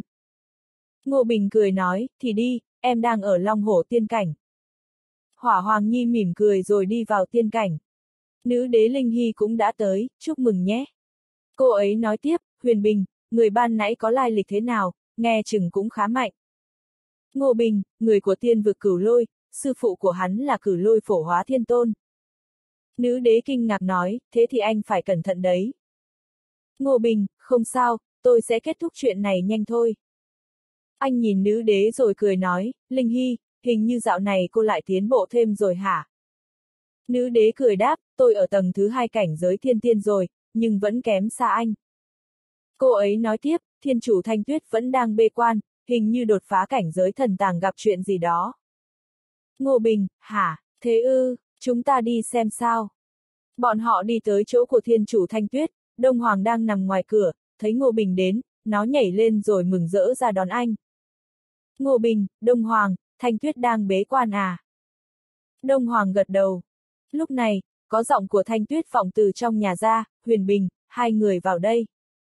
Hai người đi vào trong phòng thì thấy thiên chủ Thanh Tuyết đang ngồi trên giường. Ngô Bình, Thanh Tuyết, có tiến triển không? Thiên chủ Thanh Tuyết, tôi mở được ba điểm nhân tàng, một điểm bí tàng, giờ đang chuẩn bị mở bí tàng thứ hai nhưng mà khó quá nên tôi chưa biết phải làm sao. Ngô Bình, để tôi xem cho. Anh ngồi xuống, thần anh bay ra rồi hóa thành một người tí hon, sau đó chui vào người thanh tuyết từ trên đỉnh đầu. Thần anh đi vào cơ thể xong, thiên chủ thanh tuyết cười nói, cậu định làm gì thế? Ngô Bình, tôi mở thần tàng giúp cô, trước tôi chưa làm được, nhưng giờ có thần anh rồi thì vô tư. Anh có tài y thuật hơn người, thêm khả năng nhìn xuyên thấu thì tìm bí tàng cho người khác không phải chuyện khó. Ngô Bình cho thần anh vào người thiên chủ thanh tuyết rồi khởi động khả năng nhìn xuyên thấu, anh phát hiện có vài không gian thần bí trong cơ thể cô ấy, hơn nữa còn đều là không gian cao chiều, chính cô ấy cũng không biết điều này. Bí tàng nằm trong các không gian ấy. Thần anh của Ngô Bình thu nhỏ lại như hạt bụi rồi đi đế gần một không gian cao chiều, anh ngẫm nghĩ rồi đi vòng quanh rồi kết nối với thiên chủ thanh tuyết, chắc có bí tàng ở đây, cô thể hiện cho tốt vào. Trước đó, thiên chủ thanh tuyết không thể đột phá vì không biết bí tàng ở đây, giờ được Ngô Bình chỉ chỗ cho thì cô ấy lập tức dồn toàn lực bứt phá luôn. Nửa tiếng sau, cô ấy cười nói, tìm thấy rồi, nhưng chưa rõ ràng lắm, tôi cần bế quan. Thần anh của Ngô Bình bay ra ngoài rồi về lại cơ thể, anh cười nói, vậy chúng tôi ra ngoài chờ tin tốt. Hai người đi ra ngoài, Đông Hoàng hào hứng lẻ lưỡi hỏi, chủ nhân sắp đột phá rồi à? Ngô Bình, ừm, nhanh thôi. Đông Hoàng, dạo này mày làm gì mà không đi con chó mẹ nào bầu bạn đi? Đông Hoàng, tôi không tìm chó mẹ đâu. Ngô Bình, hả, thế lại thích mèo mẹ à? Đông Hoàng chạy tới cắn anh, Ngô Bình chạy chối chết. Một người một chó đùa giỡn ngoài sân, Ngô Bình chợt giữ nó lại hỏi, Đông Hoàng, mày có thể nói cho tao biết thiên chủ thanh tuyết là nam hay nữ được không? Đông Hoàng liếc anh rồi nói, anh hỏi làm gì? Định tòm tem chắc. Ngô Bình, không, tao tò mò thôi mà. Đông Hoàng hất mặt sang một bên rồi nói, chủ nhân nhà tôi đương nhiên là nữ, ai rảnh đâu mà biến thành đàn ông. Ngô Bình, cũng chưa chắc, nhớ cô ấy muốn trải nghiệm một cuộc đời khác thì sao? Đông Hoàng, chủ nhân vẫn có ký ức của kiếp trước nên không hề thay đổi, chỉ là tu luyện lại thôi. Lúc này, mấy con tiểu bạch long cũng đến, chúng xếp thành một cái thuyền nhỏ, còn hỏa Hoàng Nhi nằm bên trên vừa cắn hạt dưa vừa nghịch điện thoại. Ngô Bình, Hoàng Nhi, sao con lại đến đây? Hỏa Hoàng Nhi nói, bố, con lại đói rồi. Ngô Bình chán nản nói, được rồi, để bố làm đồ ăn cho. Ngô Bình nướng thịt cho Hỏa Hoàng Nhi xong thì thiên chủ thanh tuyết chợt phóng ra khí thức bức người, Ngô Bình sai người để ý thịt rồi nhanh chóng đi xem thế nào. Lúc này, thiên chủ thanh tuyết toát ra một khí thức thần bí và mạnh mẽ, Ngô Bình sáng mắt lên nói, điểm bí tàng này của cô mạng thật đấy. Thiên chủ thanh tuyết, ừm, đến tôi cũng bất ngờ. Ngô Bình, có cần tôi tìm tiếp điểm thứ ba cho cô không? Thiên chủ thanh tuyết, tôi muốn mở một điểm thiên tàng, cậu giúp tôi được không? Ngô Bình nói, thiên tàng liên quan đến thiên đạo nên chưa chắc tôi đã tìm được. Thiên chủ thanh tuyết, nếu tìm được một điểm thiên tàng thì tôi sẽ có địa vị đế phẩm. Cảnh giới thiên tiên chia thành các tầng cảnh giới nhỏ là hư tiên, thần tiên, thiên tiên. Hư tiên cũng chia thành nhiều cấp bậc nhỏ. Các cấp chia thành từ bất nhập phẩm, cửu phẩm đến nhất phẩm và siêu phẩm, trong đó từ cấp cửu phẩm đến ngũ phẩm là đông tu sĩ nhất. Thiên tiên đạt cấp tứ phẩm trở xuống thì khá ít, hầu hết đều là các cường giả tinh anh và có thành tựu rất lớn.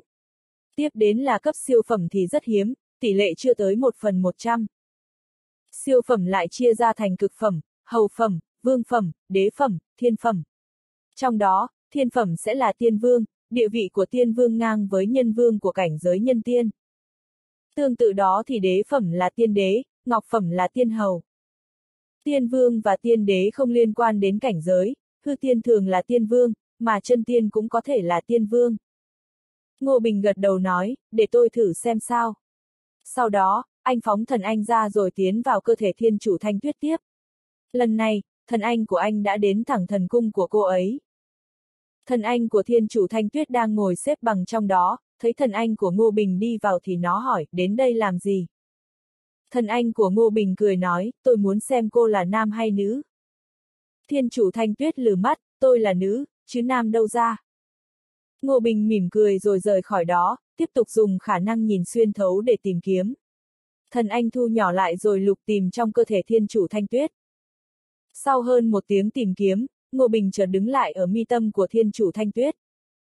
Thanh tuyết, cô thử ở chỗ này đi. Thiên chủ thanh tuyết, được.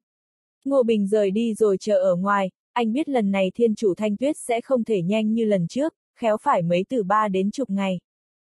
Hỏa Hoàng Nhi đã ăn no, không biết lại chạy đi đâu chơi rồi nên anh lại đi tìm đường tử di. Bụng cô ấy đã rất lớn nên đi lại hơi bất tiện, bây giờ cô ấy đang ngồi trên sofa xem TV.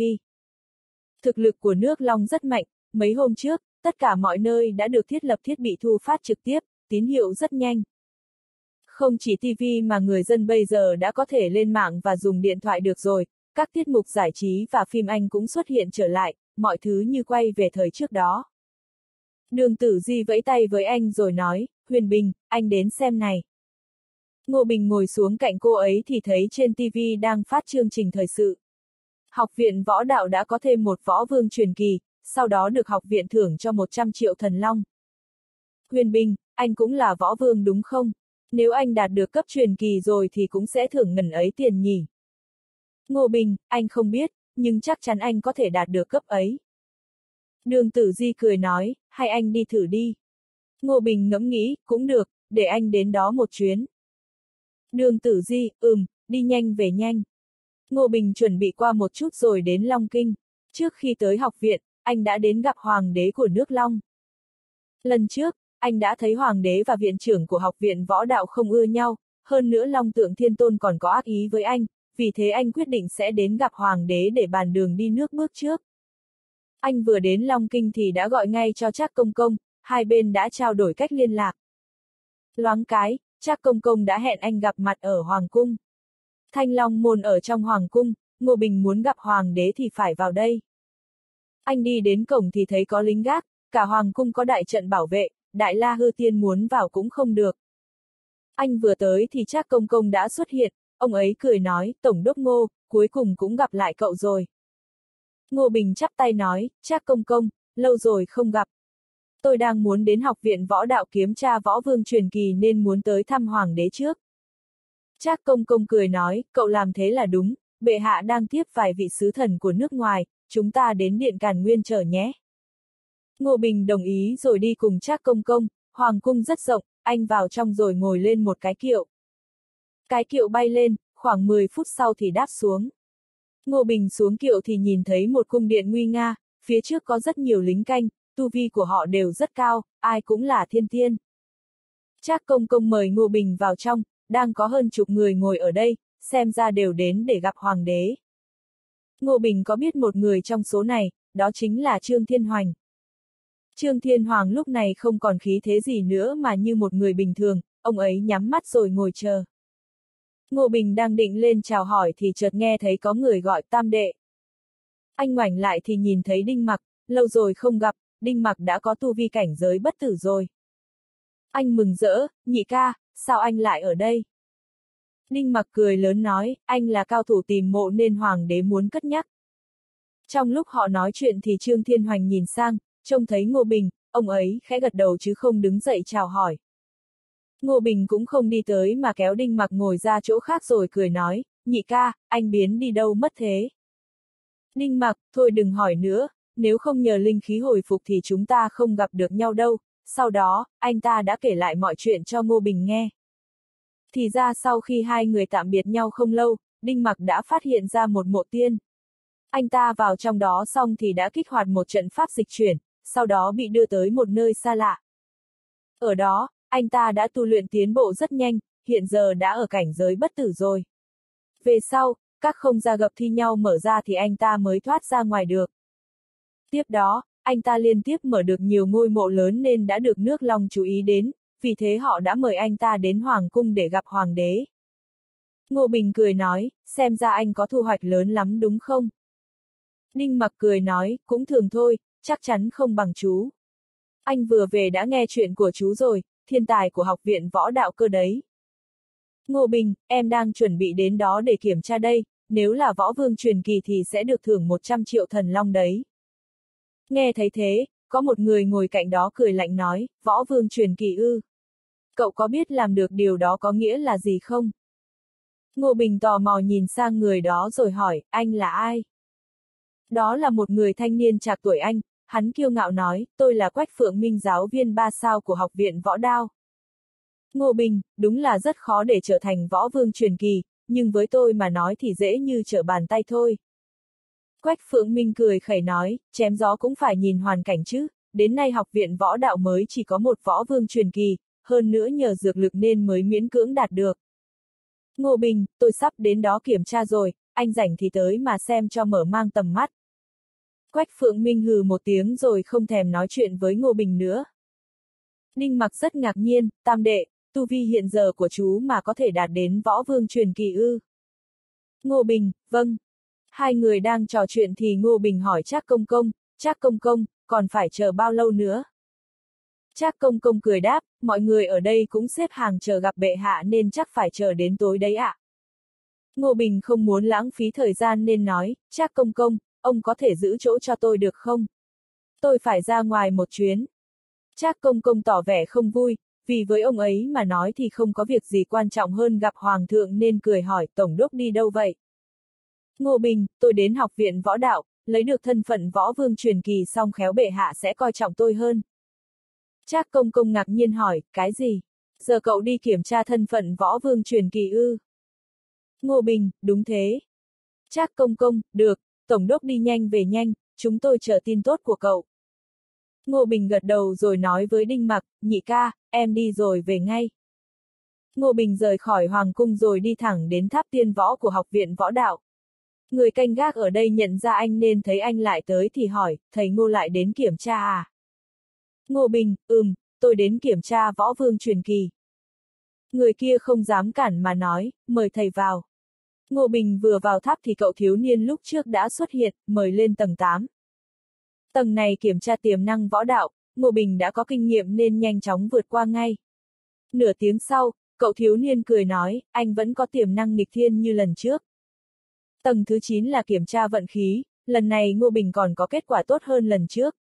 Thì ra, tháp tiên võ cũng phân cấp cho tầng này, lần trước anh đạt cấp nghịch thiên nhị đẳng, còn lần này là siêu đẳng. Tầng thứ 10 là kiểm tra huyết mạch, kết quả vừa có, cậu thiếu niên đã nói, huyết mạch của anh tương đương với chân nhân thái cổ, cũng là cấp nghịch thiên siêu đẳng. Ngô Bình, vậy thì chắc tôi là võ vương trí tôn đúng không? Cậu thiếu niên, đúng thế, võ vương trí tôn 12 sao. Ngô Bình cười nói, sao bảo cao nhất là 10 sao. Cậu thiếu niên, bình thường là 10 sao, nhưng với quái vật như anh thì phải 12 mới đủ để đánh giá. Ngô Bình, mới có người được nhận định là võ vương truyền kỳ à. Cậu thiếu niên, người đó dùng thuốc nên tôi cho anh ta làm võ vương truyền kỳ một sao. Ngô Bình, ừm, thế cậu cho tôi huy hiệu võ vương truyền kỳ 9 sao nhé. Cậu thiếu niên, được, hy vọng anh sớm đột phá lên tiên quân rồi lên ba tầng cuối. Ngô Bình, không lâu nữa đâu.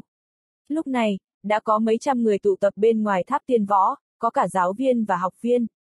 Người canh tháp cũng phải há hốc miệng, tin Ngô Bình vào tháp kiểm tra đã lôi kéo nhiều người đến xem náo nhiệt. Có nhiều người đã chờ ở ngoài ba, bốn tiếng vẫn không chịu đi, họ nhất định phải chờ xem bằng được thành tựu của anh. Các người đoán thầy ngô này có được võ vương truyền kỳ không? Một người hỏi. Chắc được, dẫu sao người ta cũng là võ tông truyền kỳ rồi, hơn nữa còn được 10 sao đấy. Nói chung kiểu gì cũng được võ vương truyền kỳ thôi, nhưng sao sẽ kém hơn, khoảng 3 đến 5 sao gì đó. Hồi hộp thế nhờ, một cô gái nói, nghe chuyện về thầy ngô nhiều rồi mà chưa được gặp bao giờ, hy vọng thầy sẽ là võ vương truyền kỳ 5 sao.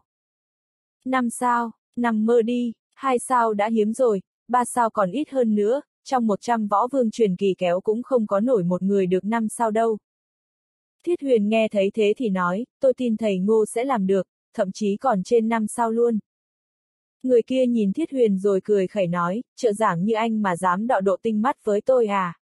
Đúng là không biết tự lượng sức mình. Đúng lúc này, mọi người chợt ngừng bàn luận vì Ngô Bình đã đi ra. Anh chắp tay sau lưng đang định rời đi thì bị biển người trước mặt dọa cho giật mình, có người nhìn thấy huy hiệu trước ngực anh thì hét lên, trời ơi! Võ vương truyền kỳ 9 sao! Trời đất, 9 sao thật kìa, đáng sợ quá! Giáo viên nói Ngô Bình không thể được 5 sao lập tức tự vả vào mặt rồi chạy mất. Ngô Bình chắp tay với mọi người rồi nói, cảm ơn mọi người đã quan tâm đến tôi. Lãnh nhân và thiết huyền bước ra rồi cười nói, thầy Ngô, anh mau đi nhận thưởng đi. Ngô Bình, ai cũng được thưởng hết à. Thiết huyền gật đầu, vì viện trưởng đã nhận được nhiệm vụ phải bồi dưỡng ba võ vương truyền kỳ trở lên trong ba na, nên đã công bố giải thưởng cho thân phận này. Trong đó, võ vương truyền kỳ một sao sẽ được thăng làm giáo viên bốn sao và nhận được 100 triệu thần long. Mỗi khi tăng thêm một cao thì sẽ được thưởng thêm 30 triệu. Hơn nữa, nếu có thể đạt được 5 sao thì sẽ được thăng làm giáo viên 5 sao. Ngô Bình sáng mắt lên, thế thì anh sẽ được 340 triệu thần long rồi, hơn nữa còn được phong làm giáo viên năm sao. Anh nói, được, giờ tôi đi lĩnh thưởng luôn. Cứ thế, Ngô Bình đã vượt qua vòng vây cu ớt mọi người rồi đi đến chỗ viện trưởng. Khi Long tượng tiên tôn nhìn thấy Ngô Bình hùng dũng bước tới cùng với mấy trăm người chờ xem náo nhiệt thì lập tức có một dự cảm không lành. Quả nhiên, Ngô Bình đã đặt huy hiệu võ vương truyền kỳ 9 sao lên bàn rồi nói, viện trưởng, tôi đến lĩnh thưởng. Thật ra Long Tượng Thiên Tôn không hề muốn đưa tiền và trao cho Ngô Bình danh hiệu giáo viên năm sao, nhưng có quá đông người ở đây nên ông ta không thể làm khác được. Long Tượng Thiên Tôn mỉm cười một cách ngượng ép rồi nói, thầy Ngô, cậu đúng là thiên tài có khác, đạt hẳn 9 sao cơ à, tôi khâm phục. Ngô Bình, viện trưởng quá khen, chờ tôi đến cảnh giới Long Môn rồi sẽ thử xem có lên được võ vương trí tôn hay không. Khóe miệng Long Tượng Thiên Tôn giật giật, ông ta nói, theo quy tắc thì học viện sẽ thưởng cho cậu 340 triệu thần long, đồng thời tăng chức cho cậu thành giáo viên năm sao. Ngô Bình nhanh chóng nhận được một túi tiền và huy hiệu giáo viên năm sao.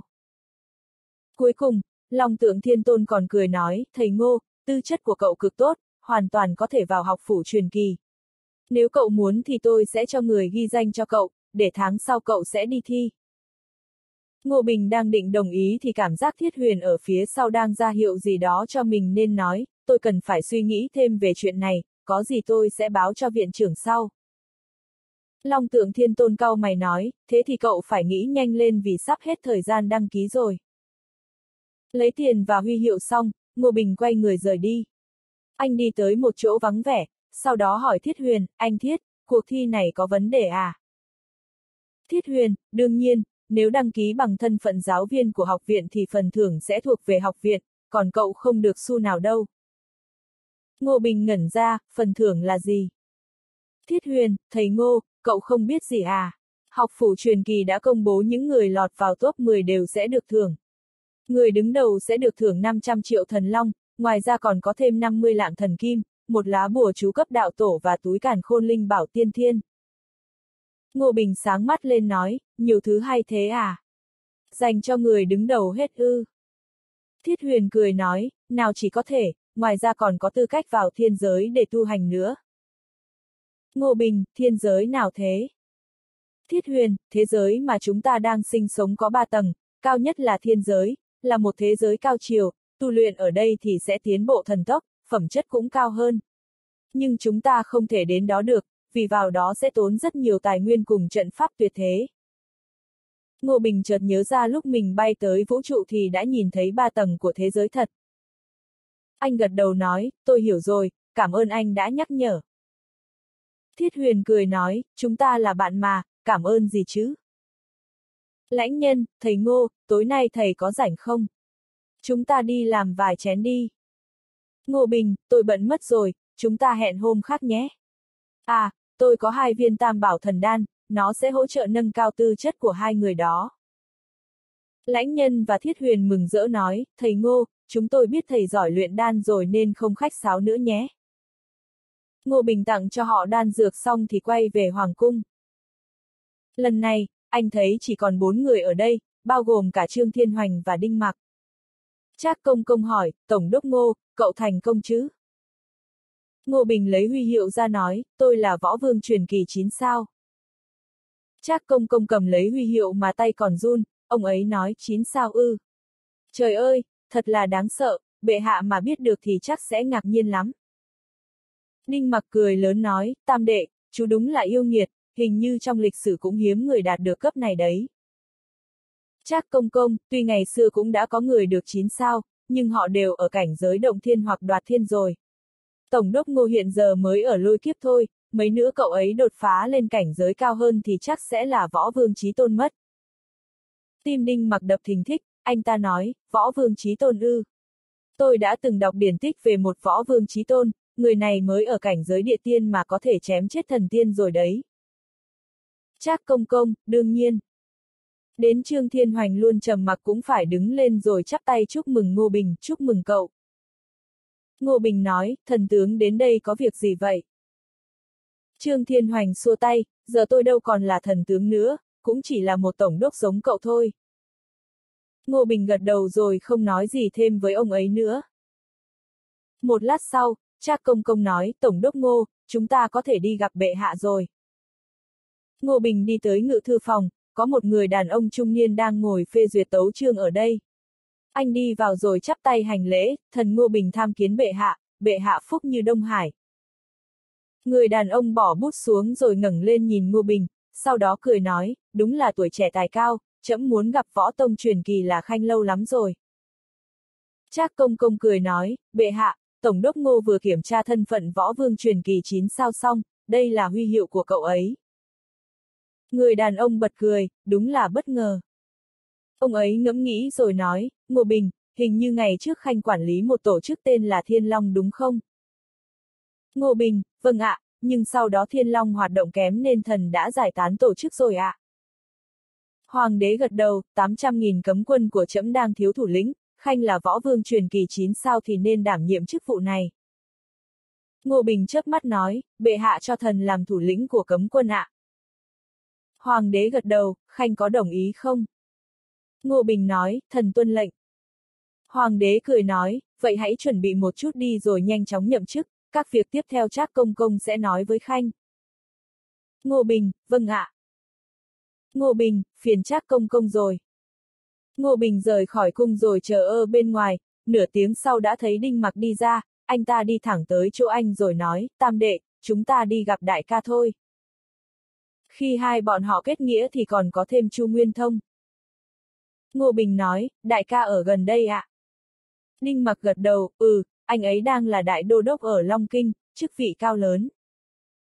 Nói rồi, Đinh mặc âm thầm truyền âm cho Ngô Bình, mấy hôm trước, anh mới biết thật ra đại ca là đại la kim tiên chuyển thế tu luyện lại đấy. Ngô Bình giật mình vì lại biết thêm một người chuyển thế nữa, anh hỏi, thân phận thật của anh ấy là gì? Ninh Mặc, Long Hoa Đạo Quân. Ngô Bình, em nhớ đại ca ở Ngọc Hư Cung mà. Ninh Mặc, bỏ đi lâu rồi, sau khi thành thiên tiên thì anh ấy đã tự lập môn phái riêng. Nói rồi, cả hai bay đến phủ đô đốc. Có hai con mãnh thú ngồi trước cổng. Thấy nhóm Ngô Bình bay đến, cổng lớn mở rộng, một tiếng cười sang sảng vọng ra, nhị đệ, tam đệ. Ngô Bình nhìn thấy có một người đàn ông cao lớn để dâu quái nón, bụng bự có dáng đi như rồng như hổ bước ra. Người này chính là Chu Nguyên Thông đại ca của Đinh Mặc và Ngô Bình. Ninh Mặc tiến lên chắp tay với người đàn ông, đại ca, đây chính là tam đệ mà em từng kể với anh. Tam đệ, đây là đại ca. Ngô Bình bước tới chào hỏi, chào đại ca. Người đàn ông đỡ anh dậy rồi cười nói, anh em trong nhà thì không cần đa lễ. Tam đệ, anh nghe nhị để kể chú là thiên kiêu đúng không? Ha ha, có một cậu em kết nghĩa như chú làm anh mát mày mát mặt.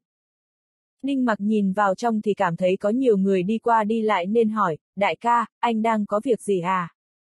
Chu Nguyên Thông cười đáp, cấp trên xếp cho anh thêm mấy trợ thủ, nhưng bọn này ngông lắm, anh đang nghĩ cách hạ oai phong của chúng nó đây. Ninh mặc, chúng ta vào trong xem sao đi. Ba người cùng đi vào trong, phủ đô đốc rất rộng, có ba người thanh niên lanh mặt đứng dưới nắng, trông ai cũng ngông nghênh, đã thế người còn có vết thương, chứng tỏ vừa đánh nhau. Chu Nguyên thông lạnh lùng nhìn họ rồi nói, đánh cho mấy trận rồi mà vẫn chưa phục à. Được, đánh tiếp mỗi người thêm 100 gậy cho tôi. Ngô Bình nói, đại ca, họ là thuộc hạ của anh ạ. Chu Nguyên thông, ừ, nhưng chúng nó cứ tưởng mình giỏi rồi nên không coi anh ra gì cả. Bọn nó dám đánh quan lớn, ức hiếp đồng đội nên anh không thể tha cho được. Ngô Bình liếc nhìn rồi nói, bọn này có tài năng gì ạ? À?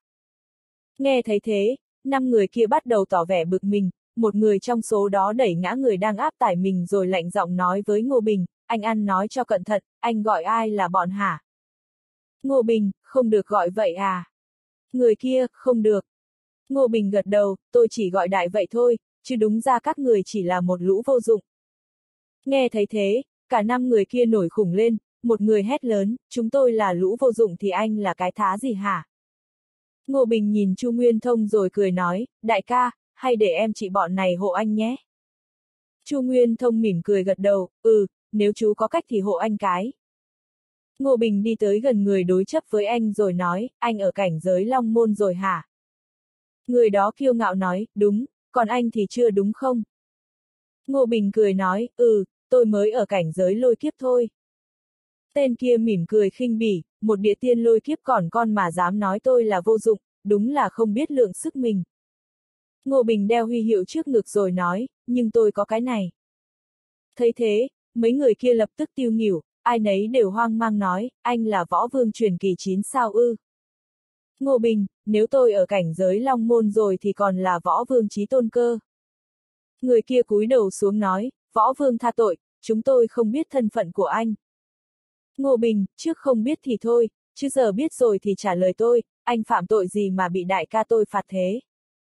Người đó đáp, tôi đánh quan lớn và mấy quân sĩ. Ngô Bình, tại sao anh lại làm thế? Tên đó đáo, người đó có thực lực kém tôi, tại sao được phép quản lý tôi chứ? Ngô Bình, giờ anh còn thấy mình làm đúng nữa không? Người đó nhìn Ngô Bình rồi cúi đầu xuống, anh bảo tôi sai thì tôi nhận sai. Chu Nguyên Thông lắc đầu, với trình độ của các cậu thì còn không xứng sách xếp cho chú em tôi, thế mà còn tưởng mình giỏi lắm à? Mấy người kia đỏ mặt, đúng thế so với Ngô Bình thì đúng là họ chẳng là gì cả. Chu Nguyên Thông hạ lệnh, lôi xuống dưới, cấm túc một tháng. Mấy người đó được đưa đi rồi, Chu Nguyên Thông mới vui vẻ nói, tam đệ, không ngờ chú là võ vương truyền kỳ rồi lại còn chín sao nữa, siêu quá đấy. Có muốn làm đề đốc ở chỗ anh không? Ngô Bình cười nói, đại ca, em đã đồng ý với hoàng đế làm thủ lĩnh cấm quân rồi. Chu Nguyên Thông trợn tròn mắt, thủ lĩnh cấm quân ư. Anh bảo, chỗ anh cũng đang thiếu thủ lĩnh, hay chú làm cả cho anh nữa, anh sẽ trả lương hậu hĩnh. Ninh mặc, đại ca, hậu hĩnh là thế nào? Chu Nguyên Thông, mỗi năm 5 triệu thần long, còn có nhiều trợ cấp khác nữa. Đương nhiên quan trọng nhất là chức quyền, đề đốc của Long Kinh ngang với một chức quan nhị phẩm nên sẽ cao hơn tổng đốc, ngoài ra còn có thể điều động binh lính. Ninh mặc cười nói, tam đệ, anh thấy được đấy, chú suy nghĩ thử xem. Ngô Bình, em chưa làm thủ lĩnh bao giờ, sợ không làm được. Chu Nguyên Thông cười lớn nói, chúng ta vào trong nói chuyện đi. Chu Nguyên Thông mời hai người vào phòng khách, sau đó sai người chuẩn bị rượu bánh. Chu Nguyên Thông nói, tam đệ, chúng ta uống xong thì đi đến doanh trại nhé. Ngô Bình gật đầu, vâng. Trong lúc nói chuyện, Ngô Bình hỏi, đại ca, em nghe nói Long Tượng Thiên Tôn của học viện võ đạo có xích mích với Hoàng đế phải không ạ? Chu Nguyên Thông cười nói, không nhiều người biết chuyện này đâu, Hoàng đế là nhân vật thứ hai của nhà họ Phong một trong bảy thế gia của tiên giới, còn Long Tượng Thiên Tôn thì là chủ của đại thế giới Long Tượng. Nhà họ Phong và đại thế giới Long Tượng từng có xung đột, hai bên đã giết không ít người của nhau, vì thế Long Tượng Thiên Tôn mới ghét Hoàng đế nước Long, còn Hoàng đế cũng muốn giết ông ta. Ngô Bình, Long Tượng Thiên Tôn còn có ác ý với em nữa. Chu Nguyên Thông, lão già ấy ngu lắm, chẳng qua đại thế giới Long Tượng có tài nguyên rồi rào thôi, không chẳng ai thèm nhòm ngó tới lão đâu. Ngô Bình, nơi ấy nhiều tài nguyên lắm ạ. Chu Nguyên Thông, ở đó trồng được hai loại dược liệu là cỏ thần long và quả thần tượng. Hai dược liệu này có thể luyện chế ra long tượng thần đan một loại đan dược cực hiếm. Uống nó vào thì sẽ có thần lực bức người, lực chiến đấu tăng vọt. Vì thế tiên binh rất cần tới chúng, do đó mới không dám đắc tội với long tượng thiên tôn. Ngô Bình hỏi, đại ca có loại đan dược ấy không ạ? Chu Nguyên Thông lấy một cái bình ra đưa cho Ngô Bình rồi nói, tam đệ, anh có ba viên, mang tiếng là đại đô đốc nhưng mỗi tháng anh cũng chỉ lấy được 10 viên thôi. Ngô Bình đổ đan dược ra xem, sau đó uống một viên để phân tích dược lực. 10 phút sau, anh nói, em có thể luyện chế đan dược này được, chỉ cần cho em dược liệu là xong. Chu Nguyên Thông mừng rỡ, chú còn biết luyện đan à?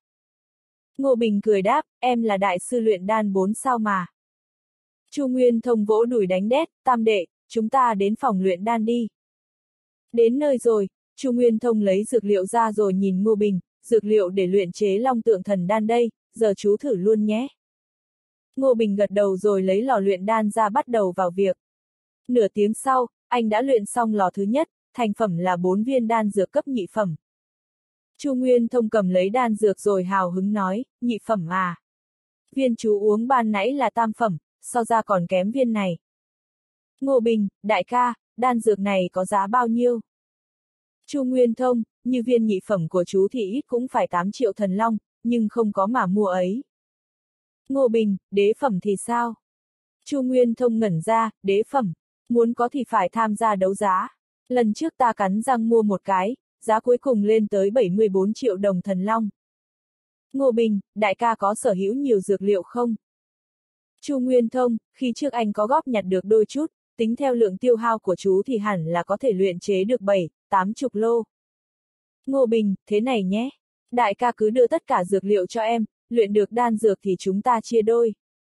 Chu Nguyên Thông lộ vẻ vui mừng, chú em, sao thế được? Đáng lẽ chú phải lấy phần hơn chứ? Ngô Bình, anh em với nhau cả, khách sáo làm gì? Chu Nguyên Thông cười ha hả, được, vậy anh không khách sáo với chú em nữa. Chúng ta chia đôi nhé. Lúc này, Ngô Bình bỗng nói, nghe anh cả nói, kiếp trước đại ca là đại la đạo quân. Chu Nguyên Thông cười nói, có khá ít người biết chuyện này. Ừm, trước đây ta là Long Hoa đạo quân, bị người thân nhất hãm hại, cuối cùng hủy hoại đạo cơ, suýt nữa tan thành mây khói. Về sau, dấu ấn sinh mệnh anh lưu lại ở hạ giới đầu thai chuyển kiếp nên anh mới nhờ thế mà tu luyện lại từ đầu. Ngô Bình, khó trách tu vi của đại ca lại tiến triển nhanh như vậy. Chu Nguyên Thông, thật ra như vậy cũng tốt. kiếp này tu luyện lại anh đã bổ sung được những phần còn thiếu sót trong tu luyện của kiếp trước, nên không còn tiếc nuối. Ngô Bình, nếu đại ca cần em giúp gì thì cứ nói, ta sẽ cố gắng hết sức. Chu Nguyên Thông cười bảo, anh rất vui khi được kết nghĩa với chú em. Ba người chúng ta hiện giờ chính thức kết bái luôn nhé. Ninh mặc cười đáp, được. Ba người bái trời đất, sau đó uống rượu đã được nhỏ máu, cùng đọc lời hẹn thề, chính thức trở thành anh em khác họ với nhau. Sau khi kết bái xong xuôi, Chu Nguyên Thông cười bảo, em ba, chúng ta tới quân doanh thăm thú chút nhé. Ngô Bình, được. Chu Nguyên Thông là đại đô đốc Long Kinh Tiên Quân, nhóm tiên binh tiên tướng do Đại Thiên Tôn điều xuống có khoảng một phần ba thuộc quyền quản lý của Chu Nguyên Thông, chủ yếu chịu trách nhiệm phòng ngự cho Long Kinh, nghe theo chỉ huy của Hoàng đế Long Quốc. Quân doanh Long Kinh nằm ở một không gian đơn độc, chiếm diện tích rất lớn, là nơi đóng quân và huấn luyện. Lúc vào hành cung đại đô đốc của quân doanh, Chu Nguyên Thông bèn sai người gọi mấy cấm quân trong doanh tới. Chu Nguyên Thông nói, em ba, dưới trường anh có 8 doanh đội, mỗi doanh đội có một đại cấm quân, ngoài ra còn có một thủ lĩnh cấm quân. Dưới quyền mỗi cấm quân theo thứ tự còn có kim y cấm quân, hồng y cấm quân, bạch y cấm quân. Ngô Bình, mấy cấm quân đó cũng tới từ tiên giới sao? Chu Nguyên thông đáp, đúng vậy. Thủ lĩnh cấm quân kia từng là một vị võ tiên tôn cảnh giới đoạt thiên, hiện giờ là hư tiên giai đoạn thứ ba, thực lực khá là đáng gờm. Nếu đánh nhau thì những chân tiên bình thường đều không thắng được ông ta. Ngô Bình, đại ca, thủ lĩnh cấm quân của anh giỏi như vậy rồi, tìm ta tới chẳng phải là vẽ vời thêm chuyện sao. Chu Nguyên Thông, thôi, anh nói thật với chú vậy. Người của tám doanh này đều đến từ tiên giới, cực kỳ kiêu ngạo, nên anh muốn quản lý cũng chẳng dễ dàng. Anh mời em ba tới đây là muốn nhờ chú giúp anh thu phục bọn họ, để bọn họ chịu nghe lời hơn. Trong tám doanh đội thì khó quản lý nhất chính là Long Uy Doanh. Phần lớn tướng sĩ của doanh đội này đều có huyết thống Long tộc, thể chất mạnh mẽ, ai ai cũng trâu bò. Chú em, anh quyết định mời chú tới làm đại cấm quân của Long Uy Doanh trước. Ngô Bình, đại doanh của đại ca có bao nhiêu người? Chu Nguyên Thông, hơn 1.800 người. Nhân số tuy không nhiều, nhưng lại khó quản chế. Lát nữa, đại cấm quân và mấy cấm quân áo vàng của Long Uy Doanh tới, nhờ chú giúp anh khiến bọn họ tâm phục khẩu phục nhé.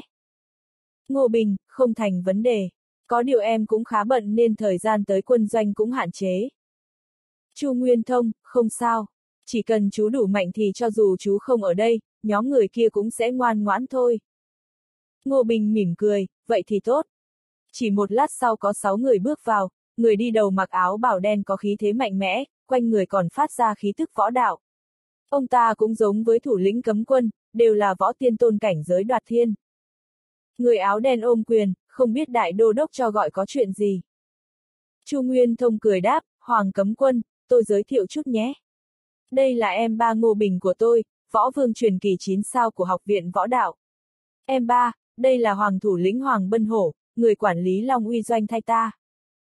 Dứt lời, Chu Nguyên Thông nói tiếp, Hoàng cấm quân, em ba của tôi tinh thông võ học, gần đây muốn tìm một người để đấu thử.